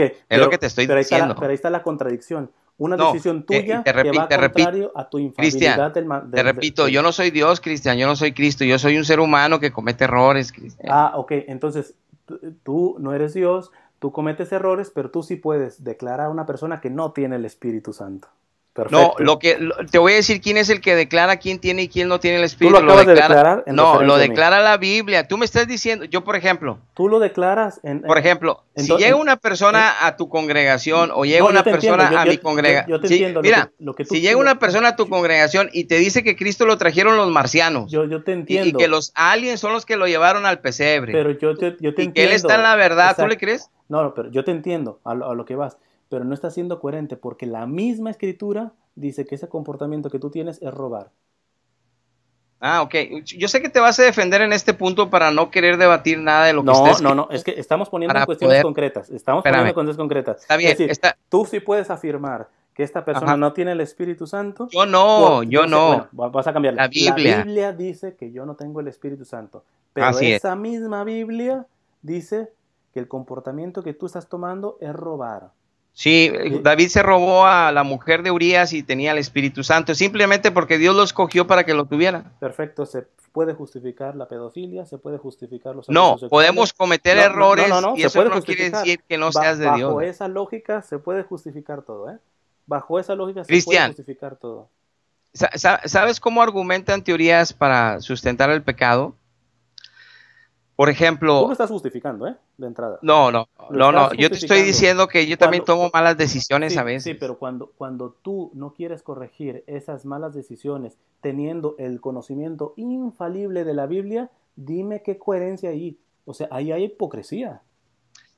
Ahí hay hipocresía. Por ejemplo, por ejemplo, mira, yo no te estoy diciendo que me sigas a mí, ni que sigas mis teologías, yo te estoy diciendo que leas la Biblia y que a ella le des la autoridad delante de Dios. Por ejemplo, date tú el beneficio de la duda de lo que te voy a decir, Cristian.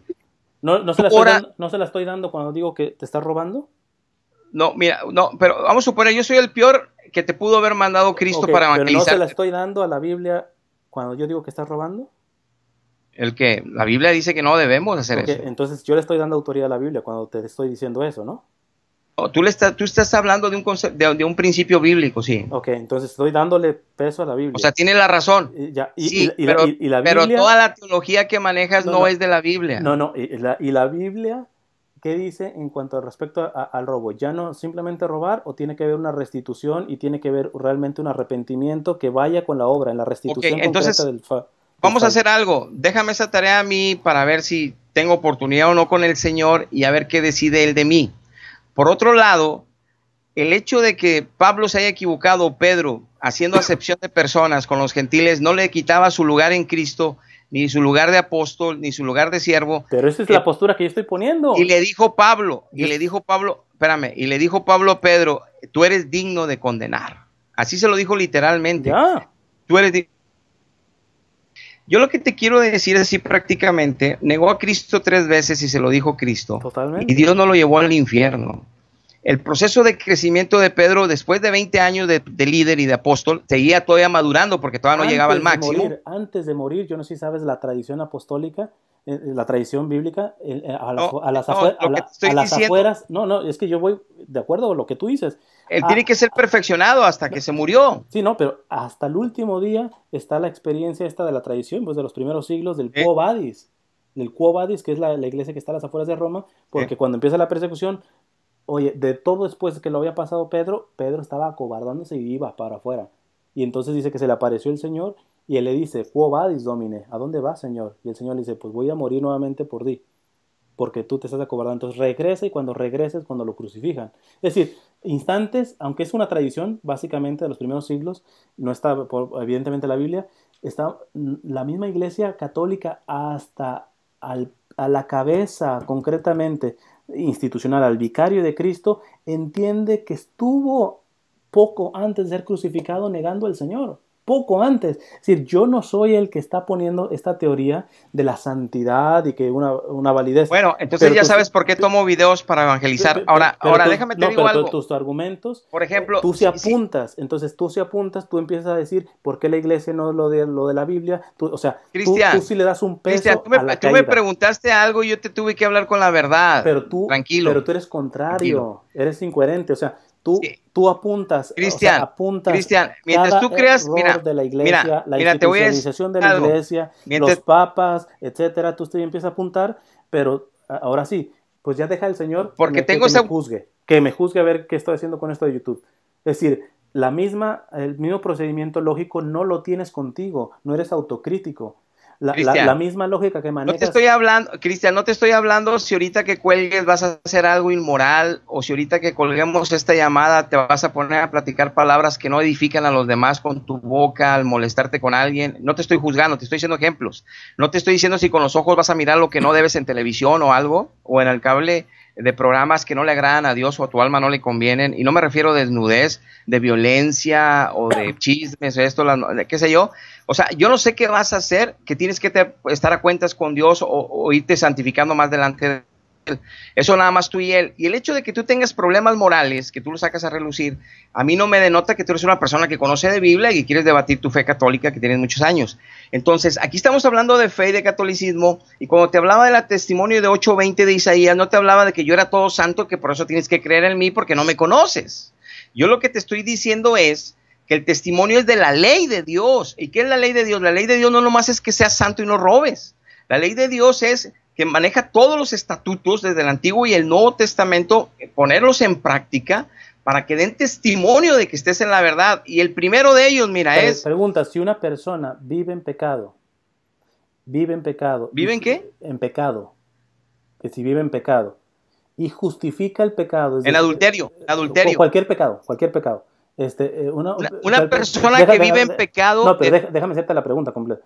Si hay una persona que vive en pecado y justifica el pecado, consciente o inconscientemente, ¿su intelecto puede entender una recta interpretación de la Biblia, sí o no?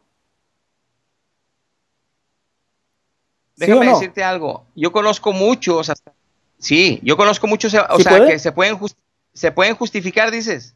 Te repito la pregunta. Es que no se escuchó bien. Una persona que vive en pecado y justifica el pecado consciente o inconscientemente, es decir, no quiere salir por X razón, ¿puede su mente hacer una interpretación correcta de la Sagrada Escritura? Claro que no. Una persona que está en pecado, lo te, voy a dejar hablar o no lo... Ha, respondido y te va a salir el tiro por la culata. Vas a ver. Sí, una persona que está en pecado no puede tener el respaldo del Espíritu Santo para conocer la verdad. Mas, sin embargo, déjame te digo algo. El, eh, David conocía la verdad y cuando estaba cometiendo adulterio con Bethsabé, se apartó Dios de él. El Espíritu Santo no estaba en David, porque descendía a inspirarlo para escribir salmos. Él dice, no quites tu Santo Espíritu de mí. Hay un salmo que él dice, porque estoy abatido, triste, ven, susténtame de nuevo, perdóname. Tú lo puedes leer en el Salmo 51. Yo lo que te quiero decir es esto. Dios se aparta cuando alguien cae en pecado, porque Dios no puede estar, se apartó de Cristo en la cruz cuando lo abandonó, porque iba a cargar el pecado de todos nosotros. Entonces sabemos que Dios no va a estar dentro de alguien que está pecando. Entonces el Espíritu no está operando en ese alguien, pero ese alguien le estuvo enseñando cinco años la verdad como a David, y a David no se le olvidó de la noche a la mañana. Él sabía que estaba cometiendo un error, pero se la estaba jugando y pagó las consecuencias. Pero él no se le olvidó todo lo que sabía de Dios de la noche a la mañana por estar con Betsabé. Él su carne le ganó y su pecado le ganó y él se debilitó y perdió y tuvo que pagar las consecuencias. Pero él no se le olvidó la Biblia ni los principios de, que Jehová había instituido desde sus profetas, desde, Moisés, que él estaba instruido. Yo no, yo no estoy diciéndote un caso, yo te, por ejemplo, lo te estoy poniendo, vamos a poner un caso, una persona que vive en pecado y que no, conoce, que no conoce, nunca ha leído una Biblia, y de pronto en pecado, en pecado, empieza a leer la Biblia, ¿él puede tener una interpretación correcta? No, no. Ok, no. ok. Entonces, bajo esa misma argumentación, si tú me estás diciendo que también tú cometes pecado y hay un pasado de conocimiento tuyo en lo cual te he comprobado que previamente cero, casi cero, conoces de la Iglesia Católica, o sea, al menos en sus fundamentos, en este sentido, ¿cómo, ¿cómo tú dices que de cero estando en pecado, puedes interpretar correctamente la Biblia y anteriormente te atreves a juzgar una fe en la cual tú vivías en pecado. Evidentemente nunca entendiste nada de la Iglesia Católica. Porque, porque, Jesús me lo... Pero no es por error de la Iglesia Católica, es por el error tuyo. era por tu pecado. Es por, porque, eh, Jesús, porque cuando Jesús Jesús me lo dijo en el corazón, me lo dijo en el espíritu. Ah, no, no, no, no, pues entonces eh, yo, puedo decir lo mismo, exactamente. Jesús me está diciendo en el corazón que la Iglesia Católica entonces, es verdadera, etcétera. Exactamente, Cristian. Aquí hay un dilema. aquí hay un dilema. Y, entonces, o tú estás en la verdad o yo estoy en la verdad. Totalmente. Así estamos, estamos de acuerdo. Entonces, ¿cuál es la intención de esto? Bueno, pues predicar tu fe y yo la mía. Pero si yo me juzgo que tú no tienes derecho a predicarlo, porque no sé qué hagas después o antes o durante, como no te puedo observar, y tú ya viste que tengo los videos de ahí, ya no me vas a dar el, derecho de Dios poner mi fe. No, no, yo, no tiene sentido. No, no, no, espérate, yo, yo, yo, lo que digo, tú sigues predicando, eh, inclusive, si ves tú mis testimonios, mis, mis temas, yo inclusive a veces pongo el ejemplo de ustedes evangélicos, hasta de los testigos de Jehová, porque no me das de, no me, no, veo que los criticaste también, pero creo que le podrías reconocer el tiempo que se dan para salir a tocar. El, o sea, eh, eh, lo, que implica, o sea, el nivel de compromiso. Tú dile, pues están cegados, lo que sea, están lavados del cerebro, lo que quieran. Yo siempre eh, los felicito y les, entonces, les digo que, lo reconozco. Exactamente lo que yo digo. Y yo nunca te he dicho que no prediques tu visión de la fe, lo que sea. O sea, hazlo. Pero lo que yo te estoy diciendo es que en la forma de predicar, tú estás contradiciendo la misma predicación. Porque por, por, ¿Tienes, tu, tienes, tu, apreciación, No, no, no es una apreciación, es una realidad. Porque lo que es una realidad tuya. Eh, no, no, tú tienes, mira, tú cada vez que tú, tú, estás en una cuestión de YouTube. Y YouTube tiene unos reglamentos. Si tú entras, tú respetas esos reglamentos. ¿Tú respetas esos reglamentos? Cristian, independientemente de eso, estamos hablando de la fe. No, no, pero la fe de la predicación. se muestra en obras o sea, todos los sacerdotes que ministran sacramentos son santos. La, obra de, no, es que yo eso no es la posición mía. Yo te estoy, yo te estoy vendiendo la posición tuya. Precisamente. No, yo lo que te quiero decir es esto. tú no puedes juzgar a la persona para saber si está en la verdad o no. No, no, no. pero, tú sí juzgas que yo no tengo la verdad. Tú sí juzgas que yo no estoy no, en el No, no, pero por tu teología, no por tu persona. Ah, no, pero, pero, perfecto. Volvemos tú me juzgas por mi persona, no por mi teología. Pero, pero, pero, volvemos a lo mismo. Si, si la pregunta te dije, alguien, tú, alguien.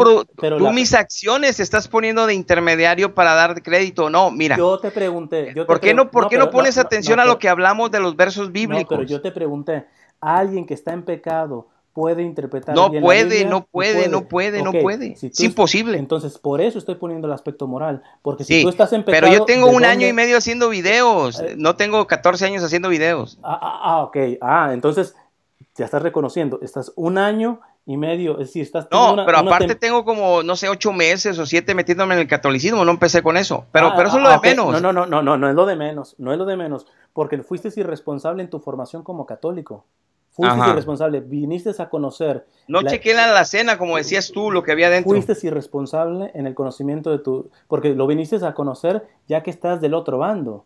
O sea, ya tienes una visión con Cristo me llevó. No, no, no. Bueno, eh, eh, yo puedo decir, Cristo me tiene aquí.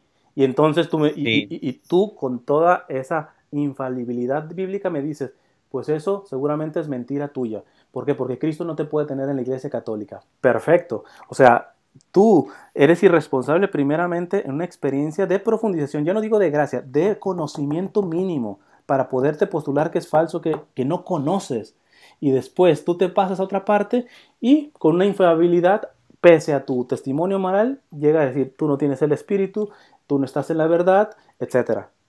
No, no. Eso es una arrogancia tremenda. Por ejemplo, te voy a decir que es lo que Dios ha hablado siempre a su pueblo, Cristian, y tú lo debes de saber. Si, si has estudiado la Biblia, debes de conocer cosas tan importantes que están escritas. Para eso Dios las escribió, para que su pueblo no lo engañaran, Cristian. Olvídate del catolicismo y del evangelismo, de los evangélicos. Habla de Dios. Mira, Dios eh, dijo en Deuteronomio, yo voy a hacer que entre ustedes vayan falsos profetas para probar el corazón de ustedes si están conmigo o no están conmigo. Dios entonces, permite eh, Entonces, vamos a decir, ¿por qué no das eh, eh, el, aspecto de la duda de que lo que tú has recibido lo has recibido de falsos profetas? No, si, yo no conociera la verdad de Dios, yo no pudiera opinar quién está en la verdad o quién no. Ahora, Pero ¿por qué no? Pues, dime la razón verdadera de por qué no puedes dar al menos la duda de que lo que tú has recibido hasta ahora no sean de falsos profetas. Porque habemos millones que tenemos el mismo espíritu y la misma fe. Aclaro, aunque ustedes no reconozcan que es el de Dios, es el mismo espíritu y es la misma fe. Millones en el mundo que nos vemos por internet, que nos topamos en ciertos momentos en, convivencias de iglesias, en reuniones de congresos también, como dices tú, unos buenos, otros malos. Y, la cuestión es... Ese es el argumento. ¿Qué?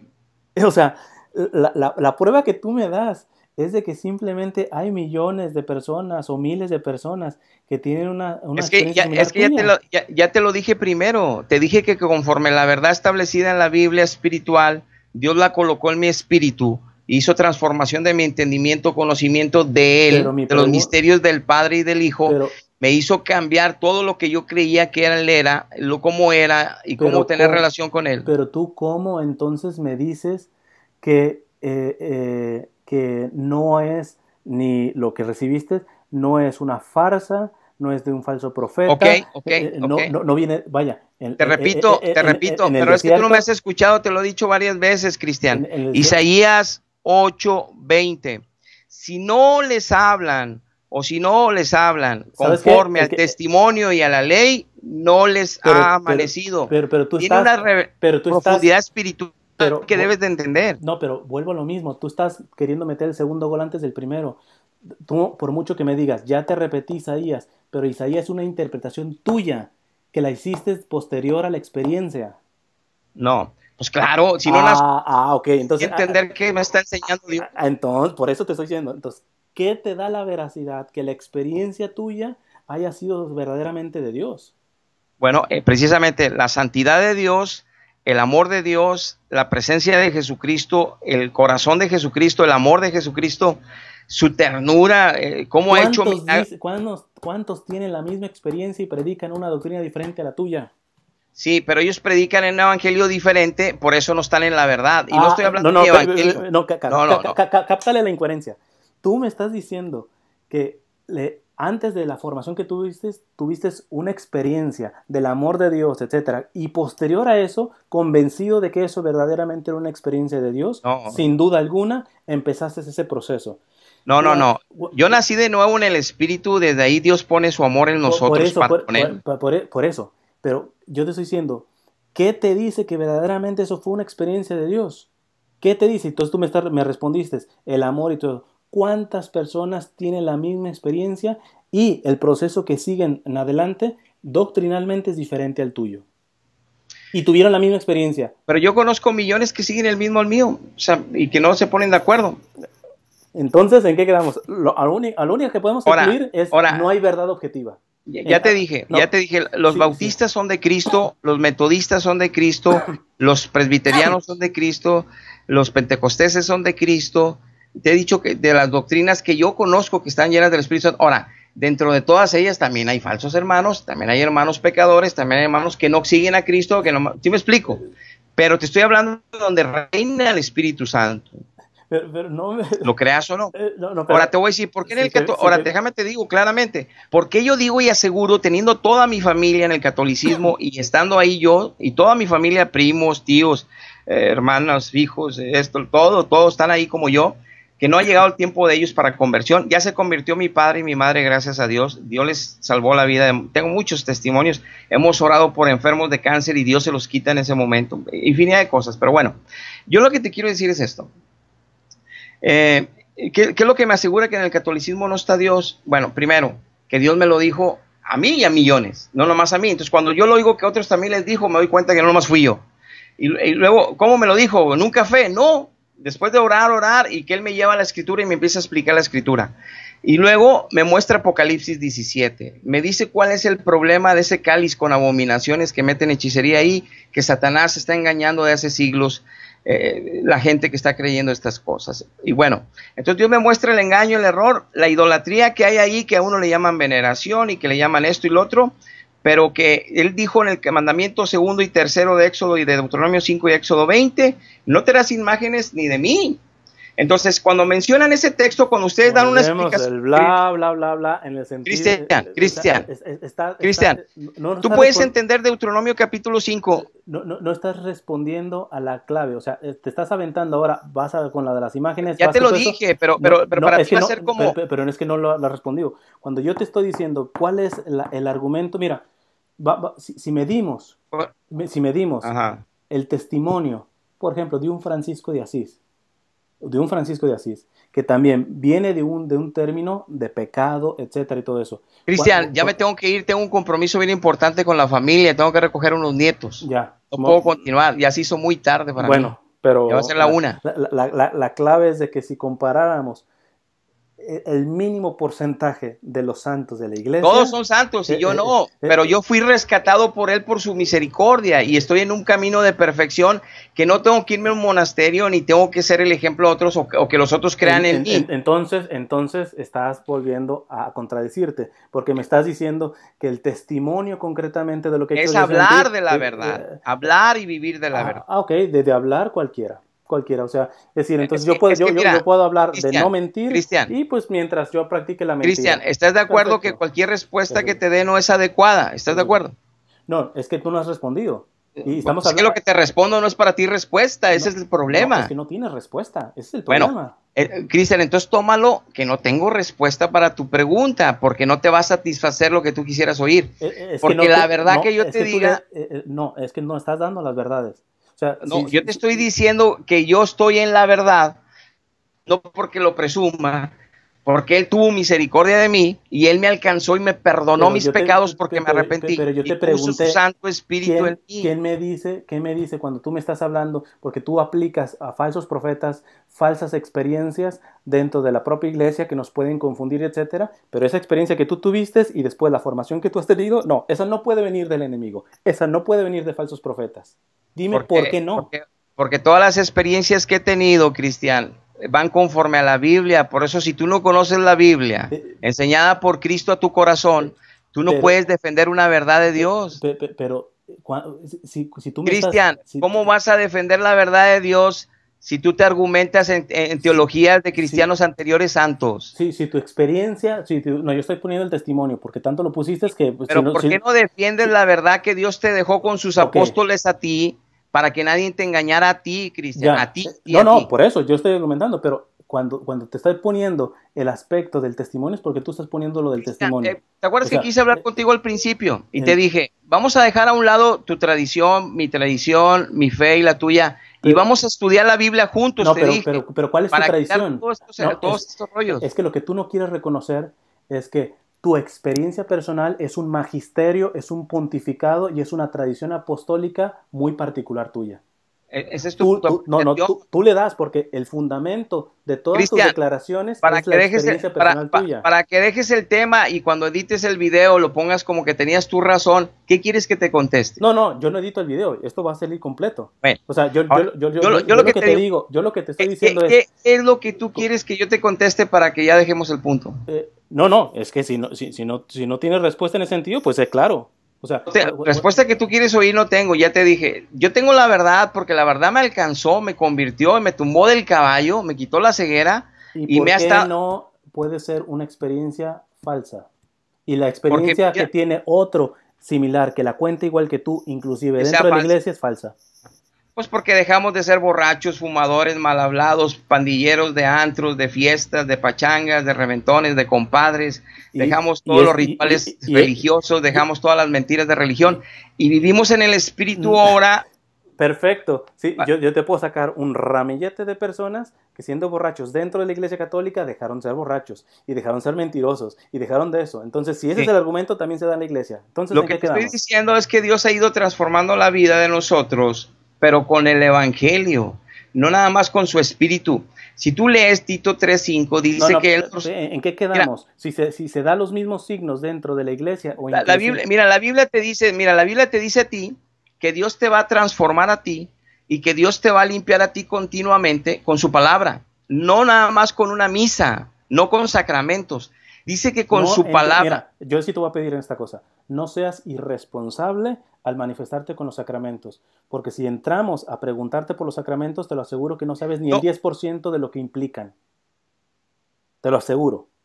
No, está bien. Y, lo podemos probar. No seas irresponsable. no, porque yo voy a defender. yo, yo, voy a defender las cuestiones, a lo menos de un sentido común. Tú te postulas tan fácilmente y tan irresponsablemente, y yo podría decir a veces hasta cobardemente, en cuestiones de la iglesia que tú no conoces. No, sí conozco y bien. No, no, no, no, me pudiste, no me pudiste ni siquiera explicar un fundamento. Cristian, déjame, déjame te digo esto para cuando te toque, espero, espero pronto. No, no, no. Eh, Cristian, eh, no te pongas una cuestión arrogante si, si, ya, si, si, finalmente yo estoy en el pecado, de aquí yo me, me, muero y me voy al infierno, tranquilo. O sea, me queda claro que delante, no, no, delante de no estoy hablando de eso. Yo lo que te quiero decir es visión, delante de tu visión, yo estoy, estoy, claro que estoy en condenación, punto. Me queda claro. No, no, Cristian, yo lo que te estoy diciendo es... Lo interesante es que un hombre que dice que tiene la verdad, que es infalible en el aspecto de la Biblia, tenga esos comportamientos de, de primero, robar en cuestiones de, la manera como evangeliza. Segundo, en tener prejuicios y calumnias. que todos están en la mentira, la más yo la verdad. No, no, pero tú, tienes, tú tienes la, la, la, cara de poder calumniar. La autoridad, la autoridad moral. Eh, seguramente, la autoridad moral de poder decir cuestiones que ignoras propiamente de la iglesia. O sea, no me vengas a sacar nuevamente el aspecto de los sacramentos. No, yo, yo, tengo la verdad bíblica o ayudado por el Espíritu Santo para decirte que la teología católica está equivocada. Pero esa parece que esa, ese conocimiento bíblico no te da el mínimo de humanidad, porque esto ni siquiera es de cristianos, de humanidad responsable de hablar de lo que se conoce. Porque esto no es cristiano. Yo sí, esto conozco es humano, el ¿eh? bautismo, esto conozco humano. la Eucaristía muy bien. No, no lo conoces. Te pregunto te pregunto acerca de la Eucaristía. pero ya no tengo tiempo, le seguimos mañana, otro día. Ah, ok. si quieres, vamos a poner día. Y, y, la primera cosa que yo voy a hacer es hacer toda una disección concretamente de toda la teología sacramental, sacramento por sacramento, ¿eh? Porque si, los siete. Eh, de los siete sacramentos, desde su base teológica, su base antropológica, su base ética, su base moral, Déjame decirte algo, Cristian, qué bueno que comentaste eso. Yo no me quiero meter en eso. Su base bíblica también, inclusive. No, yo no, yo no conozco de, ah, de los siete todo. no menciones a los No, está bien. No, te los voy a mencionar. Yo te responsable a lo menos. No, no, vengas a decir. Ok, no los voy a mencionar. Déjame decirte algo. Yo algo nos quedó muy claro hoy es que ni tú me convences ni yo, porque no era la finalidad tampoco. Yo no tengo la finalidad. No, es la finalidad. pero, pero si era que pudiéramos eh, que podamos exponer las teologías tranquilamente. Estoy recibiendo la llamada de nuevo. ¿Me dejas tomarla? Tómala, tómala, tranquilo. Bueno. Ya, es que tengo que marcar. No, mira, vamos a terminar esto. ¿Qué día, qué día, qué día este, continuamos? Eh, vamos a hacer el, vámonos sacramento por sacramento. Este, yo quisiera que tú me dijeras, nosotros creemos en la Eucaristía por esto, esto y esto y esto, no porque se quedó en, en Nicea o porque... No, no, no, no, no. La, la, la, cuestión es inversa, porque el que acusa es el que tiene la responsabilidad de probarlo. Entonces, cuando nos reunimos, la próxima vez, yo te voy a hacer varias preguntas acerca de los sacramentos. Si verdaderamente los conoces, pues tendrás que responder. Y si no, a lo menos ten la responsabilidad de no argumentar en base a los sacramentos porque lo desconoces.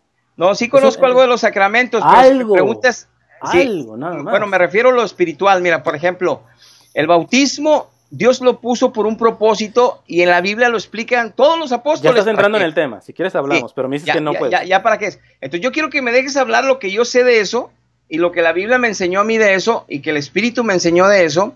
No lo que yo crea, sino lo que está escrito, literalmente lo leemos y vemos. pero es diferente. Yo estoy de acuerdo que cuando tú abrazas otra fe, vas a tener una visión del bautismo, de las cuestiones sacramentales en otro sentido. Lo que yo te estoy reclamando es la irresponsabilidad de hacer, cometer juicios de valor, ni siquiera descriptivos, es que sabes de valor delante de un conocimiento que tú desconoces. Es que los, sacramentos no santifican, santifica a Dios. Eh, santifica a Dies. Prejuicio, e ignorancia completa. Sí, ahora santifica a Dios en la medida que tú te abandones en Él y tengas relación con Él. esa es la manera. Pero ese es un prejuicio, porque tú no estás asumiendo la naturaleza propia del sacramento, como si el sacramento procediera del sacerdote o procediera propiamente nada más de la pura naturaleza de la iglesia. Claro. Eso es lo que tú estás asumiendo con esa declaración. Y eso no es un sacramento. ¿Entiendes? Sí, ya no vine ocupadito, discúlpame, déjame, déjame terminar esto. ¿Cuándo? no, no, nos ponemos de acuerdo en, la semana. Es que tenía una llamada con una persona de California, permíteme, Maribel. Eh, este, nos ponemos de acuerdo, Cristian. Sí, nos ponemos de acuerdo, tranquilo, tranquilo. este, Tú me mandas ahí eh, un, mensaje y nos ponemos de acuerdo si, si es los temas de sacramentos o ver qué. Okay, Dios te pues. bendiga mucho. que Dios te bendiga. Discúlpame cualquier cosa que te haya molestado, no, es la intención. no, no, yo soy intenso en ese sentido, como verás. Entonces, Dios te bendiga. Dios te bendiga.